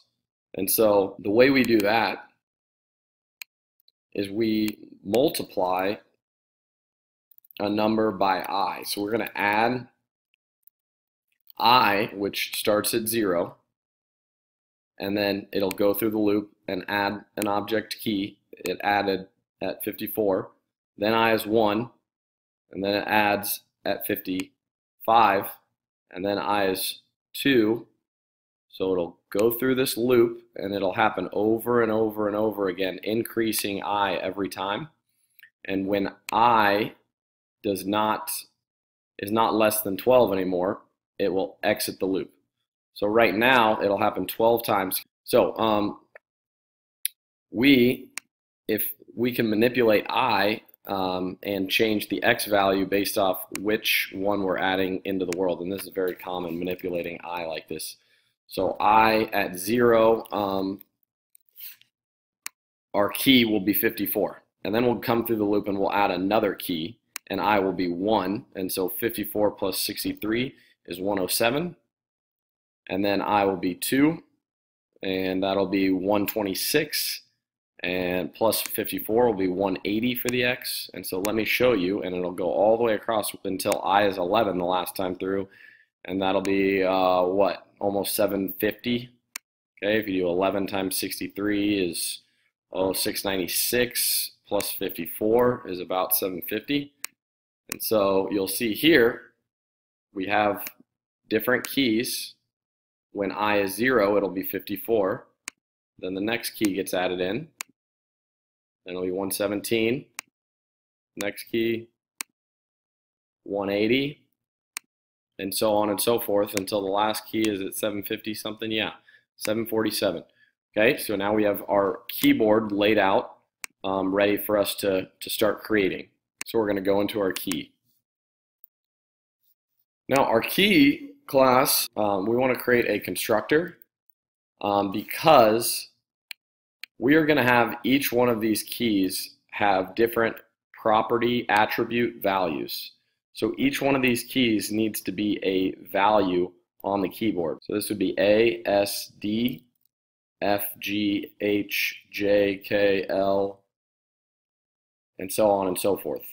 Okay, and so we are going to keep adding a value, string value for each one of these. Um, and we're also wanting to have them have a different sound that are associated with, with each one of these keys.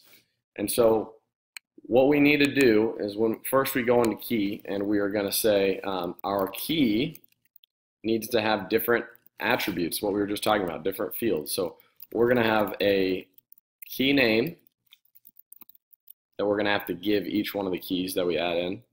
And then we're going to have to have a sound file that we're going to have to give each one of these values. Okay, and so we add that in. Now, there becomes a problem quickly in our piano because when we're adding in these keys, they don't have a string key name or a string sound file. So if we compile, there is an error because it needs a key name.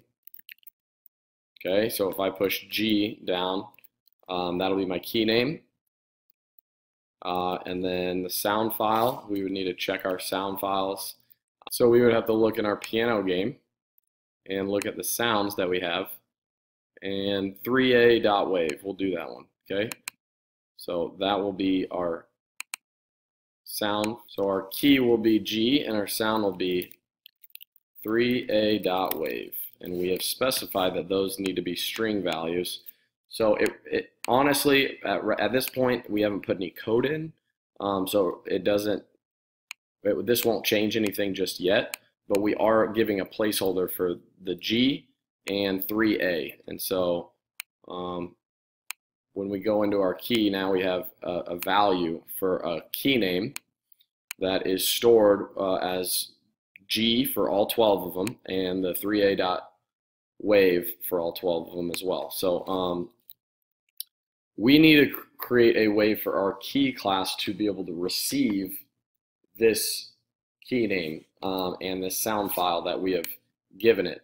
So these are connected um, to this object, but they are not connected and referenced from the key class. The specific objects can see the keys, but the entire class can't. So the code that is going in the whole class cannot see the, this key. Okay, so we need to create a way for it to see the key. Um, so we are going to create a string, just key, and a string sound. And so we are going to set our key, our local variable key, equal to key name.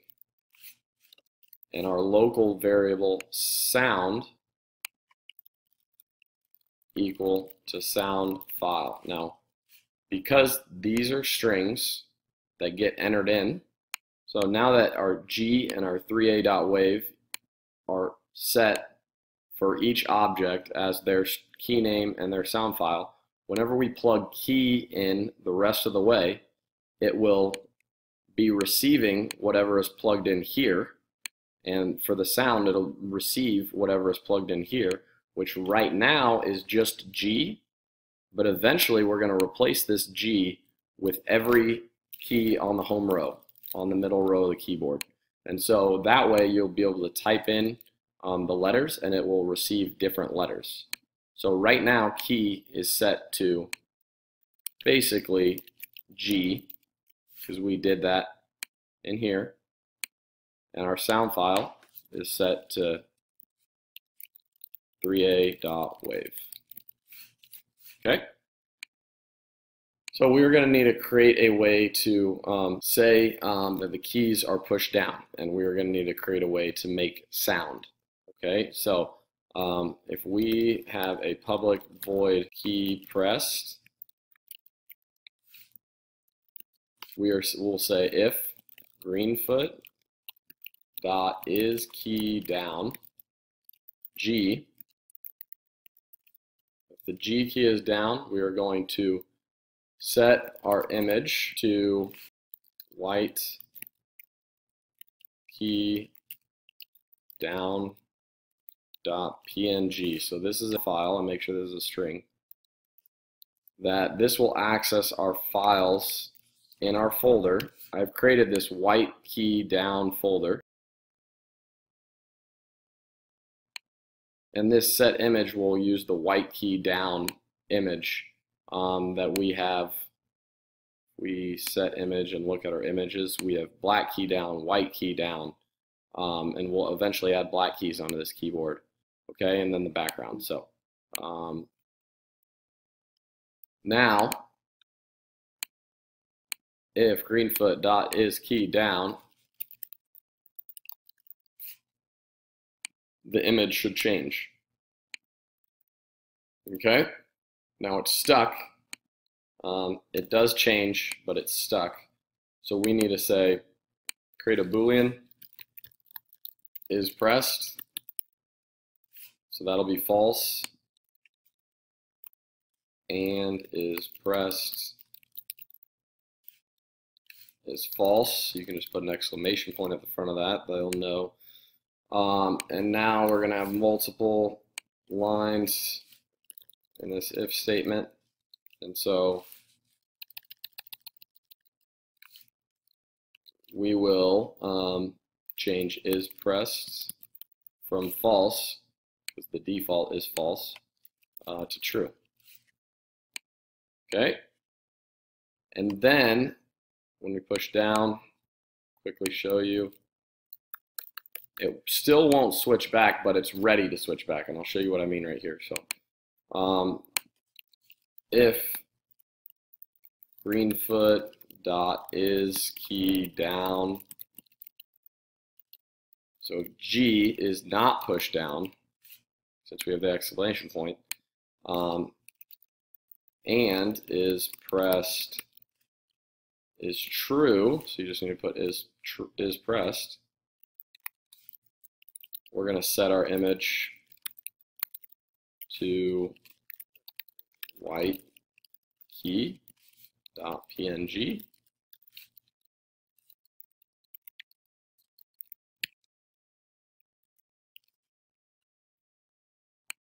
and then we will set our is pressed equals false. Okay, now if we push G down and let go, it switches back and forth and you can put on a good light show right there. Um, but we need to have some sound come out. So um, first want to make sure I got some sound on my screen here. Um, if we go in here, we're going to need to uh, public void play sound. And we will greenfoot dot.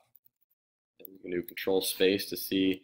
Greenfoot does have a play sound feature. And so our sound play sound will be sound. And excuse me our sound will be 3a dot wave um, in quotes because it is a string. And now play and put it in the act method.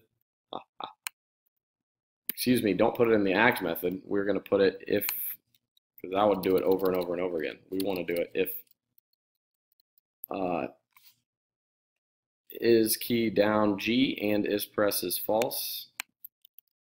Just do it once.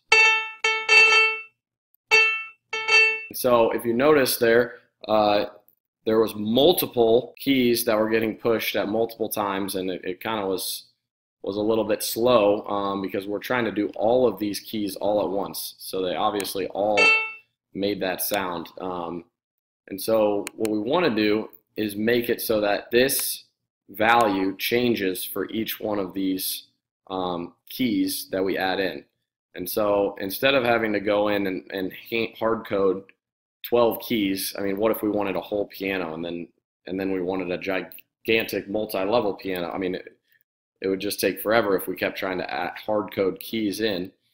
Um, and so as of now, it is just equal to G. And so since we are accessing these uh, parameters, we want to switch these to key, key, and then play sound should just play not 3a.wave, but sound. Now, this will still be G and 3A dot wave, and I want to make a point of that. Um, so when we push G, it's still 3A dot wave, and G is pushing for all the sounds. But that is because of what we have in here. Okay, so in our world class, when we add these objects in, each one of them have a value of G and 3A dot wave. We are going to have to create what we call an array. And an array uh, is the ability to store a group of values, a list of values. So the, this array will allow us to store multiple values for this location. And so we'll have a list of, of, of 12 different strings, which are all the keys on the keyboard. So A, S, D, F, G, H, J, K, L, semicolon, all the way through, um, and this will give us the opportunity to um, store multiple values. So we're going to do public string, and so we are um, we don't have to have public um, necessarily, but it would be nice if this was accessible for multiple classes. Um, but just to prove that you don't need it, um, you can do string, and then to show that it will be a, uh, an array, you need to have these brackets without, not curly brackets, just regular brackets, uh, and you need to name it. So this will be our key names, and then that will equal, and you put a curly bracket to start, and then you can just create a list of strings, and that will be all the way across our keyboard. And our 11th will be bracket. We'll have to go up and to the right for that last one. Okay, so then we need a semicolon at the end, signifying the end of our string. Um, and then we're going to also need a string for sound files. And the sound files are shown. So I have the name of all the sound files here. Um, I'm going to do a the dot wave um, down when we actually are plugging these in. And so I'm just going to have 2a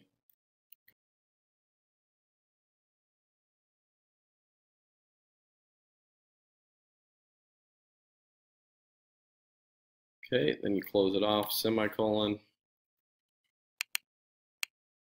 We have a full, it looks a little more like this. So now we can, we have different va variables here, or different values, excuse me, for our string key names. And so key names has 12 different values here, and the key names at zero would be A and at 1 it would be S, and 2 and 3, 4, 5, all the way up to 11. Um, this is called the index, and the value of this number inside of key names um, will have to be written like this. So if you wanted to get the A, you'd have to write key names 0. So this key name 0 would say, oh, I want the A, I want the 0 spot um, for the key names array. Then if it was 4, I would go 0, 1, 2, 3, 4. Okay, it's G. So if I put key names 4 here, names 4 here, it would still work for G. Okay, but that's not what we're looking for either. We want this to be every single key, and not just that, we want it to be going across the screen. And so our furthest one to the left needs to be A, and then the next one in should be S, and then D. Well, we already have that set up. So when I is zero, that is the location I want my A key. Right here, right on this first one should be the A. And then for S, it needs to be the second one, which the second key happens to be when I is 1. And so it's 54 plus 1 times 63. So that goes on and so on and so forth. So each one um, needs to be each value in here. And so it, it works very well in this example that you can just plug in I here and A at zero the first time through the loop key names will I will be zero so it will grab A and it'll put A the A key at 54 and then the next time through the loop I will be 1 so it will grab S because S, see, I would be 1. So it would grab S. And then we'd add in the S key name um, when I is 1. So 1 times 63 plus 54 is 117. And that would go on, so on and so forth, all the way down till the last one. That's a common error. Uh, array index out of bounds, exception 11. That just means it has gone outside the bounds, uh, the boundaries of the array that you've created. So somehow we've messed up. So 1, 2, 3, 4, 5, 6, 7, 8, 9, 10, 11. We need a 12th key. That's our problem. Okay, so that'll be the right bracket. Now we compile and we exit out of this and our loop is made. So if I push like L, it'll make the same noise, but L was this one, right? This one is L, still 3A dot wave, but my X value is 558. And that is because L is 0 when I is 0, 1, 2, 3, 4, 5, 6, 7, 8. So the eighth key that they add in I is 7. 7 times 63 plus 54 is that value that we just got. I forgot, 550 something. Um, and it will be i will be 7 so it would be 0 1 2 3 4 5 6 7 excuse me 8 so this would be 8 times 63 um, and now we can get all the keys on the keyboard but if you notice it's the same sound going along okay so now we need to do the same thing with the sound file. And we have sound files. And that will want to match up. 2a should be the first time first spot in the array or the zero index. So when sound files i so when it's zero the first time through the loop it'll be 2a and it'll be i for the key name right here so this would also be zero okay um, now we don't want just a white key down. Okay, we also want to have a different state. Um, so so fields that we put in here can represent different attributes that the key that the object the key object has, and also the different states that it can be in. So we are going to have a new state that it can be in that will be the key getting pushed down or the key not getting pushed down and the key is up. So uh, key will be up image and then we're going to have our down image. Okay, and the, this up image and down image um, will need to be saved in. And so we're going to have a white key and a black key. So we just want a general, if no key is pushed, the up image will be for all of them. If a key is pushed, we want to change it to the down image, whether it's a white key or a black key. So these are the states at which our keys could possibly be in. Okay, and so what this does is makes it so that we need to be able to save, just like we did with the key names in the sound file, we need to be able to save this to the class. This, these objects are going to be able to get the up image and down image but is our class going to be able to save it or access it or store it? No. Okay, so once we add in, so we need to go back in and this key name, when we add this key in, there's going to be an issue. They need to have, they have one, two, three, four strings required, but they found only one, two strings. So they differ, they're, they differ in length. Okay, and the problem is is that we want the white key, the white key up and the white key down, uh, up image. So white key up dot png, and then white, I think it's just white key dot png, not white key up. So white key dot png, and then we need the white key down dot png. Okay, so now the two states that the key is going to be in is either up or down. And that way, when we have string up image, we'll say actually we'll save it as the same name, and um, this will be a little bit confusing, but it also explains something here. So our up image will equal our up image. Uh-oh. So how are we going to clear this up on which is which? Okay, you can reference this specific object, the specific object that you're in, um, and do this dot up image uh, will equal up image, and that way, when you reference it in the class, it'll know which up image you're talking about. You're talking about this up image. Okay, and then this, excuse me, is going to be down image when we push down. And this will be up image. Okay, so we need to do the same thing with string down image.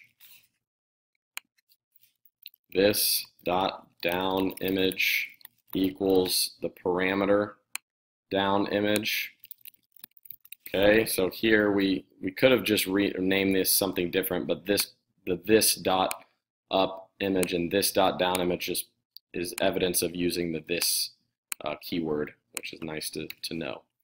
Okay, um, and so down image and up image. So this should have the same experience that we had before. So this needs the plus dot wave. And now you have different sounds. So let's test that out.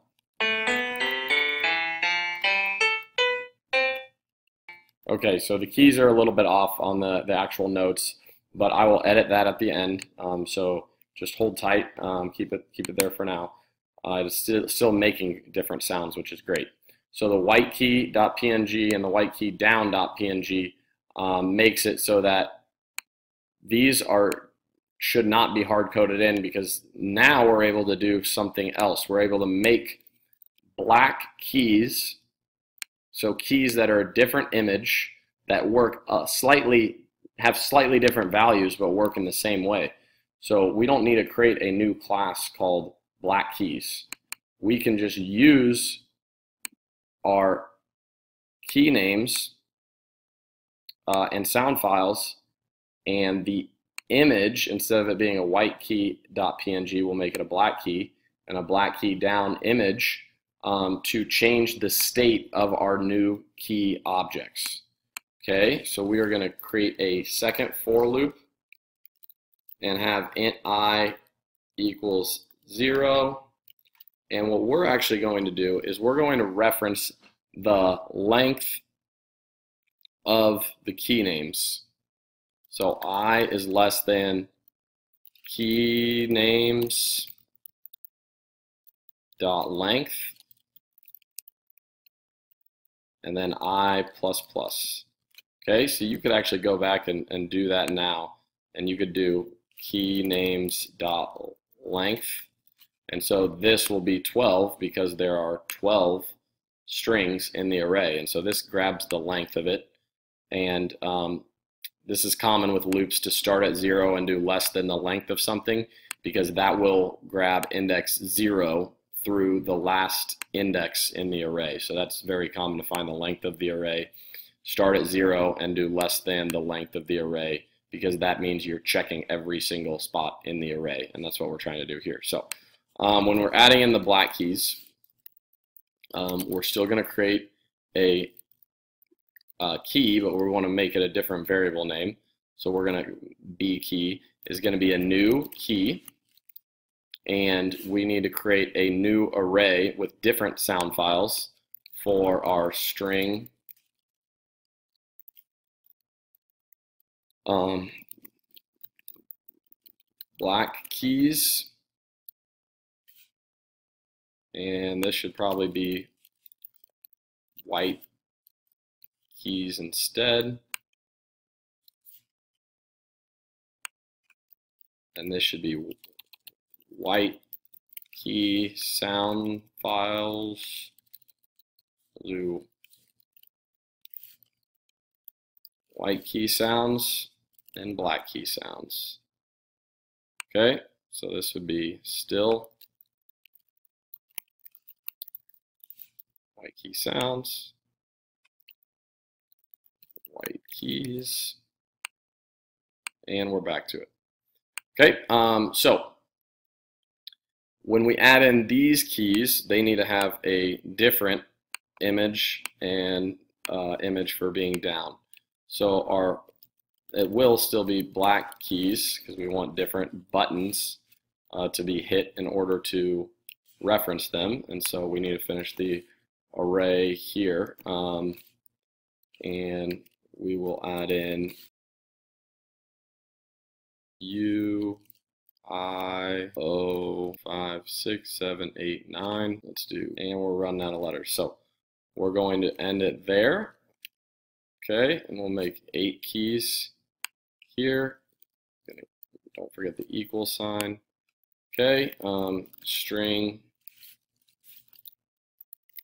black key sounds, and I will add in the sounds here in a moment. Create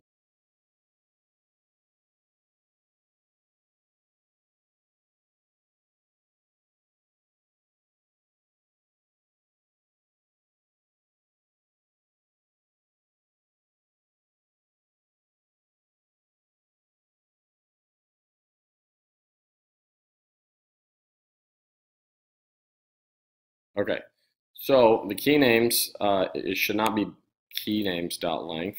Now it is going to be white keys dot length and black keys dot length. Okay, um, uh, so this would only go up to 9, um, and it would start at 0 and actually end at 8, so that would be 0 through 8, so that would be 9. And we're going to do black key sounds I plus dot wave. Comma black key dot png comma um, uh, black key key down dot png. Okay. Oops. Parentheses, semicolon. Okay. So we've created it, but now we need to actually add the object in. Uh, similar to what we did here b key, comma. Um, and we're going to add it at 54 plus i times 63. We're actually going to start at 86, not 54. Uh, comma 86 here as well for the y value. Okay, um, but we don't want our black keys to always show up, and we want to make sure the up image and the down image are getting pushed. So let's go ahead and test what we have so far. So if you play...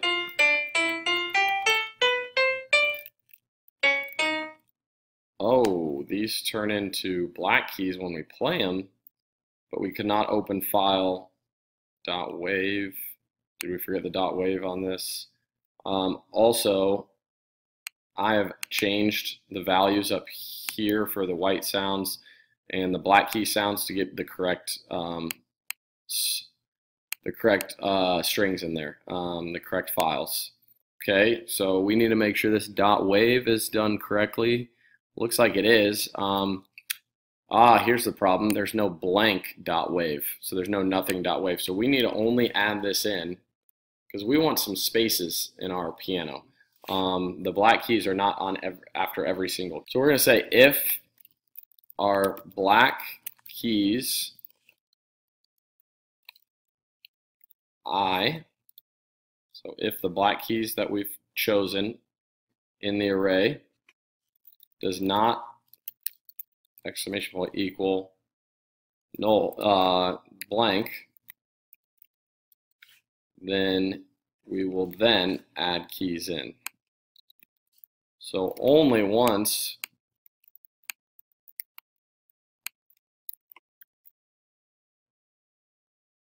this does not equal the space, that's the only time we'll add the keys in. Black key sounds, that's what we need to check, if that is equal to nothing.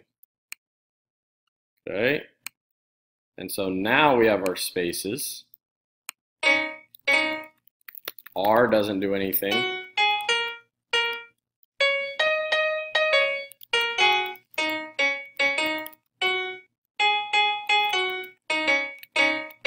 Cool. Um, so we want to add one more in at the end. So let's add after. So let's change our piano uh, up a little bit. So instead of this one um, having this up bracket, let's have it be just the quote and so that'll be right beneath it, um, and that'll be on the same line, and then we'll go up to the very last white key on the end, and then we can add in a black key. That'll give us one more. Um, that'll be a bracket, and then we can add in another sound for it, um, and that can be, and that can be 4F sharp, and that will close us out. Now, this air out of the way. We have one more on the end.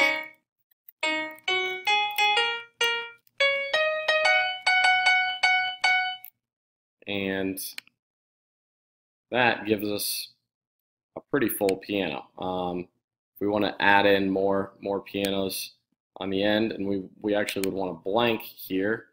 Um, so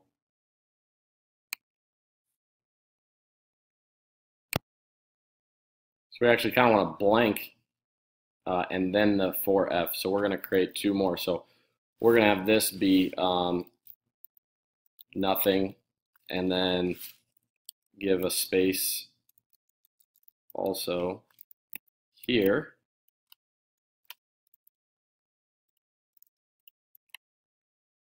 And that will make this not show up because there is also a space in this spot in the array. And then at the very end, we'll, we'll do that close bracket or open bracket right there. Okay, so now we have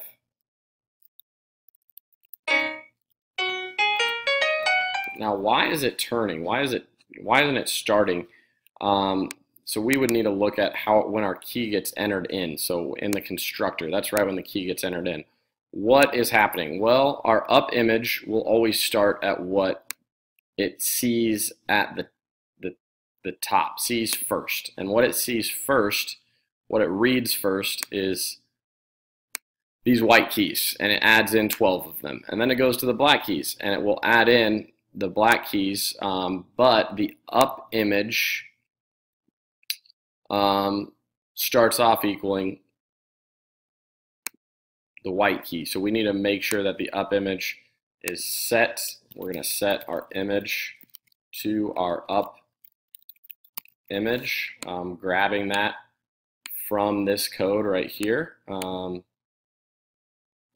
and then now it starts out from the beginning equaling the correct key. Okay, and actually it knows that up image cannot be accessed directly. We want to make sure up image is counted in right there. Okay, and then we have our. I wish I had. I knew a song. Um,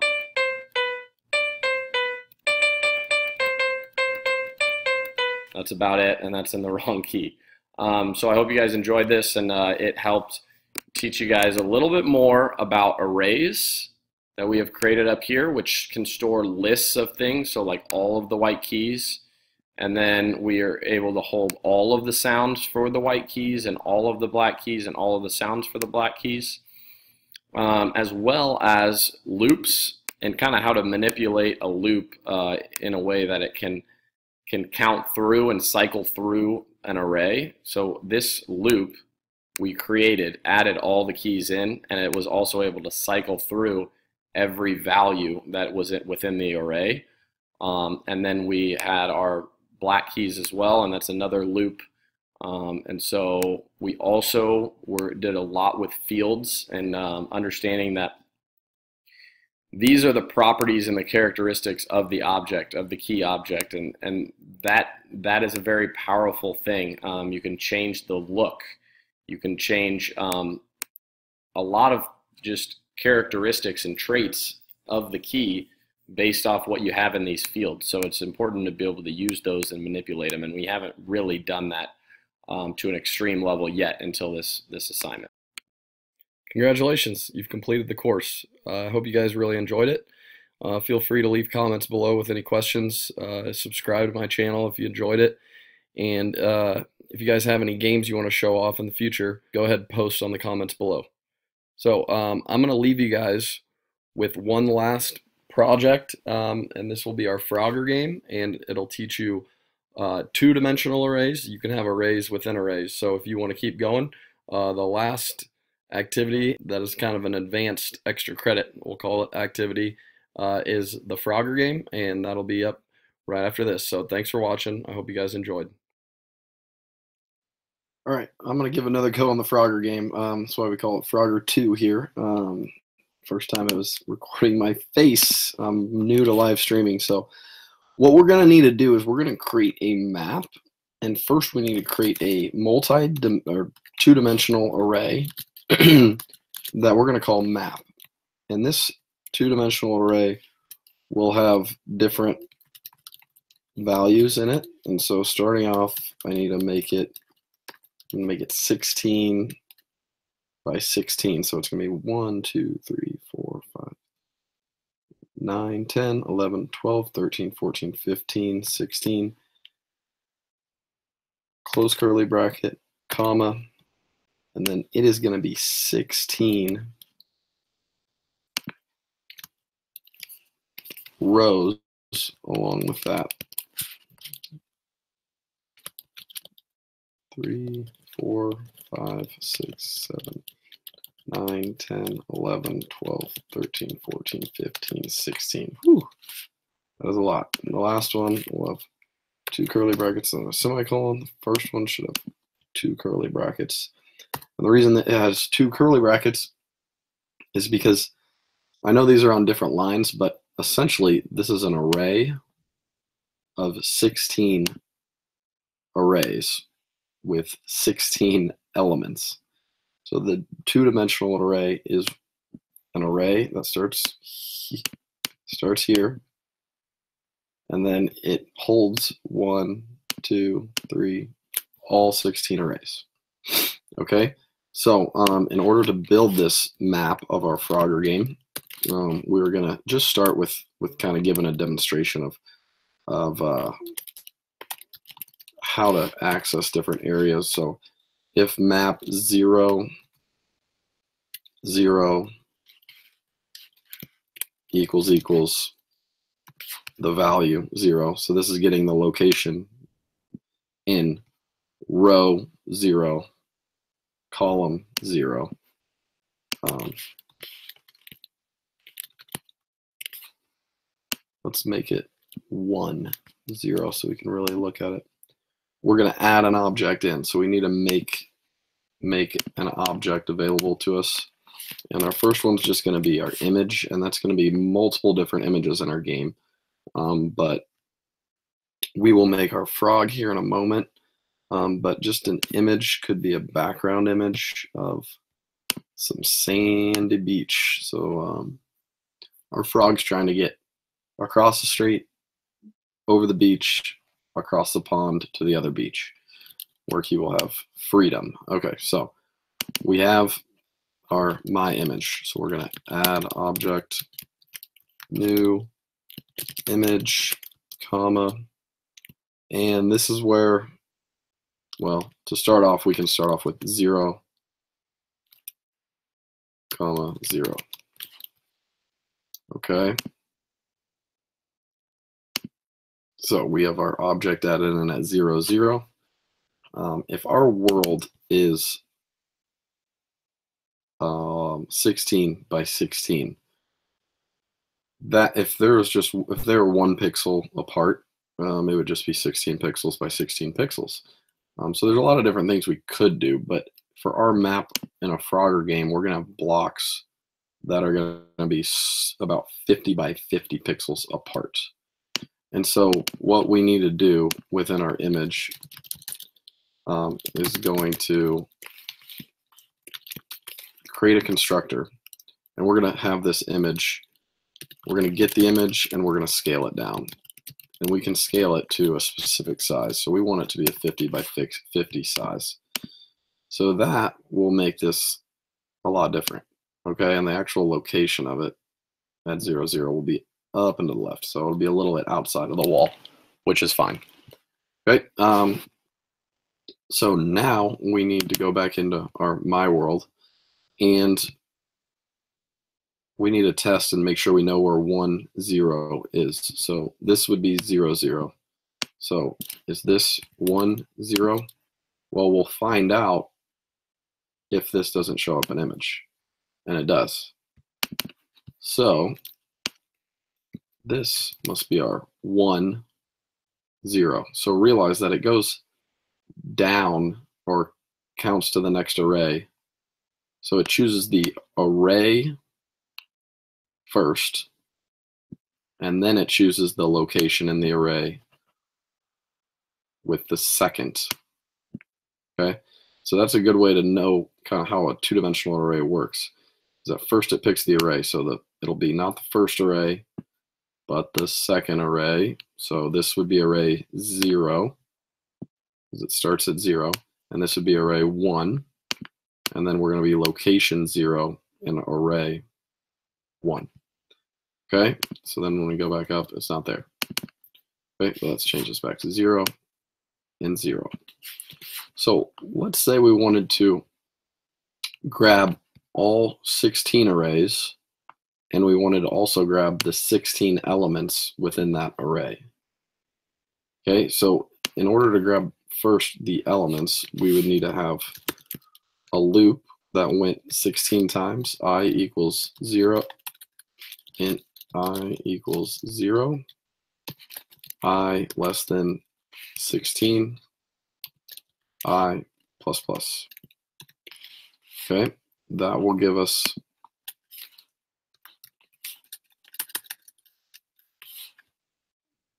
that will have it go through this exact spot 16 times. So kind of a waste of time if we go through that spot. But if we changed this to i and then made our x value i and our y value 0, you know, I wonder what it would do. Well, our y value, our x value needs to be i times 50 because remember, like we said, it's only moving over 16 pixels. And so we want it to be 50, the 50 by 50 fill every single spot in the array. And so what we first need to do is since it's 16 by 16, we are going to make our world 800 by 800, um, which will give us 16 different 50 by 50 pixels that we can fit in because 16 times 50 would be 800. So now we will see our frog world's a lot bigger. Um, and if we just move these apart at all, they immediately, they're barely touching together. So you can really see how they're lined up perfectly for us. And that's what we want, ideally.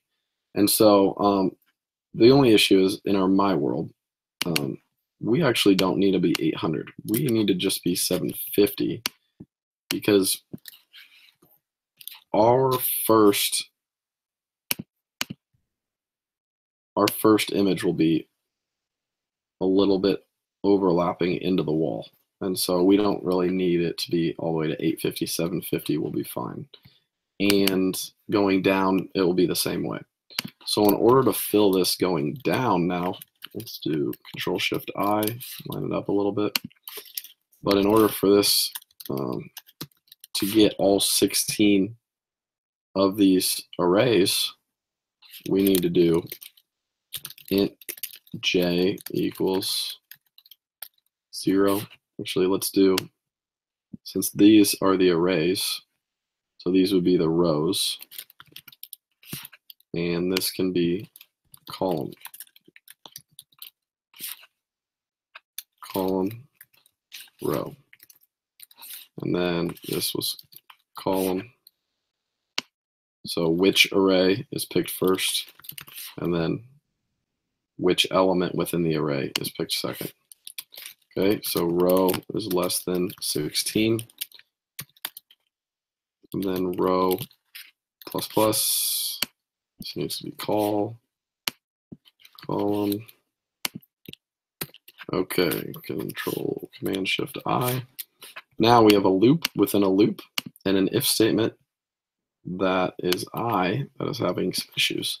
So this would be um, the I, which would be a column for the X value, okay? Because if we're in column one,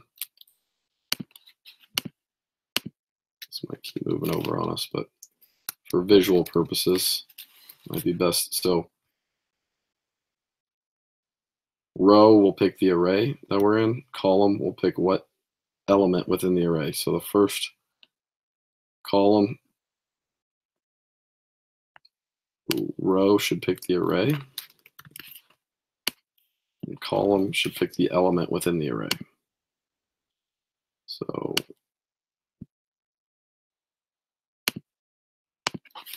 row.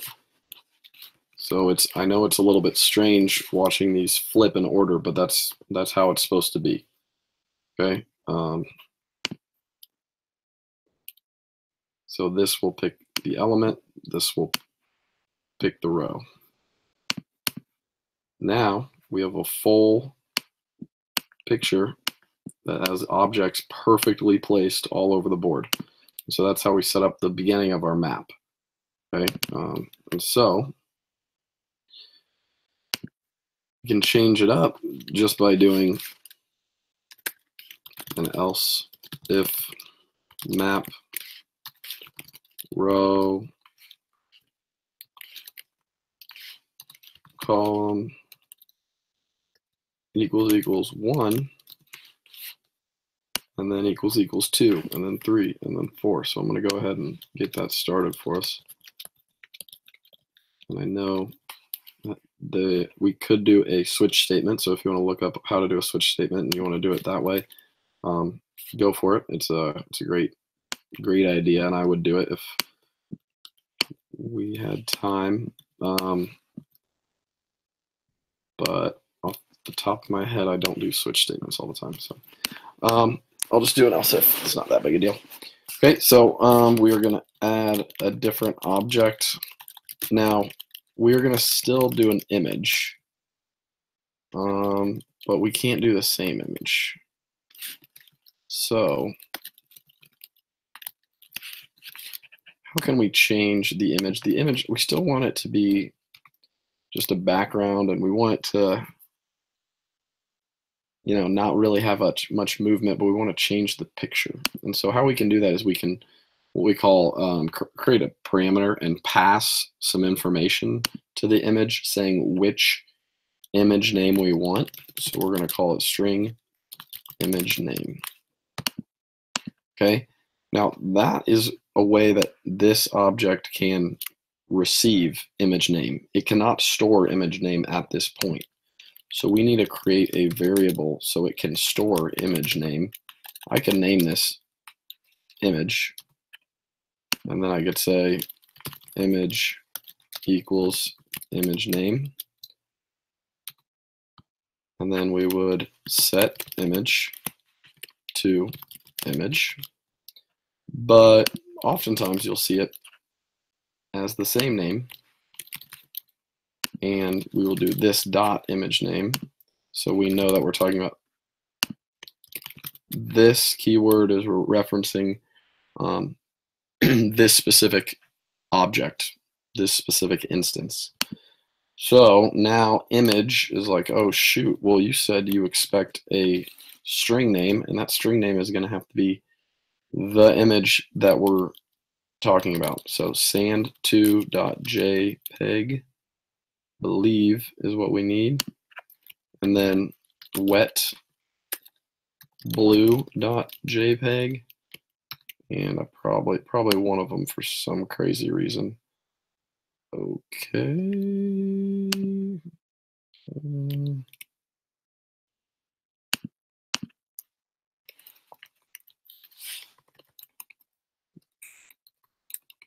Maybe this is slower. All right. Now we're good. Now we're cooking. Now I threw that in. I don't need it. And one more. Out. So now if I put in one anywhere in my map, you can start us start seeing me build the map. So if I put one anywhere in the map, um, it should turn it blue. So we can just test this real quick. Ugh, wet blue dot png. Darn it. So png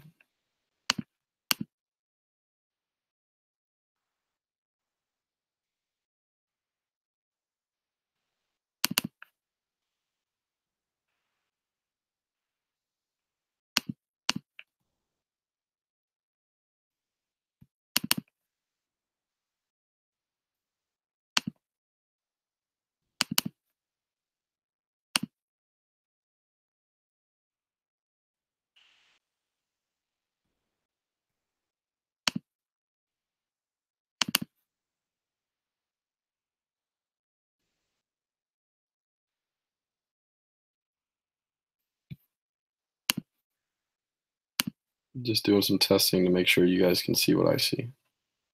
Okay, good. Okay. Perfect. Um, so, because I screwed up last time, like I said. So um, now, when we change that to .png, compile, create a new world. Mm -hmm.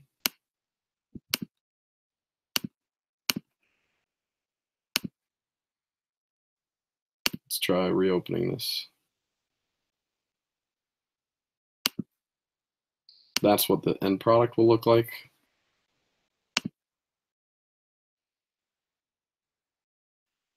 Mm, wetblue.png is a problem. So we need to take a look at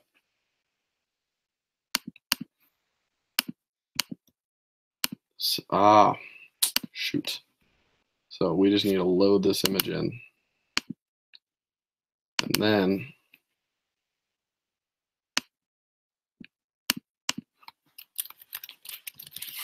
change it to JPG. And of course, I've already done that and had that mistake before, but now you can see, okay? So it's one, one, one, one, one. Okay. Um, and if I did one, one here, we'd add in our water, okay? And so now we're gonna go to add object, copy and paste. And this time, I'm going to make sure the file is actually available to me. So in this one in particular, I actually have this saved. I created, I found a, a road that I use. Um, and this road.png is able to be used um, and I scaled it, I'm scaling it down to 50 by 50 so it really just needs to be pretty square for it to work very well um, the more square it is the better and now wherever there's a 2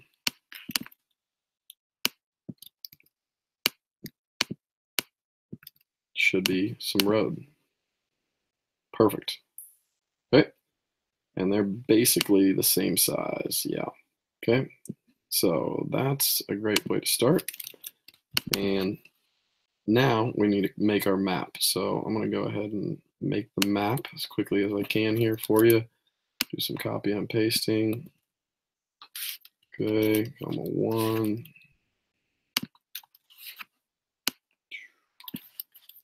Paste. Right, there we go. Now you can just go copy, paste, paste.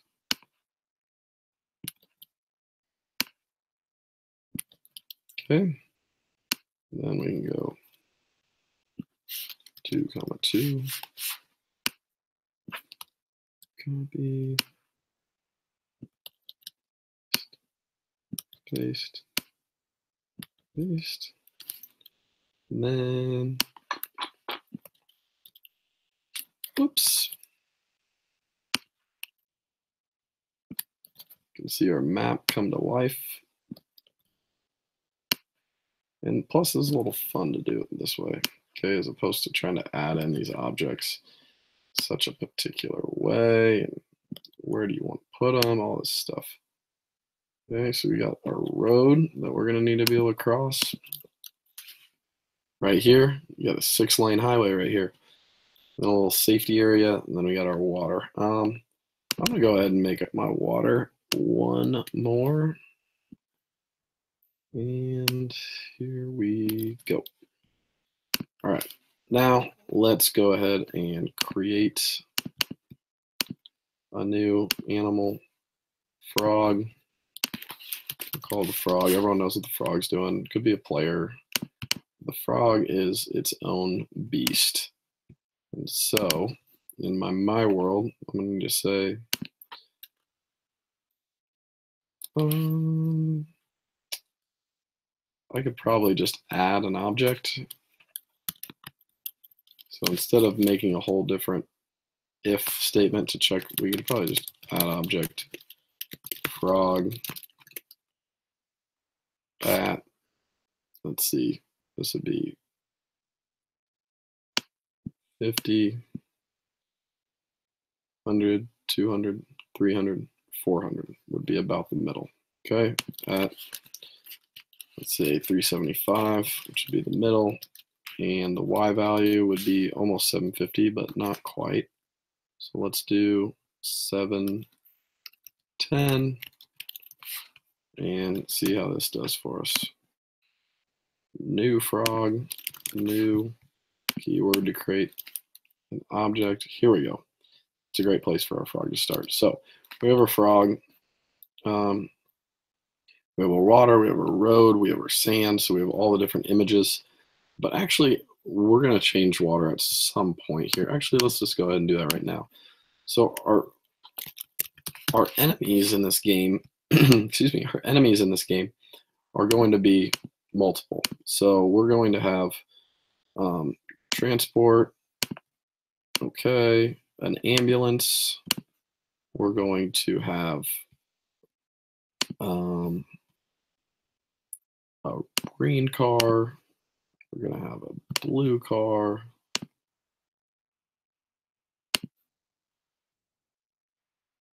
All facing to the right because um, that's the way our road's facing. We don't want anything to be screwed up there.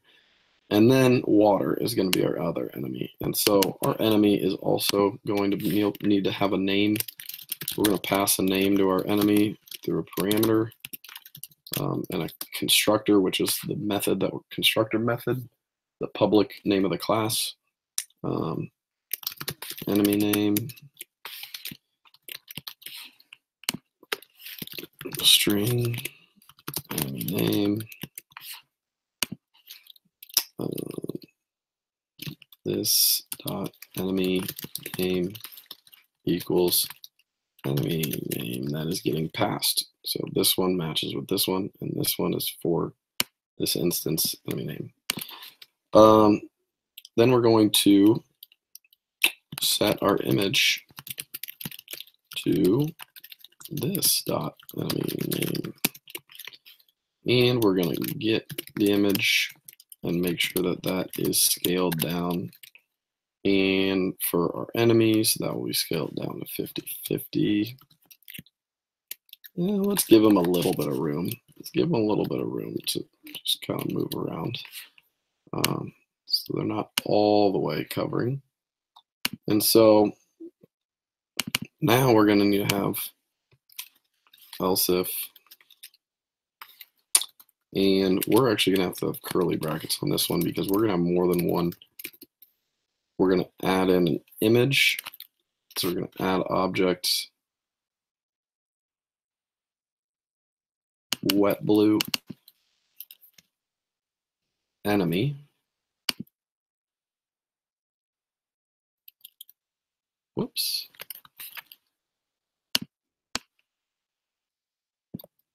So now wet blue is not going to be an image, but it's going to be an enemy.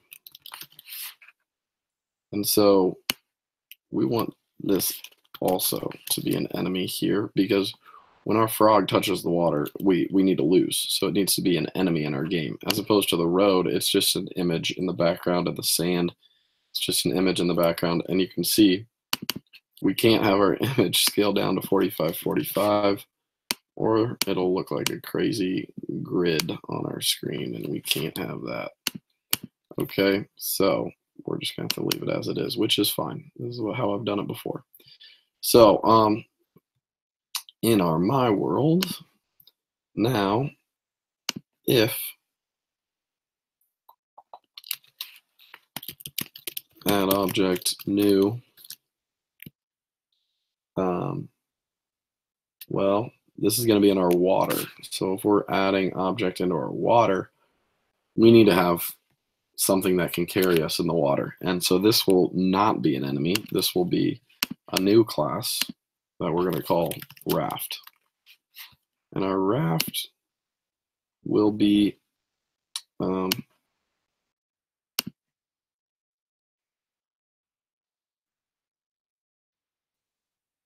a boat.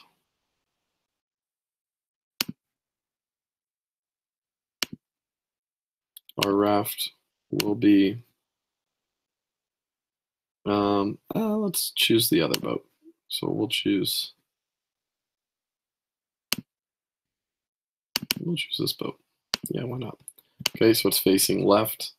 And then our turtles we're going to have, which will be there for us to jump on as the frog uh, facing right. And so in the past, I've uh, found an image online for a log. That's also a great one to use. Um, but we are going to have our water enemy and then our raft. And just like the other ones, once again, we're going to need to make a string raft name. We're going to need to make a constructor that will be able to pass a string raft name in that we give it. So these do not relate to each other yet. Although they have the same name, this one's getting passed to it. This one's ready to store what we're about to pass to it, essentially. So this dot raft name equals the raft name that's getting passed to us in the parameter. Um, and then we are going to set image to this dot raft name. And then we're going to get image and make sure that this is dot scale the image to 50, 50.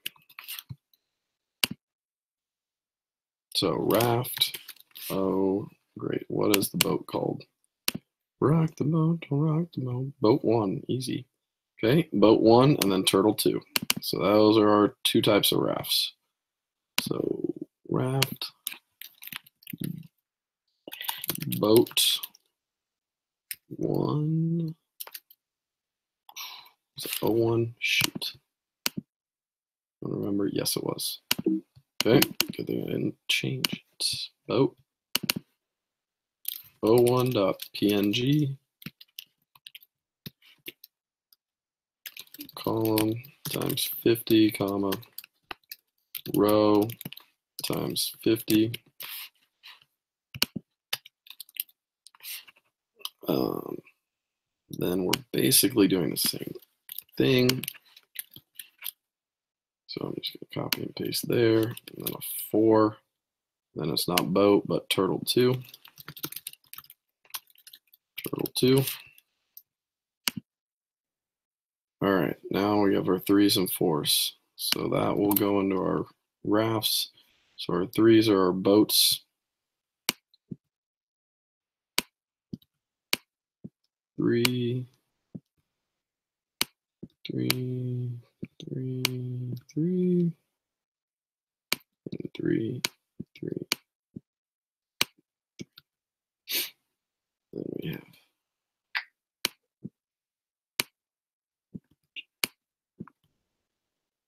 you guys can test these and edit these how you'd like. Um, make somewhat of a pattern, but also it's all fun. It's all fun. It Doesn't necessarily matter. Um, you also don't want it to be too easy.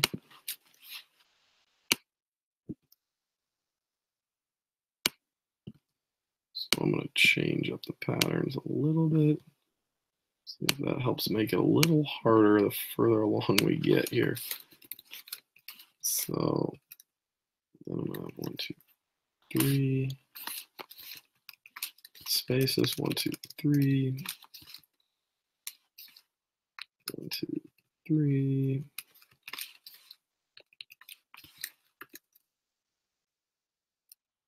And then we will have three, three, three, three, three, three, three. And then actually this last line, I'm to make another um, sand because you'll see this sand will cut off over there. Whoa. Okay, for some reason we're doing road. I guess I didn't make my edits down there. Raft turtle.png should be four. Oh shoot, I've been plugging in twos. Oh goodness, goodness, goodness. I apologize for that. That was a mistake. Silly mistakes. They will happen. I'll work through them. All right. Now we're good. Now let's see how it looks. Much better. Okay. And so what we're going to have is these turtles go to the right, these ships go to the left, and you're going to try to move, maneuver your way across um, as the frog. And first you're going to have to avoid some enemy cars that we're going to add in. So we go back into my world. Our enemies are set up good to go. So we just need to start building them.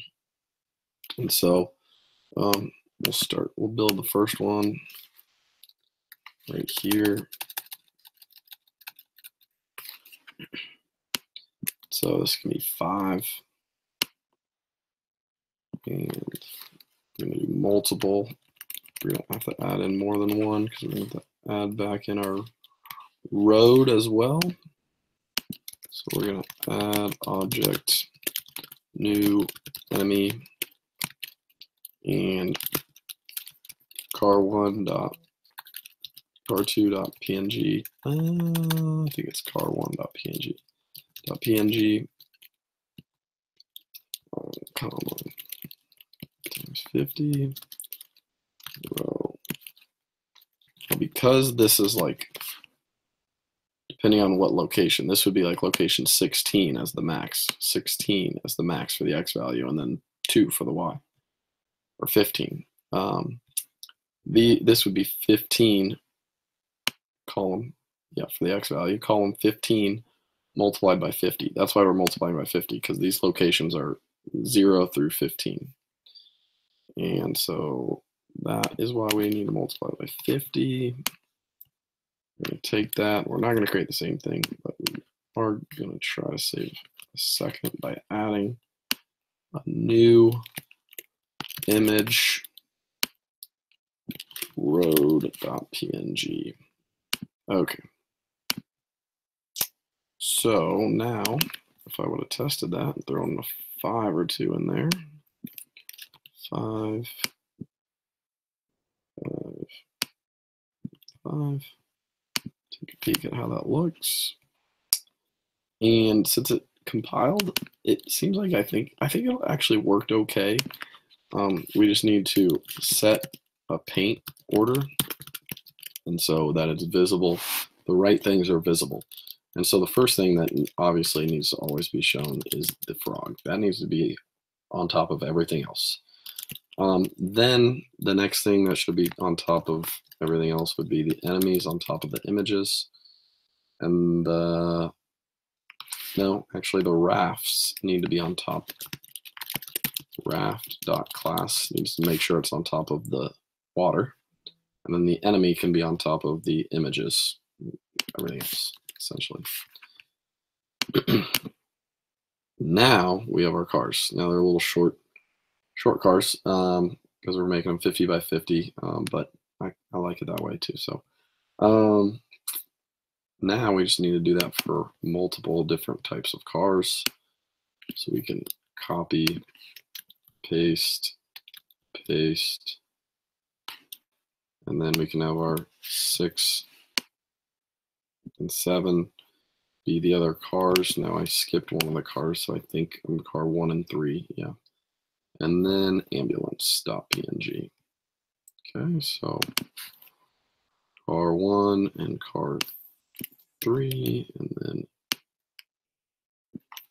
ambulance.png.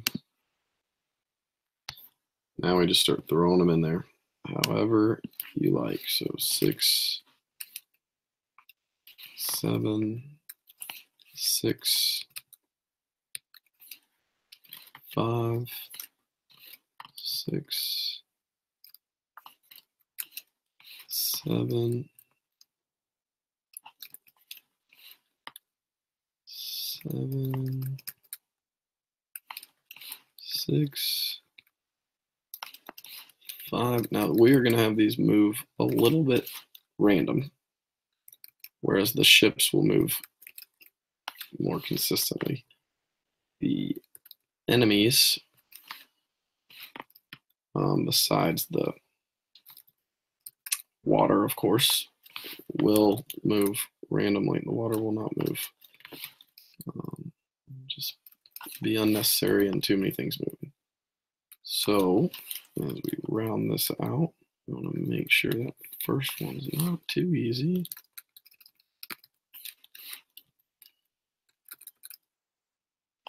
I always seem to make too many, so I want to make sure it's a pretty good. See, it's going to be pretty tough. So I'm going to two, two, two, two, two.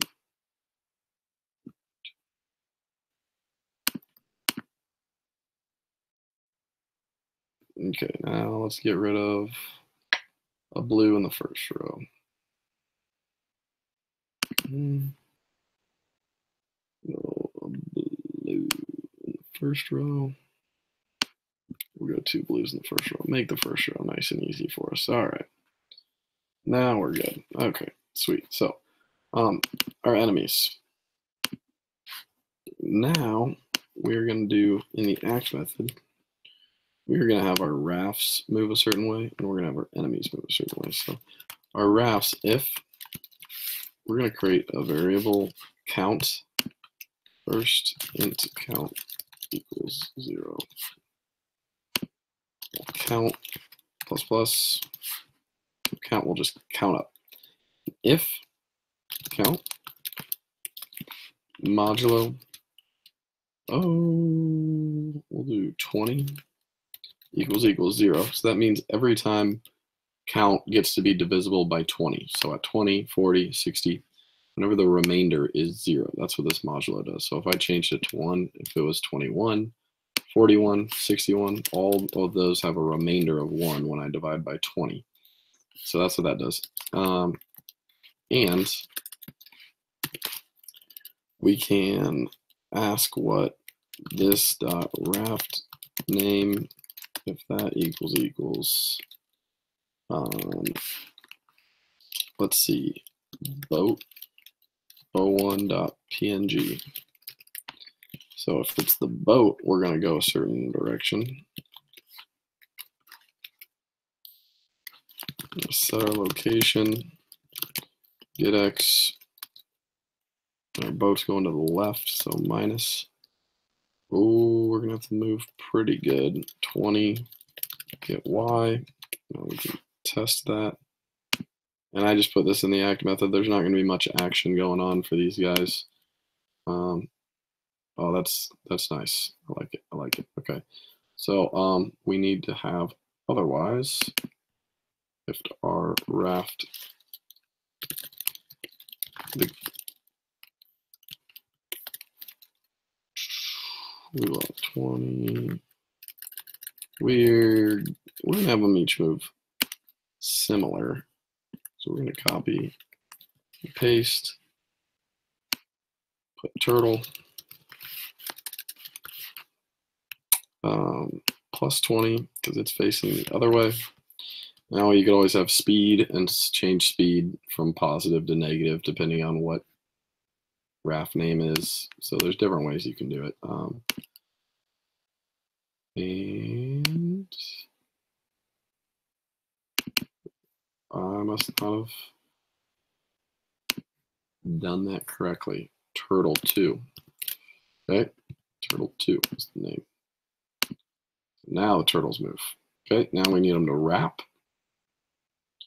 So our raft, we need them to wrap. So if x equals equals zero. We are going to set our location to get world dot get width minus 2. Now this minus 2, I'll tell you about it in a second, but basically it's going to make it so that you don't get stuck on the edge. So if get x equals equals get world dot get width minus 1, that would be the very far right side of the world. And so we would set our location back to 1 get y instead of back to 0. Because if we relocated it back to 0, then it would read it as 0 and relocate it back to get width. And if this was minus 1, then it would relocate it back and forth and it'd be stuck in limbo, and we don't want that. Okay, so now, oh, we got our boats wrapping. Okay, got our turtles moving. Now they're gonna, at times, they're gonna get stacked on top of each other a little bit and move a little bit forward, a little bit back. Really not a big issue for us here, um, because we're trying to land on either of them. Um, and the reason it's doing that is because they're moving only 20 at a time, so they're not always teleporting to the other side, reaching the right side the same time as reaching the left side, or same same time as their counterpart behind them. But we got the main part moving. So now our enemies will use a similar count, um, but they're going to be moving to the right, so we'll use this one. We'll do that. We'll do this. We'll do enemy have its own count. And count plus plus. This dot, not raf name, name. And if that equals, you know what, we don't even need this. All of our enemies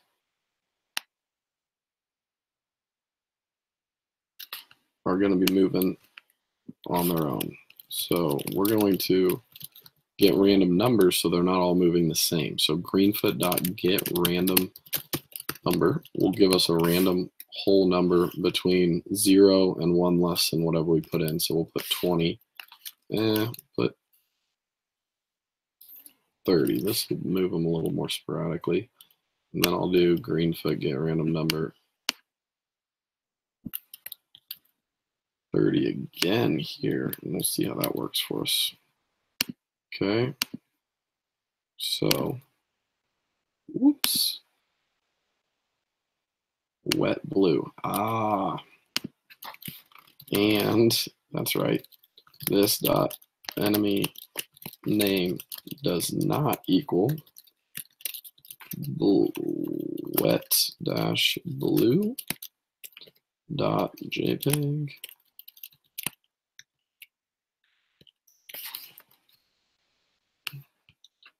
Okay, so we don't want it to equal. Okay, see how this does for us. See if this works out. Oh, can't divide it by zero. Oh. Um, so you need to plus one to that to make sure that it is dividing by plus something positive because this goes 0 to 29. Can't divide by 0. Okay. And now you see these guys moving randomly. They also need a wrap at edge. So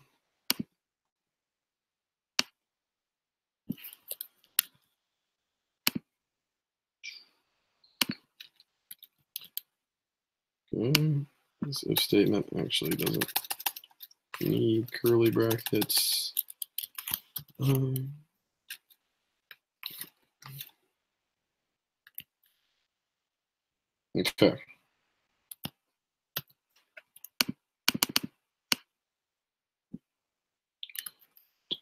Whoops.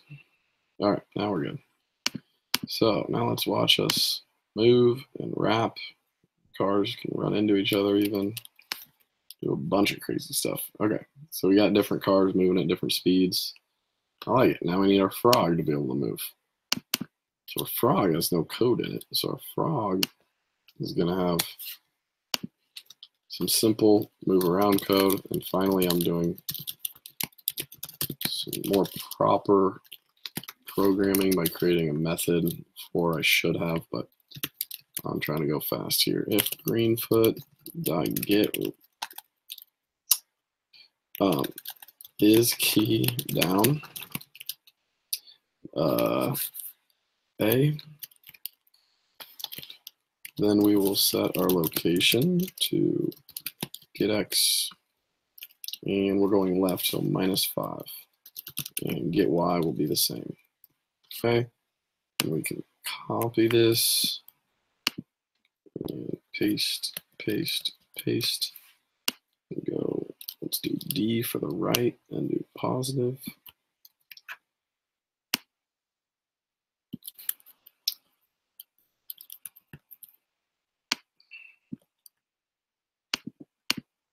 If we do minus 5, it would have to be going up towards the top of the screen where 0, y is 0. And if we are going down, we want to add 5. So WASD. Okay. Now that we have the move around, we need to call it into the act method. Um, and then we need to have a public void you win lose first. Um, so if is touching enemy dot class, and our enemy class is our cars and our water. And so if it's touching our enemy class and is not touching um, our raft, which is safety, remember? Then, if it's touching an enemy and not touching a raft, then we need to get world dot show text you lose. Make sure it's obnoxious. And let's put it at oh the middle, which is like 350.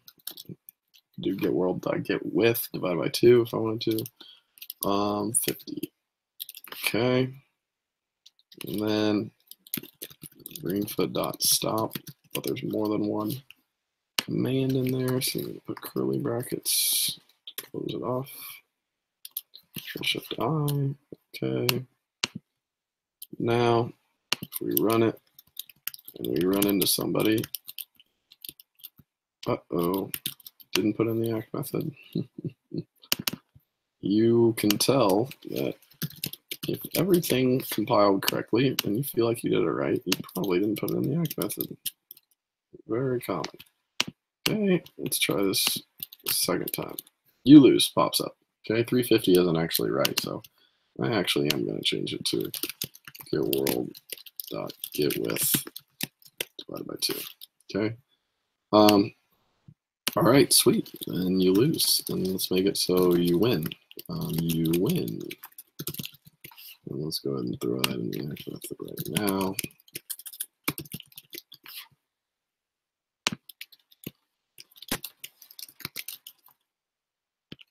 if um, get y is less than mm, this is 50 probably 60 it's less than 60 I've actually tested it. I believe 60 is right. Um, get world dot show text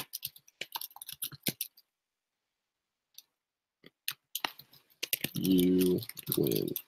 Now, if you want to go through a different um, lesson to learn how to make a better UN screen, I do have those. Feel free to check it out. Um, but 50 for now, this is what we're going to do. And we're going to also do a greenfoot dot stop our program.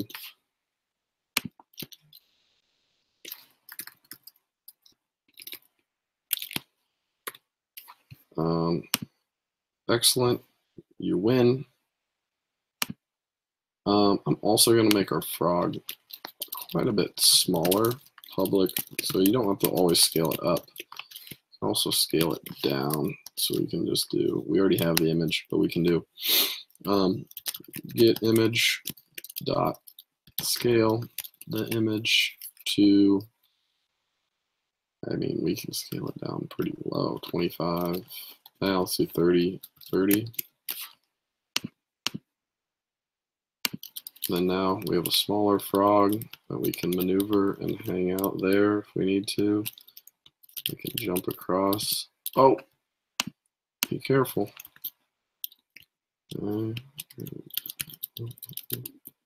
Ah. See if we can't get across here in a second. We don't have to cheat my way through. Come on now. Better than that. Better than that, Taylor.